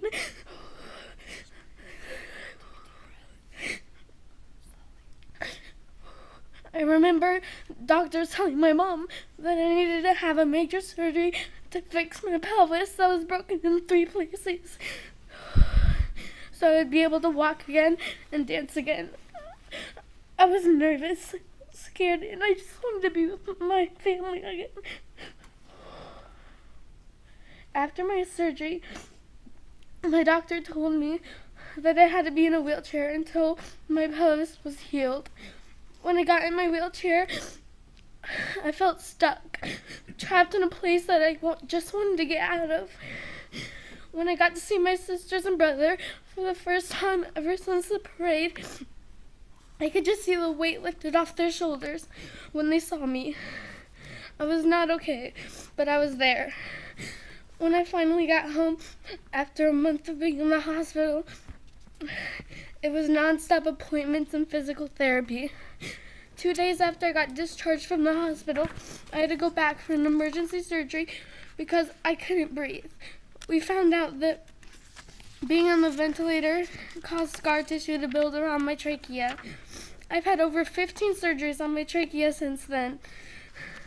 My mom had to help me with all my personal care and other needs, including showering, getting dressed, using the bathroom, doing my hair, and making my food until I learned how to get around easier. I had to go to physical therapy to learn how to walk again.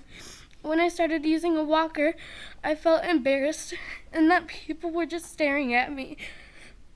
I remember wanting to dance again, being with my team again, but knowing that I couldn't physically dance.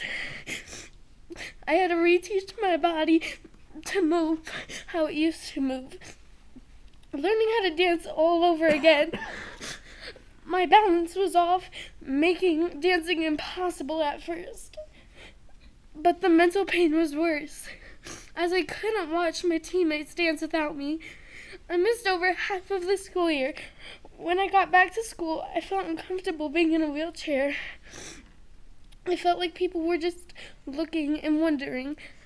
I missed out on my last year and days at elementary school, time and memories that I will never get back.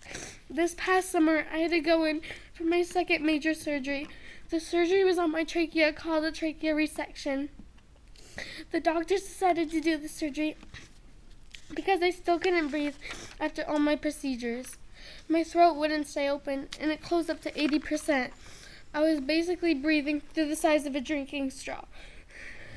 Now I have a scar across my neck that stands out and won't ever go away, and a scar where I had surgery to fix my pelvis, and multiple other scars from the hero- hor- horrific things that happened that night.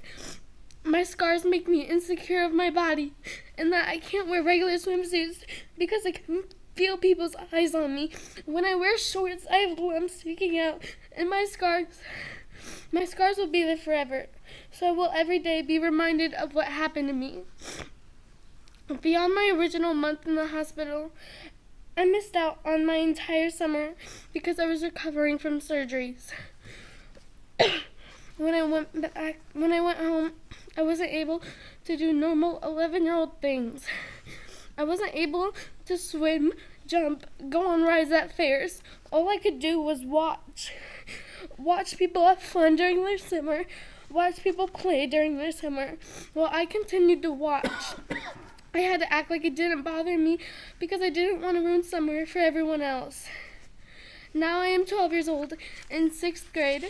I'm happy that I'm at a new school with new people. Now people won't treat me differently because they don't know my medical past. Now that I'm in sixth grade, I have to ride the bus. I hate going to the bus stop because it scares me whenever cars drive by me or make noises. I'm also dancing again. I do two three hour practices each week. And this past weekend, I had my first dance competition, which was a big deal to me because this was my first competition in a year now. I still have appointments and procedures on my trachea to see how everything is healing.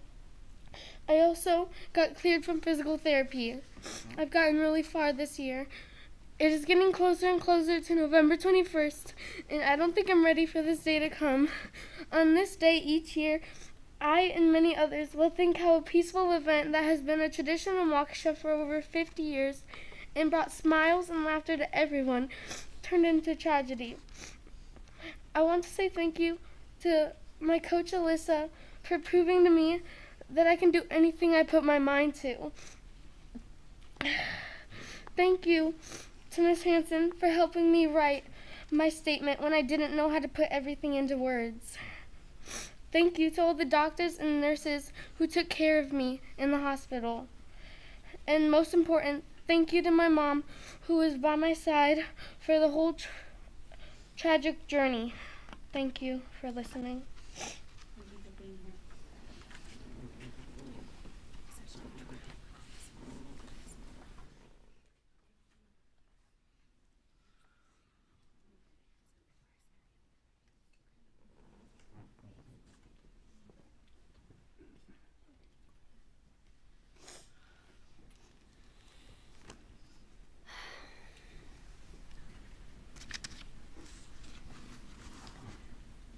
Hi, I'm Amber, mother of Jocelyn Torres.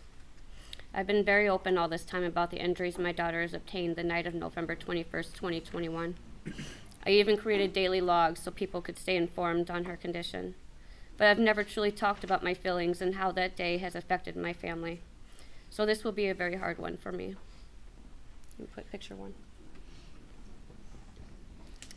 The event started off joyous, and I had four of my children with me that evening, all of which still suffer in some form to this day. The screams, the sounds of the people being hit, watching as their bodies flew, the visions of their bodies lying everywhere, and me yelling, searching for Jessalyn, still replays over and over in my head.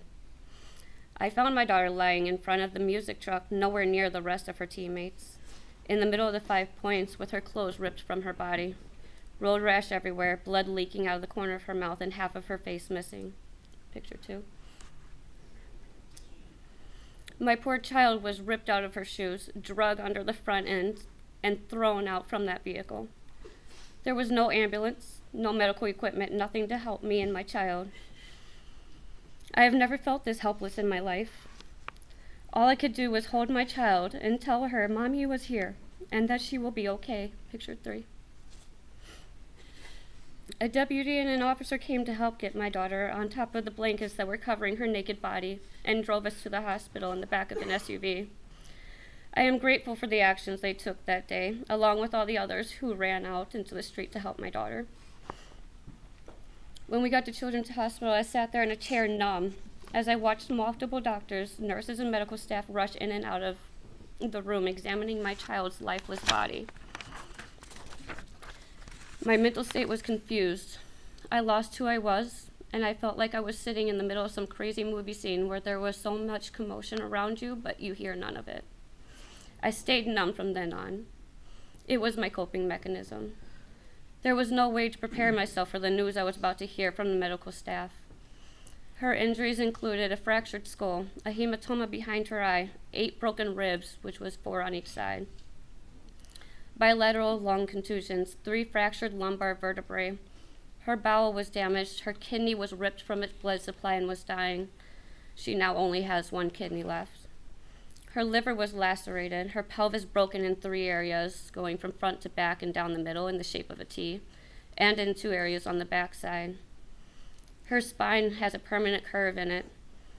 Severe road rash all over her body. Pictures four, or five. Go to five, please. That's her backside from being drugged.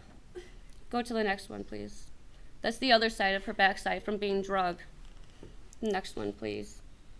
That's her leg. A whole chunk of meat was missing from her leg. You can take those down, please. She was given multiple bags of blood and platelets as we were transferred to the fourth floor ICU for critical care. It was there that the doctor sat me down and explained how she needed to be intubated because of the extensive damage to her lungs and body. The hardest moments of my life was making the phone call to my children. The hardest moment of my life was making the phone call to my other children so they could tell their sister how much they loved her because I had no idea what was to come next.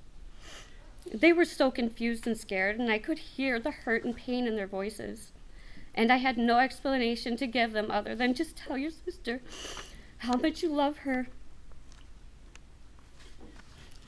I couldn't be there to hold them while they cried in a time that they needed me the most. I still hold so much guilt because I couldn't be there with them, since I had to be with their sister, whose life was uncertain at the time. They were also mentally and emotionally traumatized. There were so many times I just wanted to hold Jessalyn or lay in the bed next to her, but I couldn't, since there were tubes coming from every direction, and her head, hands were tied down to the bed. The most I could do was hold her hand, stroke her head, and whisper in her ear, I love you, and mommy is here. I believe it was day two when we spent three to four hours just to thoroughly clean out all of the road rash. And it took multiple attempts to get as much of the leaves, sticks, and rocks out of her hair. There were so many sleepless nights. Every day there were new issues high fevers, allergic reactions, sepsis, and monitors that were blaring and alarming because her stats were up and down constantly. I felt like I just could not catch a break. She was not easy to keep sedated, and there were so many wrestling matches to keep her as still as possible. It was all so exhausting, but yet I had to hold it all together. I had to be the rock. I hated watching the machine they used to help clear out her lungs. It was similar to a nebulizer, but had a force so strong, and it was so loud. It would pump the meds in and jostle her whole body. Just hearing how loud the machine was and watching her body being uncontrollably shaken was overwhelming, but it had to be done to clear all the fluid and mucus buildup from all the damage that you caused to her lungs. The time we were trying to wean her off the ventilator, I sat and watched the machine, hoping this girl would start to breathe on her own and not rely on the machine to do it for her. It took days and many trials. I would get my hopes up, and then they would be let down. I would talk to her. Come on, Jessa, you have to breathe above the machine. You can do it, and I believe in you. Until finally I realized she wasn't ready. I just let her know it was okay, and I'm here by your side, and when you are ready, I will still be here right next to you by your side. I had so many mixed emotions the day Jessalyn was extubated. I couldn't wait to hear her voice again, to hug her, and to tell her how much I missed her. It felt like my girl was being reborn again. But I was not expecting the new hardships to come. She has had a total of 18 surgeries. Her first major surgery was to fix her pelvis. 12 hours my child was gone away from me that day. She now has a metal plate with 11 screws holding her pelvis together for the rest of her life. Picture 8, please.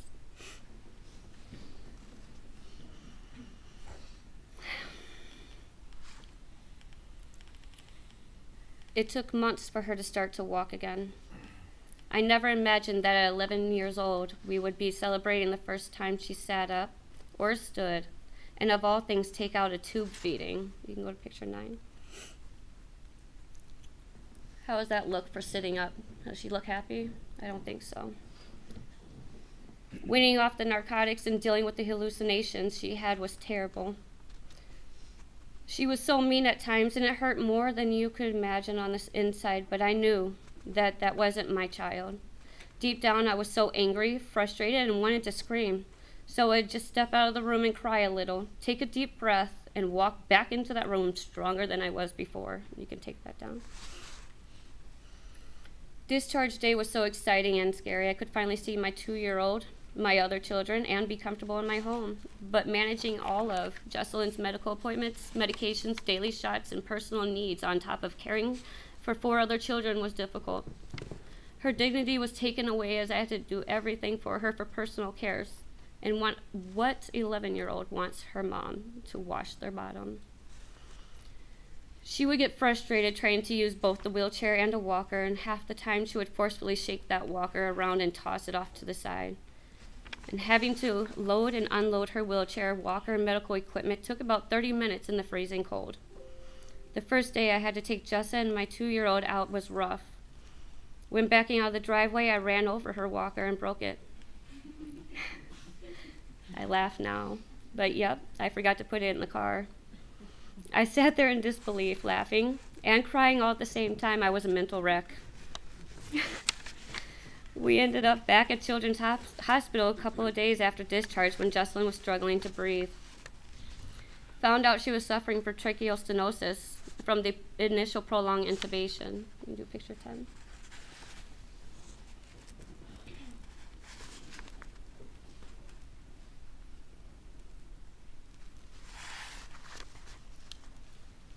That was the hole she was trying to breathe through.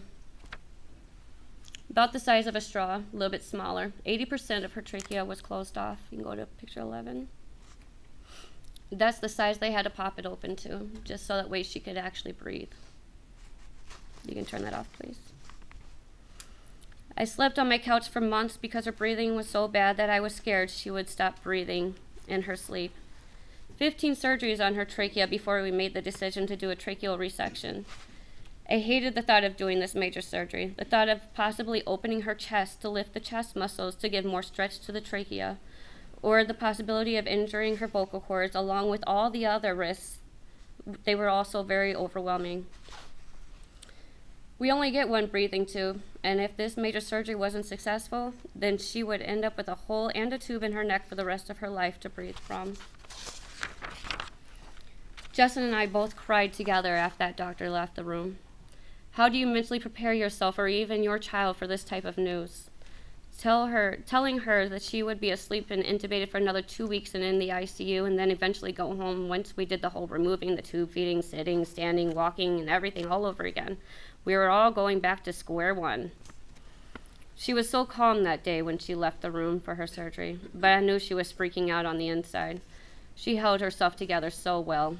And I remember her looking at me saying, Mom, why are you crying? as I let the silent tears roll down my face. That surgery took six and a half hours. I stared out windows and paced for hours, hoping for the best outcome. On day two after that surgery, a lobe of her lung collapsed. She was running fevers and she was retaining too much fluid. We continued for days with her vitals going sky high, then dangerously low, fevers up to 104, and she became septic all over again. It was day four through the night when everything become be, became beyond scary. Her body swelled in a matter of hours, and scans became came back showing that she had pneumatosis intestinalis and necrotizing enterocolitis. And she was almost rushed down for an emergency bowel resection as this had become life threatening extremely fast. There was no real understanding as to why this was happening, other than that th- her intestines were not fully healed from the parade incidents. Her body was shutting down. Nine days she spent on the ventilator, a total of 12 in the ICU and more on the main floor. It was another full two week stay at Children's Hospital. Two weeks of mental and emotional upset, and two weeks away from my other children. And if you are sitting here thinking that being taken off the ventilator is all pretty rainbows and butterflies, you're wrong. It's nothing like what you see on TV. Go ahead. Yep.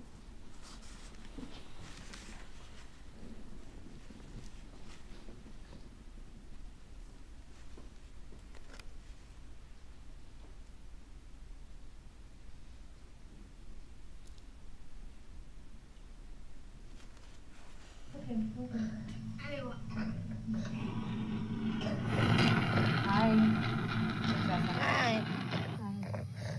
That is trauma. I, I can't. I know that is traumatizing, isn't it? It is traumatizing. It's okay though. You're doing great, right? Yeah. Get you some oxygen. I can't. You can't. no, you just breathe. no. Just breathe. She struggled to breathe and cough up all that mucus for hours. Hours. Her mental state was off as she thrashed around and freaked out as the nurses were adjusting her bed, screaming, Mom, help! Help me, Mom, they're going to shock me back to life. She thought that she was dying and that they were going to kill her. I knew that she had some worries before that surgery, but to this extent was beyond belief. We had to give her meds to calm her, as her thrashing around was our biggest fear, as that could tear her trachea all over again. Even on all those drugs, isn't it funny how she can still express how traumatizing this has all been? The summer went on with more appointments, physical therapy, surgeries, activity restrictions, weaning off of narcotics that made her so mean to the point that I had to step away and do that silent cry again.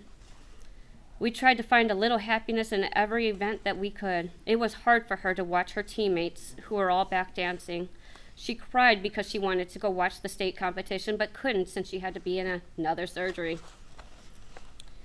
We felt left out and alone as we were still dealing with major medical issues months later, when out in the public, people would gawk, make hand gestures, and make comments about the scars across her neck.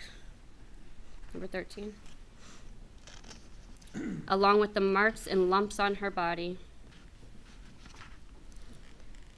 Kids are cruel and have made some really harsh comments to the point I have felt the surge of uncontrollable anger. She was tired that day.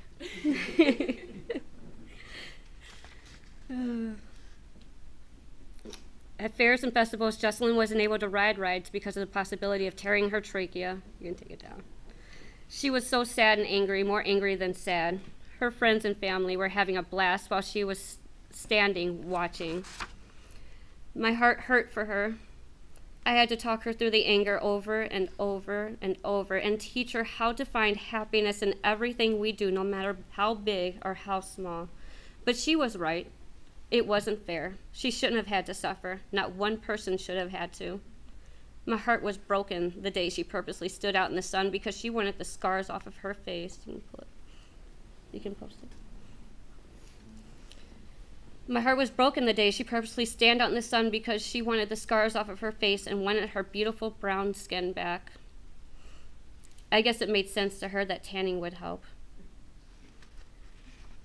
While riding in the car, she would she will freak out when there is a squirrel in the road. A squirrel.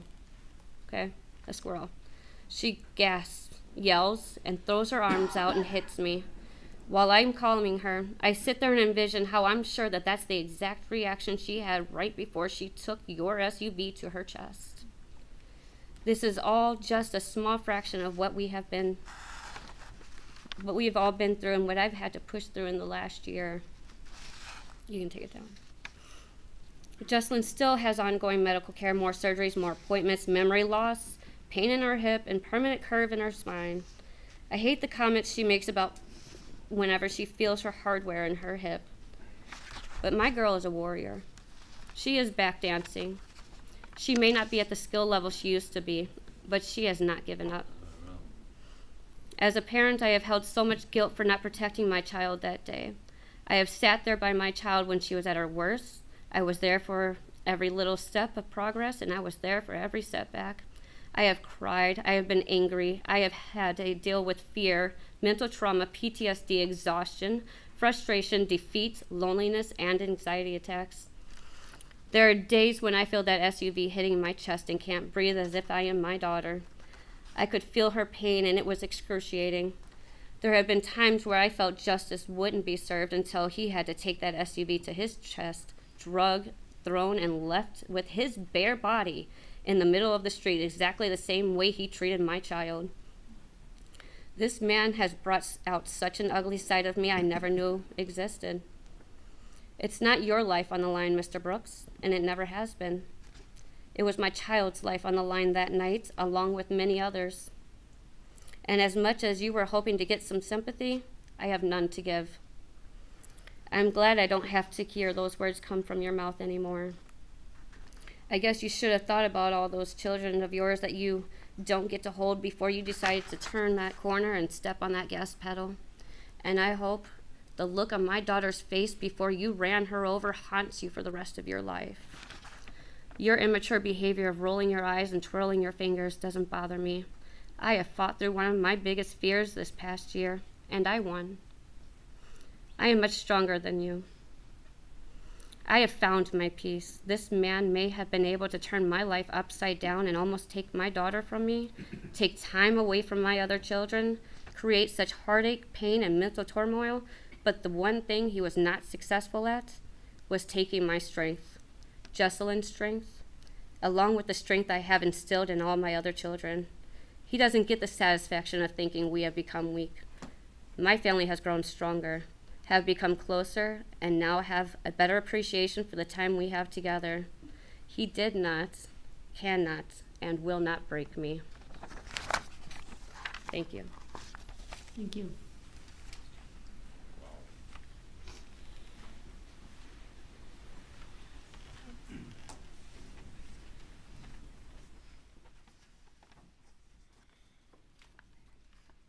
The day November 21st came around, I was excited to dance with all my best friends. Little did I know that was the worst day of my life. That day changed my life forever. My family and my friends thought that that was the last day they would have with me. I can't even imagine what everyone was going through while I was unstable in a coma with a brain injury that later led to me having to get part of my skull taken out and put back in two months after. This major change in my life was all from the car that had struck me and many others on November 21st, 2021. I became worried and stressed because people treated me differently, and I saw myself as no longer strong but weak. I didn't like that I could have a seizure. I lost my hair and it made me feel bad about myself. This made a huge impact on my life. It changed the way my friends and family all see me now. I hated myself and I hated what I had to go through. It was hell.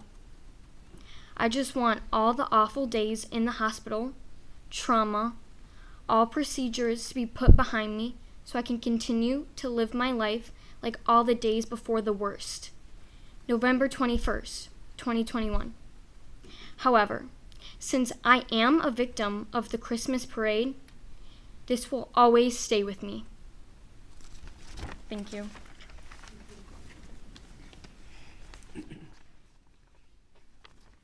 Good afternoon.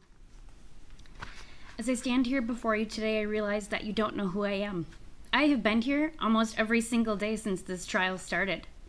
I realize that I am what, what I am about to share will not change what happened that day, but I hope it will give me some sort of peace and help me continue to heal. The Waukesha Christmas Parade was an event that both of my daughters have been involved in for many de- years with their dance team. This year, on the day of the parade, it was very cold and windy, so instead of walking alongside the dancers, I decided to take on a new role. I volunteered volunteered to sit in the bed of the pickup truck that was leading our dance team. I was filling all the parent volunteer buckets with candy. I had the best view of my daughter the entire time. She was in the front row, dancing her heart out and doing what she loved most. In one split second, all of that happiness ended. Through the parade route, at an incredibly high speed, I saw your pickup truck approaching the girls. At that moment, no level of screaming could be heard because of the music playing in the background. The dancers did not see you coming, but I did. It was horrifying. These girls that I have become so close with flying through the air, losing their shoes, their hats, and their gloves. A sight I will never be able to forget. This is a vision that will haunt me for the rest of my life. I jumped out of the pickup truck so fast, not knowing where my daughter's body had landed. Once I was able to locate her body, I took one look at her and I thought she was dead. She was not moving. She had blood coming from her head, her ears, her nose, her arms and legs. She was not awake or responding. I was unable to keep my composure. With my shaking hands and through my tears, I somehow managed to call my husband. He had stayed home with our youngest daughter, who was homesick, if she had not been ill that day, she would have been she would have been dancing alongside her sister. I tried to explain to my husband what had happened, but honestly, I don't remember much after that. Meanwhile, a man, who I believe was a spectator at the parade, came to my aid as I was trying to explain to my husband over the phone what had happened. This good Samaritan also had to keep me away from my daughter, who was lying lifelessly on the ground. As her mother, all I wanted to do was pick her up and hold her. However, I was unable to because she needed medical attention. All of the injured girls from our team were being triaged right there in the middle of the street. I remember screaming out loud, asking what was taking so long for an ambulance to arrive. In hindsight, I realized it was only minutes, but during that moment, it felt like eternity. Everything just seemed to be moving in slow motion. Samantha was taken to Waukesha Memorial in the first ambulance that was able to get to us. She was later transferred to Children's Hospital because doctors realized that was the best place for her to be at the time. And due to the overwhelming amount of injuries from your reckless and thoughtless behavior, Waukesha Memorial needed more space for other hurt individuals.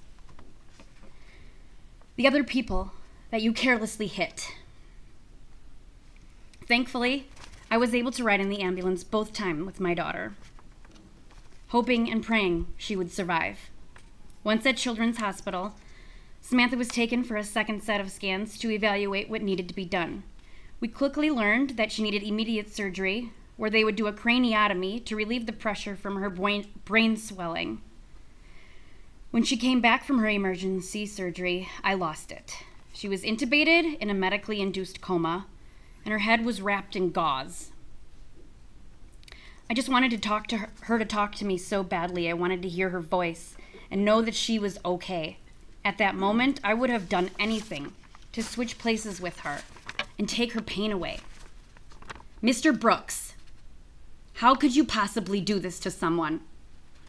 I need you to listen to me as I list her injuries acute respiratory failure, bradycardia, a skull fracture, multiple skull fractures, five fractures in different areas of- her face, including the mastoid bone behind her ear, the bones that hold her eye into place, a fractured cheekbone, a brain bleed, an intracranial hemorrhage.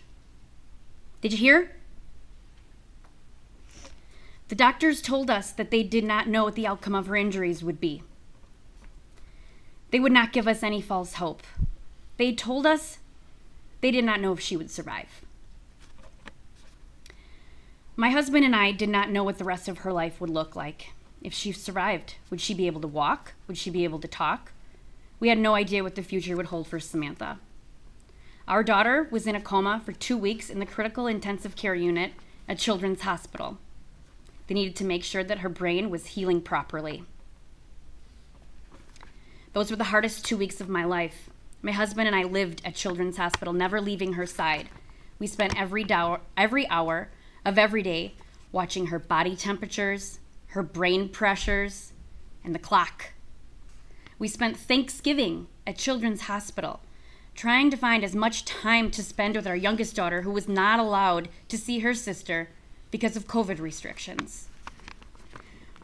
Weeks later, once medical perf- perf- uh, personnel believed it was safe, she was slowly taken off her sedation meds. That was when her battle took a turn. Samantha is a fighter, and she would. She was not about to let you destroy her life. Samantha had to learn how to swallow food. We spent weeks learning how to talk and walk again. Because of you, Samantha suffered a traumatic brain injury. She was unable to live a 14 year old teenager's life. We struggle not knowing if or when she will have another seizure. Because of you, my daughter had her most beautiful hair shaved off. After spending 22 days in Children's Hospital, she was finally discharged. Finally, being home with both my children was far better than Christmas morning. Even though it's almost been a year since this tragedy, it's still so painful to see her struggling with some everyday life experiences. I consider Samantha a gift. Based on the injuries she sustained from being hit by her vehicle, she should have died that day. But she didn't. And for that, I am so grateful. My heart goes out to those families who were not as fortunate. Since the first day you appeared in this courtroom, you have been you have done nothing but make a mockery of this trial. I sat here every day listening to you act like this was just a game and showing no remorse for what you did. I have no forgiveness in my heart for you. You said as a father it hurt because you could not hold your babies, but yet you run over my child like she didn't mean anything. What kind of father does that? Because of you, our lives have been changed forever. Whatever pain you may encounter in prison will only be a fraction of what Samantha endured after this tragedy. Judge, we ask that you give Mr. Brooks the maximum sentence for each count without the chance of parole. Thank you. Thank you for being here. And that was uh,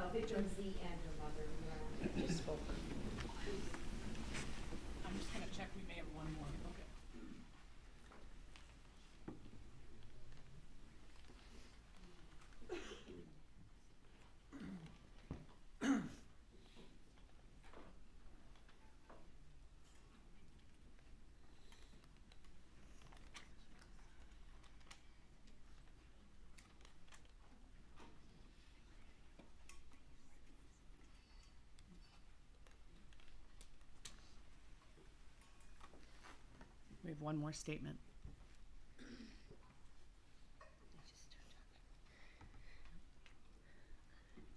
Um, hi. Um, oh, I left my pictures in the hallway. Can I grab my pictures? I'm.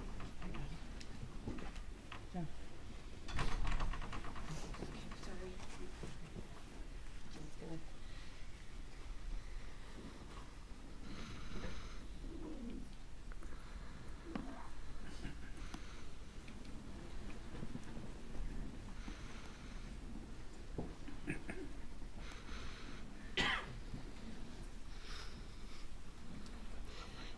Um, yeah.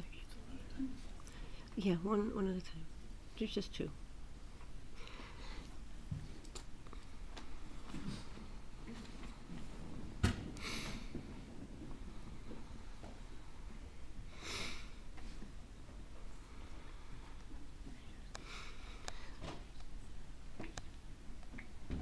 Okay, sorry. I'm nervous. I forgot that I'm in the hallway. Um, this is our daughter, Olivia. She is the baby of our family. Um, that photo was taken on November 21st, 2021. At that time, she was an innocent eight year old who was excited to get to perform in the, the parade with her best friend and her teammates. And it was something she looked forward to every year. Um, my mother-in-law and myself and I also um, join her every year and hand out candy, and it's something that's become, um, I guess, a tradition that um, was taken away from us by by Darrell Brooks because of his selfless, just ability to to have. Please don't do that. It's so disrespectful. I've watched all day on TV and I've watched you mock all of the victims all day. You roll your eyes and you make faces. If this was your eight year old daughter that someone else hit, you would have been beside yourself if someone made those faces. And you want people to have forgiveness for you and your child? You're insane. I hope that that the judge puts the most amount of, of years on your sentence, and I hope that you live in hell for the rest of your life for what you have done to all of these victims. Do you realize after you hit me and my mother in law, I spent five minutes walking around looking for my daughter on the ground? I was looking for her through little girls that were keeled up in little fetal positions because you had ran them over. You hit them with 3,300 pounds. And you don't care. Right before you hit me, I turned around and I looked at you. I didn't see your car, I saw the look in your eye. You knew exactly what you were doing, you knew exactly what you wanted to do. And that was because you are a narcissistic piece of shit that thinks you can get away with everything. And you are not going to ever get away with anything ever again. You did what you wanted to do, which was instill fear and horror in all of these children that are involved. You're a child killer, a woman killer. I cannot wait until somebody inflicts that harm on you. I'm done. I'm sorry. I'm sorry. That's Olivia, and the next one is my daughter in the hospital room where I sat next to her for five days where she didn't move. My daughter, who was in the ICU for five days, and and in in children's for an additional nine more in the critical care unit because of her brain injuries that you caused to her that she still deals with daily. I was late because I couldn't leave her because she didn't want me to leave because of her separation anxiety that you caused.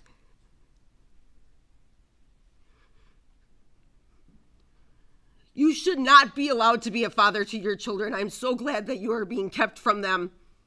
The shit you would teach them would make them as, as evil and miserable as a person that you are.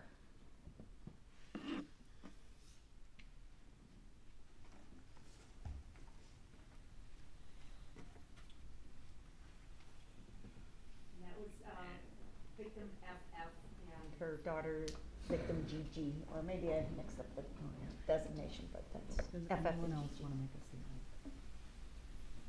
I believe that was Gigi, your daughter's FF. Okay, thank you.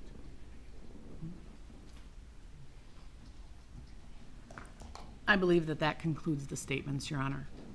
All right, thank you. Attorney Opper, it's four fifty-six. Do you want to make your statements yet tonight? Whatever the court wishes, Your Honor, I probably have about fifteen minutes worth of comments, but. How many? About fifteen, I would say. Um, I'd like to have you conclude tonight. I just want to take just a short break um, before we do that. Um, I think we all could use probably a short comfort break and a stretch break, and then we'll be back in about five, ten minutes uh, to hear your remarks.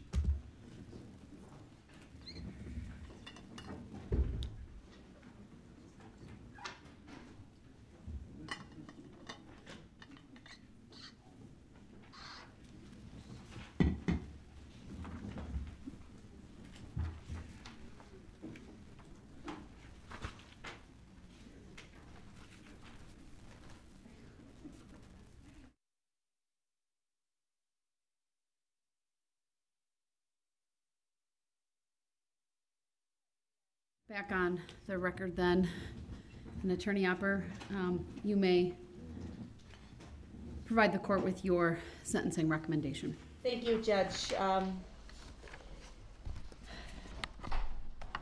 Obviously, uh, I'm very grateful to the court for its patience in listening um, to all of these victims here today. It was very, very important that you hear from them directly and uh, the stories that they shared with you, um, really very personal and very compelling as to the impact that this crime had on so many people on so many levels. The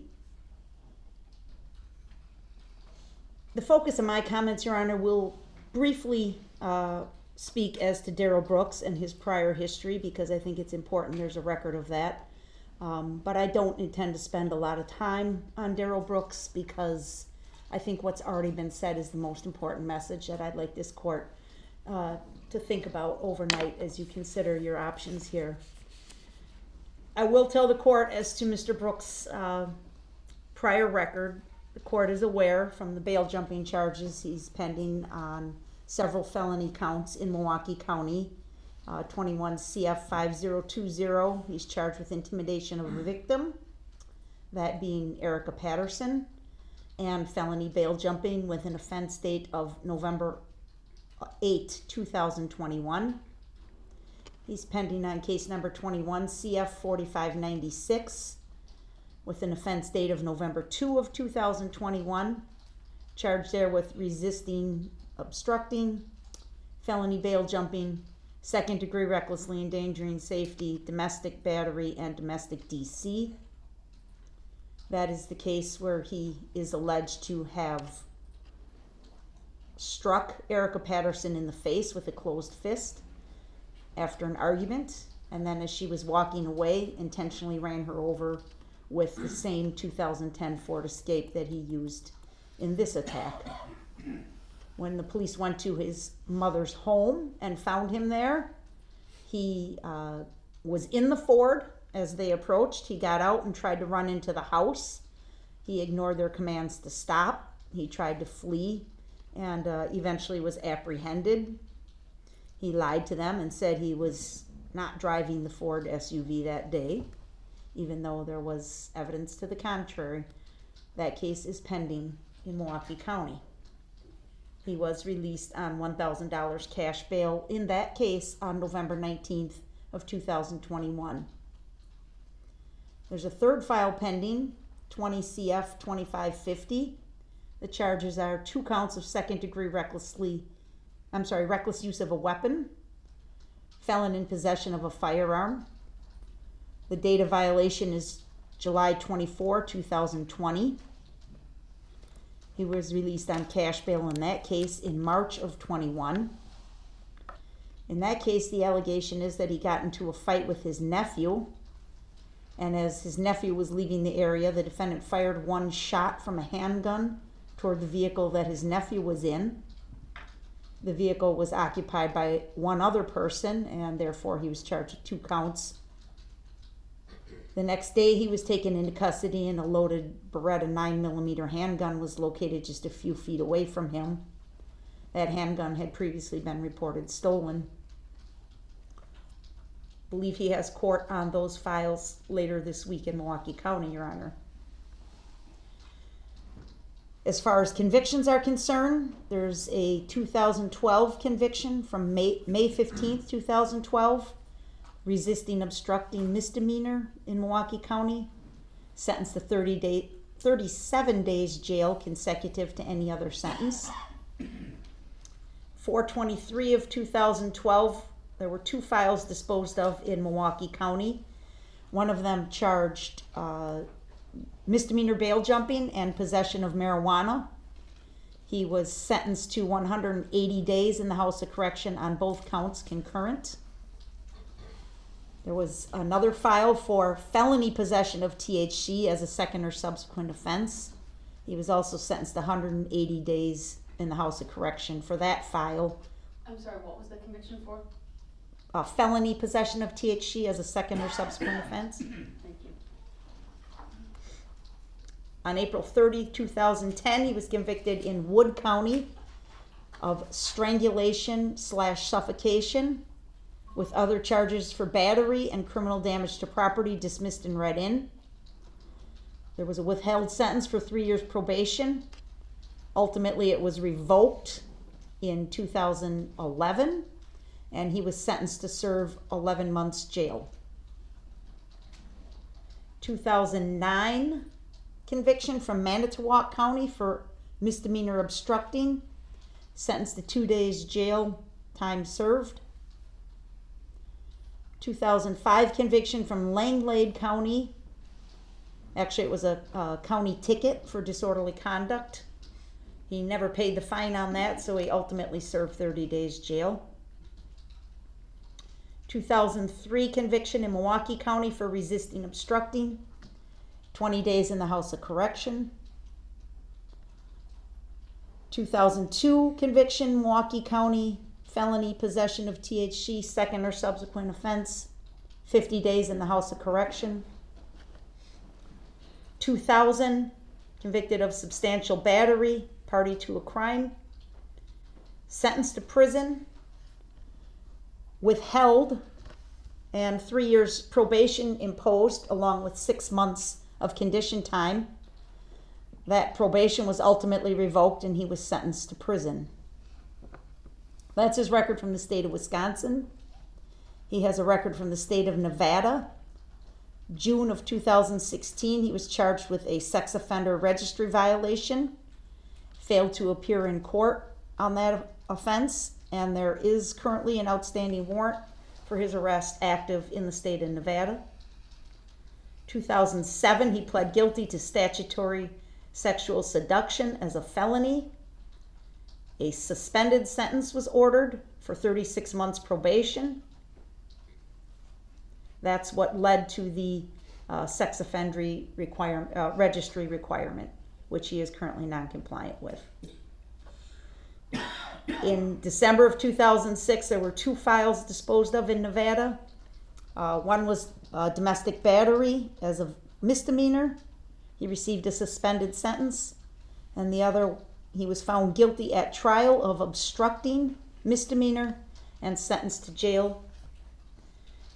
In the state of Georgia, he has a conviction from May of 2021. I'm sorry, not a, not a conviction, an arrest from May of 2021 for misdemeanor battery, domestic violence. The disposition of that case is unknown. And uh, of course, there's uh, paternity action that was pending here in Waukesha County that uh, had been uh, a warrant or capias had been issued for him on at least eight occasions during the life of that file. That's a 2003 case. He was sentenced to jail on several occasions for failing to pay child support. He uh, was once allowed Huber privileges on a jail sentence, but had the, those Huber privileges revoked in 2009. Most recently, there was a warrant issued in August of 2021, and uh, Judge Maxwell signed an order to lift a stay of a 120 day jail sentence.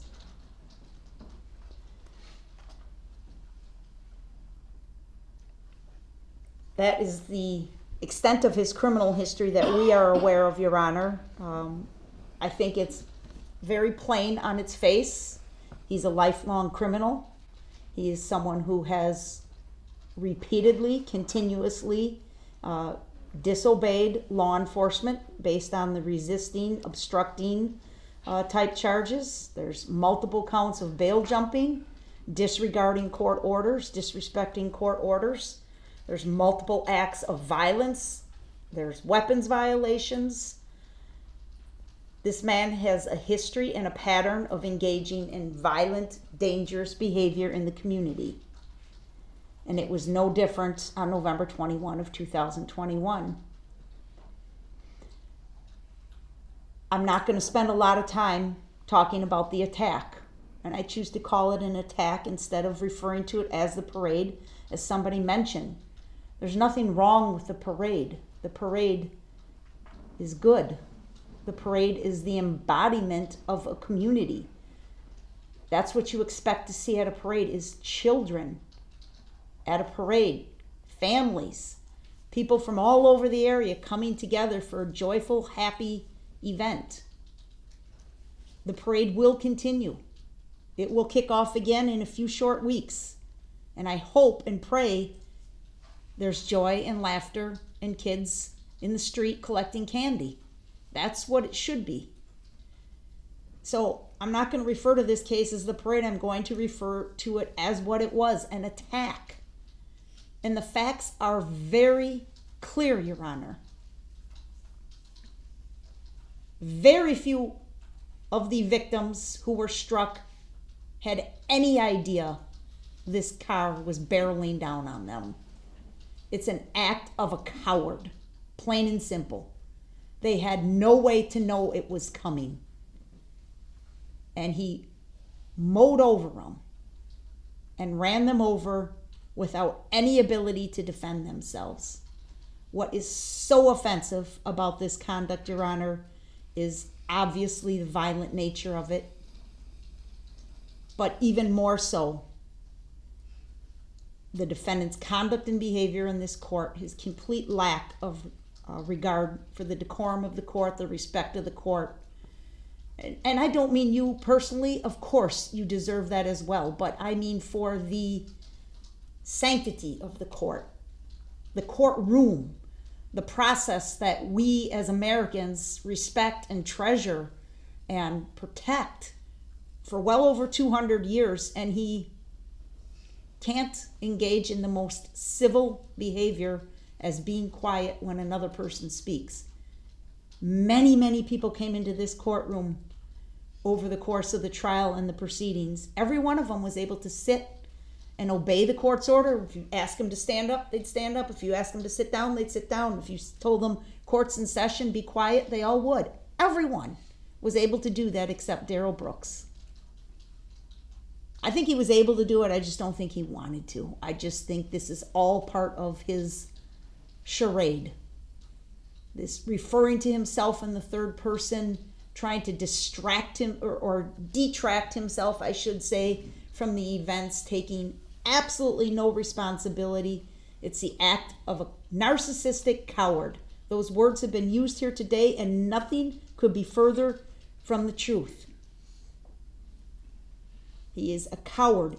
He ran like a scared little chicken from this parade, trying to slither away in the dark of night, but only to stop long enough and try and take advantage of good citizens that would help him.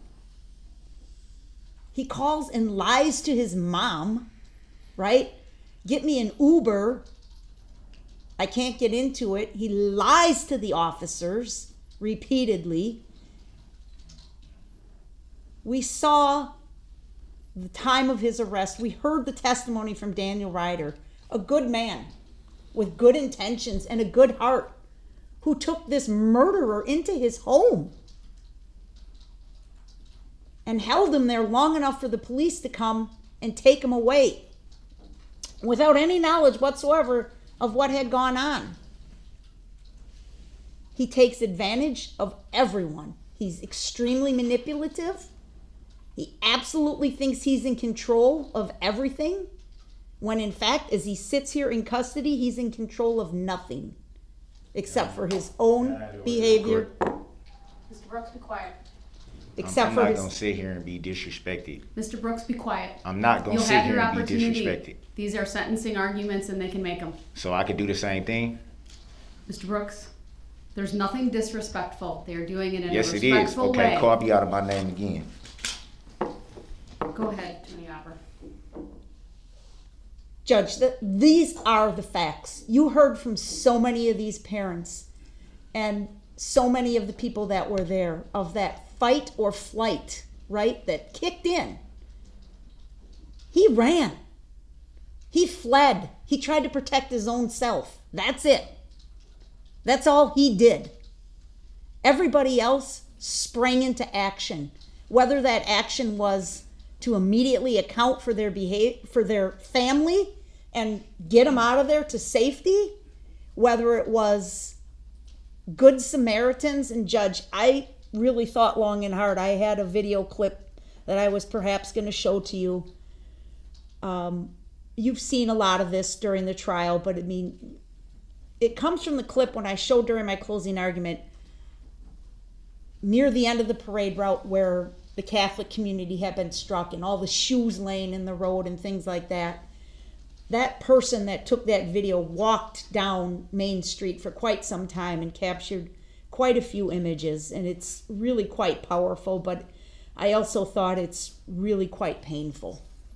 But one of the things that was just so remarkable to us as we watched things like that was the average citizens that just sprung into action to save somebody else. There's a particular moment where there's a person uh, on the ground fervently performing CPR on a victim in amongst a pool of blood without any regard for themselves whatsoever. I don't know who this person was. I don't think I'll ever know. But it's a prime example of the good that came out. So many people talked this afternoon about good versus evil, and I definitely believe that's what this case was about. Darrell Brooks is the epitome of evil. He is evil in Other courtroom, person. please. No, you may not. The community is May good. order The of the court people so I are good. I think it'd be The best for me to just go are into the good. Mr. courtroom. Brooks, I'm talking. I don't care about you talking. I don't care what you care about. I know you don't. Sit down and be You- quiet. Nah. Everybody has told you Nah, that. nah, Stop nah, it. Nah. See, you got you got it all wrong, Miss Opper. Judge, the community has spoken. This jury returned a verdict in two hours. That's how open and shut this case was. actually, it was Everybody saw it. Actually, it Everybody but Darrell Brooks.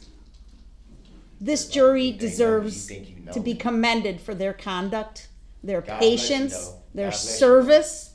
Mr. Brooks, I, I asked to go to the other courtroom. I'm not so we sending wouldn't you have- there. So we wouldn't have to go. it's not. you. That is not a place you get to request to go to. It's So it's I when you have to- disrupt the proceedings. I'm She's not trying almost to disrupt done. the proceedings. I'm trying to go to the other courtroom No. so she can finish saying the I BS wanted- she got to say. I wanted to share something with you, Judge. This is something that came in on December 5th of 2021. An anonymous letter came, well, it's not anonymous, it's signed, but it's from a person we don't know.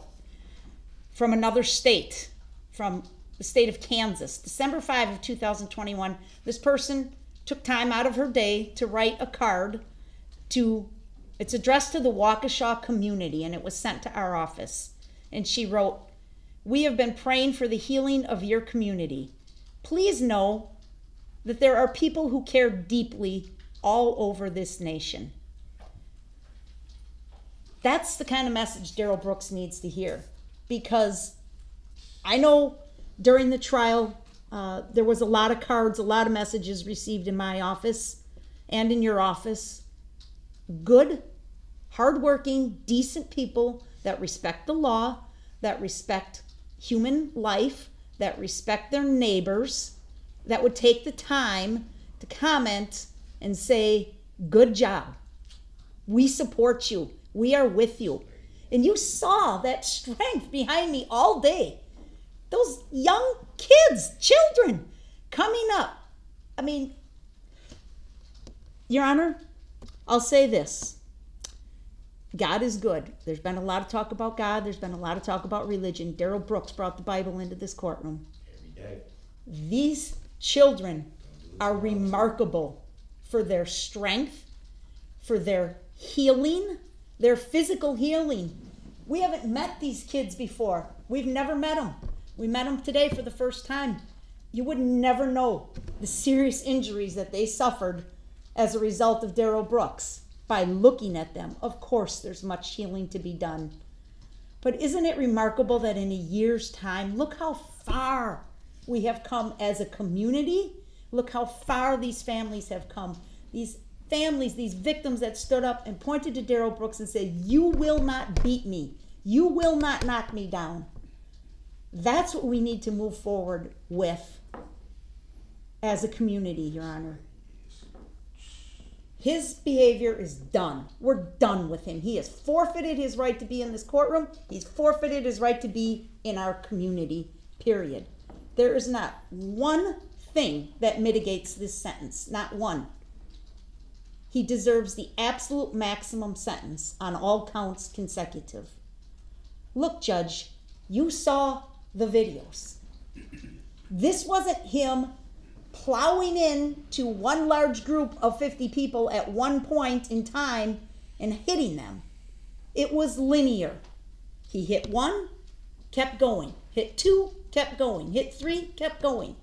All the way down the street.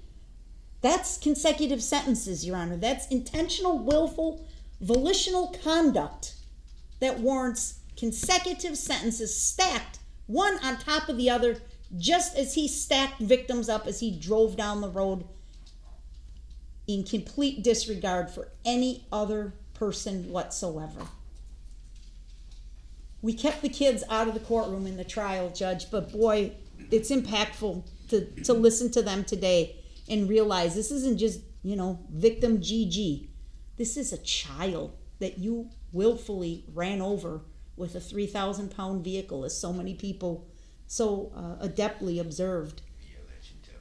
Police officers, first responders, the medical professionals. It's kind of weird, Judge, because we're coming up on the anniversary, of course, and we're coming up on the weekend before Thanksgiving, which is a weekend that a lot of people pay attention to on the calendar because here in good old Wisconsin, it's deer hunting season. It's a lot of uh, families going out, starting their Christmas activities, uh, Christmas festivities, Christmas shopping, whatever it is. So it's kind of that kind of a weekend that comes around every year that on its own, it's not a holiday, it's not really a known day, but we all know that first weekend before Thanksgiving and what it brings. Uh, we all look forward to maybe a short work week, spending time with family, getting together. And here it comes, and it's the anniversary of this attack at the hands of Darrell Brooks.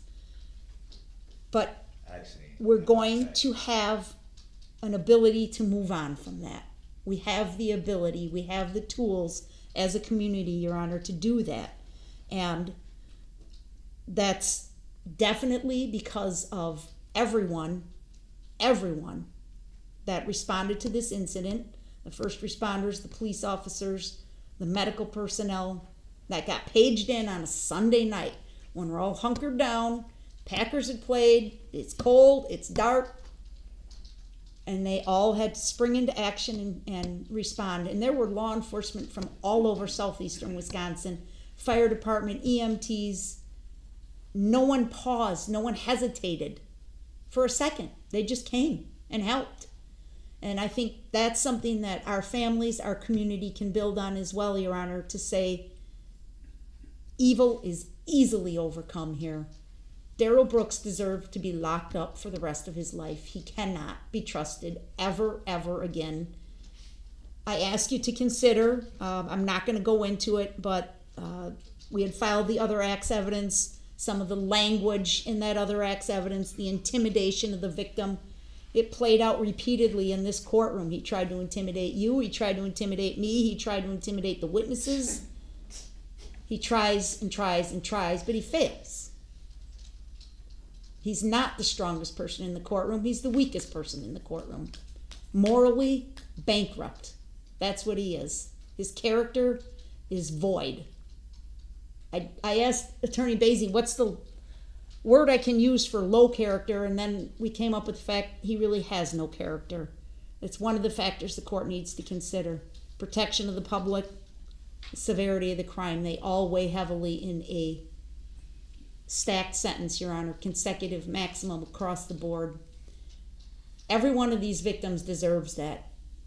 I don't know how we look at any of these victims and say, well, he got concurrent time on your case because your pain and suffering wasn't quite as bad as the guy before you or the girl before you. They all deserve that sentence that speaks to their count. The restitution, Your Honor, I filed the paperwork. We are seeking restitution in the dollar amounts uh, uh, from my letter that we reviewed this morning.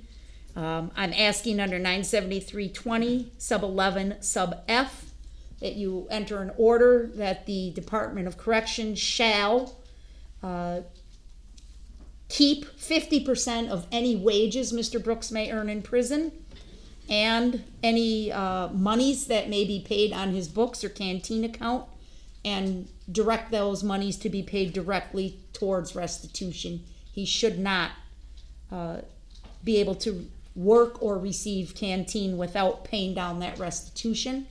Um, I also included in my letter the request uh, that should any monies ever be paid by contract to Mr. Brooks, that he should attempt to benefit financially from these crimes, that those monies would be placed into an escrow account maintained by the Department of Justice and um, paid towards the restitution. The restitution in this case is ridiculously low when you consider it, and that's again because of the generosity of good people all over the world that contributed to a community fund and uh, other individuals who generously donated to help these families pay for funerals and medical expenses and things like that. Can you imagine when you're you heard these mothers describing what their children have been through? Can you imagine the medical bills on these? And he's lucky he's getting off with a two hundred thousand dollar bill for restitution, Your Honor. I think he should have to pay every last penny of it. I also wanted to wrap up again, Your Honor, by saying you didn't hear from all the victims. Certainly, um, there were some that just cannot bring themselves to this court in any fashion, in any way. And um, we ask you to keep them in mind as well, um, especially the Bill Hospel family. Um, Bill was, you know, walking in support of his wife's uh, team and trying to be in a supportive role as he had done on many other uh, occasions and lost his life for that simple action, that simple act of good that he participated in. Um, there were some groups that um, are not represented here today, but I know you heard their story at trial and you're um, aware of what some of them went through that maybe um, wasn't specifically addressed here today, but I just ask you to keep in mind that uh, we certainly prevented presented a wide array of victims to you, but not everyone. And then certainly, as I mentioned at the outset, the community as a whole uh, absolutely demands justice for for the, these victims, these families, and for the community itself. That Darrell Brooks has no redeeming value, Your Honor. Thank you. All right, thank you. Uh, Mr. Brooks, as far as I can tell from the correspondence from your mom and from you, I believe there may be closer to three individuals plus yourself who wish to speak at sentencing. Um, since we lost an hour or so today, although we did go late, so arguably we gained it back, I still was thinking about starting at noon just to make sure there's ample time. Um, I will start uh, the Zoom shortly before that. Um, the information has been provided to your mother, and I believe she will provide it to the other individuals on your list who wish to attend and make a statement on your behalf. So, right at noon, we will start that process. Typically, um, I would hear from the individuals on your behalf with you going last, but you tell me if you want it to go a different order. That's, that's fine. All right, and then I'll hear from you. I may take a short break before I come back out, um, or even a longer break, depending on the timing of everything tomorrow, uh, to just collect all of the final statements uh, and process them. Obviously, I'll take the overnight to process what I've heard today, uh, in addition to what I've already been doing on my own. Um, and I haven't seen any written statements on your behalf. Um, I don't know if anything came in today during this hearing, uh, but uh, I'll rely on the verbal statements that are made and then yours at the time of sentencing uh, or prior to me imposing sentencing, okay? I apologize. I'm, it's it's very emotional and frustrating right now. So I apologize to you, Your Honor, and court. I understand it's frustrating and I understand that. It's just very hard to sit and, you know, it's almost like a pylon. So I, I still understand that I have to conduct myself uh, respectfully. So I, I apologize. I think the apology needs to be made to the victim, sir, more so than this court. Definitely. I was just referring to I know. the. All right, anything else from either party before we conclude for this evening from the state? No, Judge, we'll see you at noon. Thank you. From you, sir? Not at this time. All right, we are in recess. I'll see everyone tomorrow at noon. Thank you.